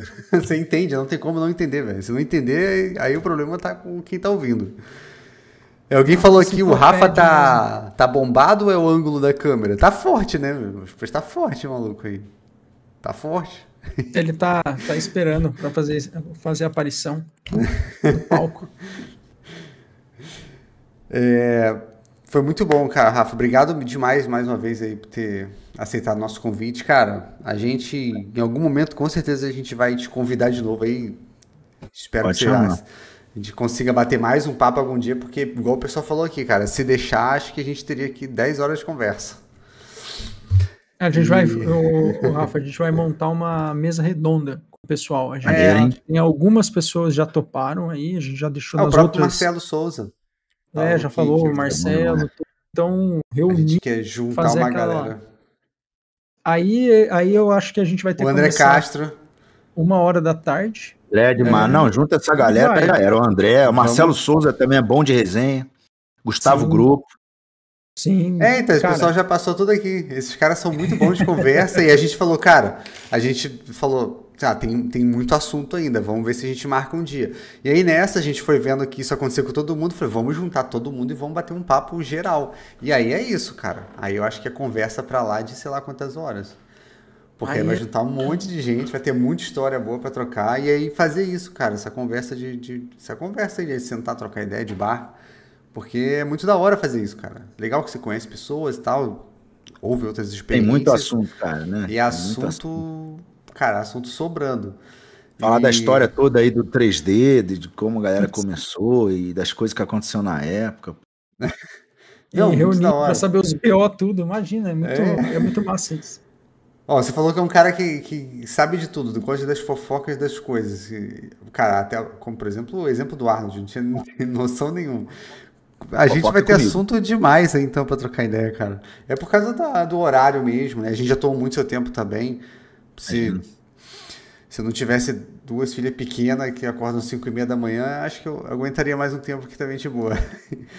É, mas, cara, foi muito legal. Valeu, mais, valeu demais, Rafa. Obrigado. E o pessoal também gostou muito, tanto que tá, tá, todo mundo até agora aqui ouvindo a gente. Cara, a gente.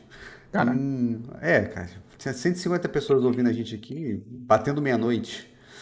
É... é... agora que o pessoal começou a dar uma agora pessoal... dispersadinha. e é isso, cara. Sucesso na sua, na sua jornada aí, cara. É, no seu tratamento, cara. Espero que você realmente se recupere o quanto antes. Mas a gente olha para você, parece que, tá, tá, parece que já tá tudo indo muito bem, cara. Eu desejo aí todo sucesso, melhor. A massa aí, muscular, sim. tá, tá grande. É, e é isso, cara. É, Felipe e Dagoberto, obrigado demais, me senti honrado aí pelo convite de vocês, vocês são pessoas maravilhosas, muito obrigado aí pelo papo, foi uma honra para mim, entendeu? É muito bom aí, galera, que se une para poder chamar e falar de, de arte, de 3D, do, do, de tudo que aconteceu aí desde aquela época até hoje. Então, tem muita coisa aí, inclusive na história de como as coisas aconteceram no 3D que a galera ia adorar saber. Então, uma mesa redonda, então, pô, Marcelo Souza ali. né, aquele ali começou antes da gente, inclusive, ele tem mais tempo que a gente de, de 3D. Quando eu comecei, ele já era o Marcelo Souza, bem conhecido. Cara, ele começou em 90 então, e alguma Não, não acreditei quando ele falou que tinha 50 anos, velho. E que ele tá desde no, anos 90, 1990 trampando na área. Eu falei, caralho. É, 90, por aí. Eu, eu comecei 10 anos depois dele, que foi em 99, mais ou menos, 2000. E ele é. já era o, a referência ali. Quando eu conectei a internet, pô, o que, que é isso aqui? Já, ele já apareceu. Loucura. Chris Costa, o Cris Costa também, que é da época, é outro bom de resenha. Entendeu? A gente podia ver se colocava ele junto já, né? Sim. Só tem que ver se, se, se, se- o Cris Costa tem, tem treta com o Marcelo Souza, porque ele também é, é treteirinho. Entendeu? Pode chamar? Pode. Aí Se tiver, melhor ainda, fica mais, fica polêmico. Fica, fica bom, fica. Resolve tudo aqui. Ou fazem as pazes ou treta de vez. É, mas o, mas o Cris Costa, ele, ele, ele, além de ser bem das antigas nisso, foi, foi um- ele e o Marcelo Souza, vamos dizer, os motivos de eu estarem aqui, entendeu? Na Uhum. parte de modelagem foi, foi o Cris. Foi o cara que eu Olha que olhei e falei, caramba, eu quero um dia fazer isso. E até hoje, isso não foi no passado, até hoje eu paro, olho os trabalhos dele e falo, olho pro meu e falo, ah, eu, eu vejo a diferença sempre. Ele, ele tá sempre na frente. E por ele estar sempre na frente, eu vejo, opa, eu tenho que refinar mais isso, tenho que refinar mais isso. Então eu vou melhorando, e ele, obviamente, também. Então, então ele, ele. E ele, pô, é desde aquela época, cara. Tem que most- pedir pra ele mostrar um, um,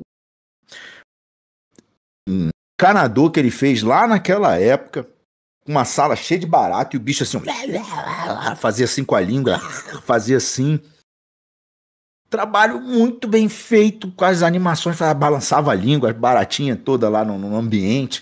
Um trabalho absurdo, animado, rigado por ele, um rig complexo na boca, mexia a cara toda assim. Eu começando, ele já fazia isso. É, é Chris Costa, Antropos. Nem sabia que o nome dele era Chris Namur Costa. A gente só conhecia Antropos. Antrop. Aí ele fez a, a 3D for All, que era dele, ele que botava os tutoriais lá. Então ele, esse cara também tem um conhecimento de, É, de- Começou com mato, né? Sim. É, então. Eu comecei e já tinham galera capinado, assim tava no deserto. Eles, eles já tinham raspado o mato. Entendeu? Eu tava só pra montar o alicerce ali. É, cara, Isso. trazer essa galera bem do começo assim, vai dar uma resenha da hora mesmo. Vamos fazer isso aí, cara. É, não, Já vou ver, eu ser pedi até tipo pra um Gabriel montar isso. Tem que ser um domingo meio-dia, porque vai acabar às 11 da noite. É, tem que ser, tem que ser um dia mais ameno assim, mais cedo. É, a gente faz, a gente vê um- uma, uma espécie de um episódio especial aí, né? Porque até porque é, tem que estar todo mundo meio que livre, assim. Até porque os horários são tá cada um em um canto do, do, do planeta. Vai, ser uma- vai ter uma mistura deixar- de fuso horário aí, que, meu Deus do céu. tem que encaixar isso ainda. É, o grupo. É o isso, grupo- gente. Pô, foi- o grupo- tá no o grupo Canadá, também é tá outro. no- é, o grupo. O grupo é o também é grupo, Marcelo muito Souza Canadá. não chamando ele de velho. Mas também é outro que é foda, sabe muito bem Ele é daquela foda. época. É, a gente tá trocando umas ideias aí da gente fazer os negócios junto e tá, tá, tá, tá, tá da hora. É, Aí, gente, pô, foi uma Isso. honra, assim, brigadão. Mandar um beijo aí pro Lucas Gomes aí, tá aí na, na live. Querida Mari, beijo grande, Mari. Ah, tá aí geral, Ma- Ricardo, Manuel, o Samuel, aliás, Petros.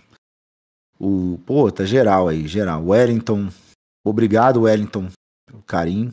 Obrigado a todo mundo aí. Vamos, vamos que vamos. valeu, Valeu todo mundo. O chat foi Valeu. bem ativo hoje, foi bem legal, cara. Muito obrigado, Rafa, cara. Tenha, tenha uma excelente noite aí, de bom descanso, cara. Sucesso e a gente se fala. E bom trabalho aí, né? Você Bom trabalho, vai, né? vai Vou, vou continuar. concluir um negocinho, ainda tem mais algumas horinhas de coisa pra fazer. Olha lá. hoje. É isso aí. Eita Então, porra. beleza. Rafa, brigadão mais uma vez. De nadão mais uma vez aí. Valeu, gente. Falou, boa noite, Obrigado, cara. Fica com. Deus. Até mais. Valeu.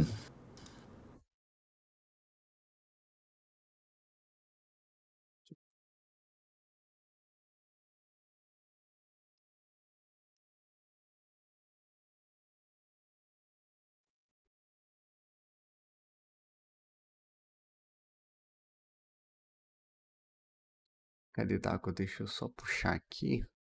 Opa, tô ouvindo vocês. Ah, Opa, a se- gente ah, tá- se quiser- vai- É, a gente se vai dar quiser uma pode. encerradinha rapidão. É, a gente só Ah, vai não, dar uma você encerrada só- aqui. Deixa eu dar uma Mas show, galera. Obrigado aí, valeu mesmo. Nada. É, se quiser pode Valeu. ficar aí, a gente só fechar. A gente só vai dar uma encerradinha aqui de leve. Acho, ah, você vai encerrar com, com os caras lá? Ou aqui? Não, Não, só vai encerrar, a aqui gente só não- encerra aqui com o Dago. Só pra fechar a live, Não, aí a gente só não, fala só se rapidão vocês aqui. quiserem. É, só se vocês quiserem falar ainda alguma coisa comigo, senão. A gente fala com você rapidinho aqui depois que a gente quitar a live. É... Beleza. Fala aí. Tamo aí, tamo aí. E aí, Dago? Da hora, hein? Cara, eu tô com uma puta de uma espinha gigante no meio da testa. Bom que a câmera fica pequenininha, mas agora cresceu, velho, a câmera aqui. Eu vou ficar com o dedo aqui. Ah, tá. Cara, foi da hora. É, é sensacional conversar com ele aí. A primeira vez também que eu converso com ele. Então. Ah, é? Ah, então foi uma novidade pros dois. Foi, foi. Eu já participei da, dos cursos dele e tudo mais, mas não tinha trocado uma ideia assim com ele. Então foi uhum. muito da hora. E queria agradecer aí todo mundo que ficou. É, a gente conseguiu aí bater uma quantidade bem interessante de pessoas. A gente chegou aí a 170 pessoas. É, teve um pico gente mais. Impactada. Só que gente impactada a gente, hoje. Nossa, manteve ali bastante gente. Então isso aí foi bacana também. A galera se interessou, participou bastante também. Não estava tão tímido. Eu acho que é o efeito um pouco do Rafa aí. O carisma dele, né? Querendo ou não.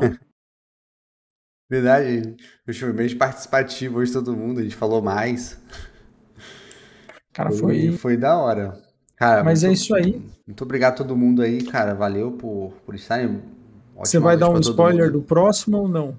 Como que vai ser? Você costuma gostar de dar uns spoilers? Não, eu vou, eu vou segurar, porque Olha. até porque a gente tá. É, dá uma seguradinha. Tem uma galera muito bizarra aí pra ver que é meio inacreditável, assim. A gente até comentou alguns aí hoje na live de hoje, então fica, de, fica esse de spoiler aí. É, alguns nomes, alguns nomes foram falados, né? Não, vários nomes comentados hoje vai, vai colar aqui. Eu vontade de falar, cara, esse, ah, ele vai vir. Ah, eu falo, vai, vai vir, também. Né? Não, aí eu vontade de ficar falando o tempo inteiro. Mas vai colar, galera. Cara, outubro vai ser um mês meio bizarro aqui pra gente, assim, cara. A parada tá tomando uma. E tem, e tem um ah, deixa quieto, isso eu não vou falar por enquanto. Não. Tem, tem, Cara, tem você, vai me, você vai me fazer tá viajando participar dos, dos podcasts. É, cara. É. é, o Dagoberto vai ficar, vai ficar duas semanas de patrão lá na Europa, lá fazendo uma Eurotrip. E eu vou tancar sozinho aqui o podcast, mas talvez o, o Dagoberto vai arrumar um jeitinho de colar, porque ah, vai, vai ter uma galera pesada. Dar um jeito. Beleza. Show demais. Vamos Bom, nessa então. Que é Semana aí. que vem tamo Valeu. aí. Quarta-feira.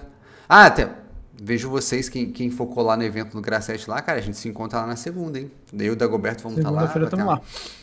Segunda-feira o evento começa quatro, né? Mas aí a gente estando lá, a gente já combina alguma coisa pro dia seguinte, tomar um café, um almoço com a galera que vai estar tá lá, né? São dois dias de evento. Na segunda é difícil porque a gente vai estar chegando de viagem. Eu vou chegar na hora do almoço, da Dagoberto também. A gente vai chegar, meio que almoçar ali, vai no hotel, deixa as coisas lá e vai partir pro, pra, lá pro, pro Gazeta. Pro evento. É, segunda-feira tamo lá, então a gente se encontra lá. Vai ser da hora ver o pessoal pessoalmente. Falou então, Valeu. gente. Um abraço, fiquem com Deus. Boa noite. Valeu, boa Fui, noite. até mais.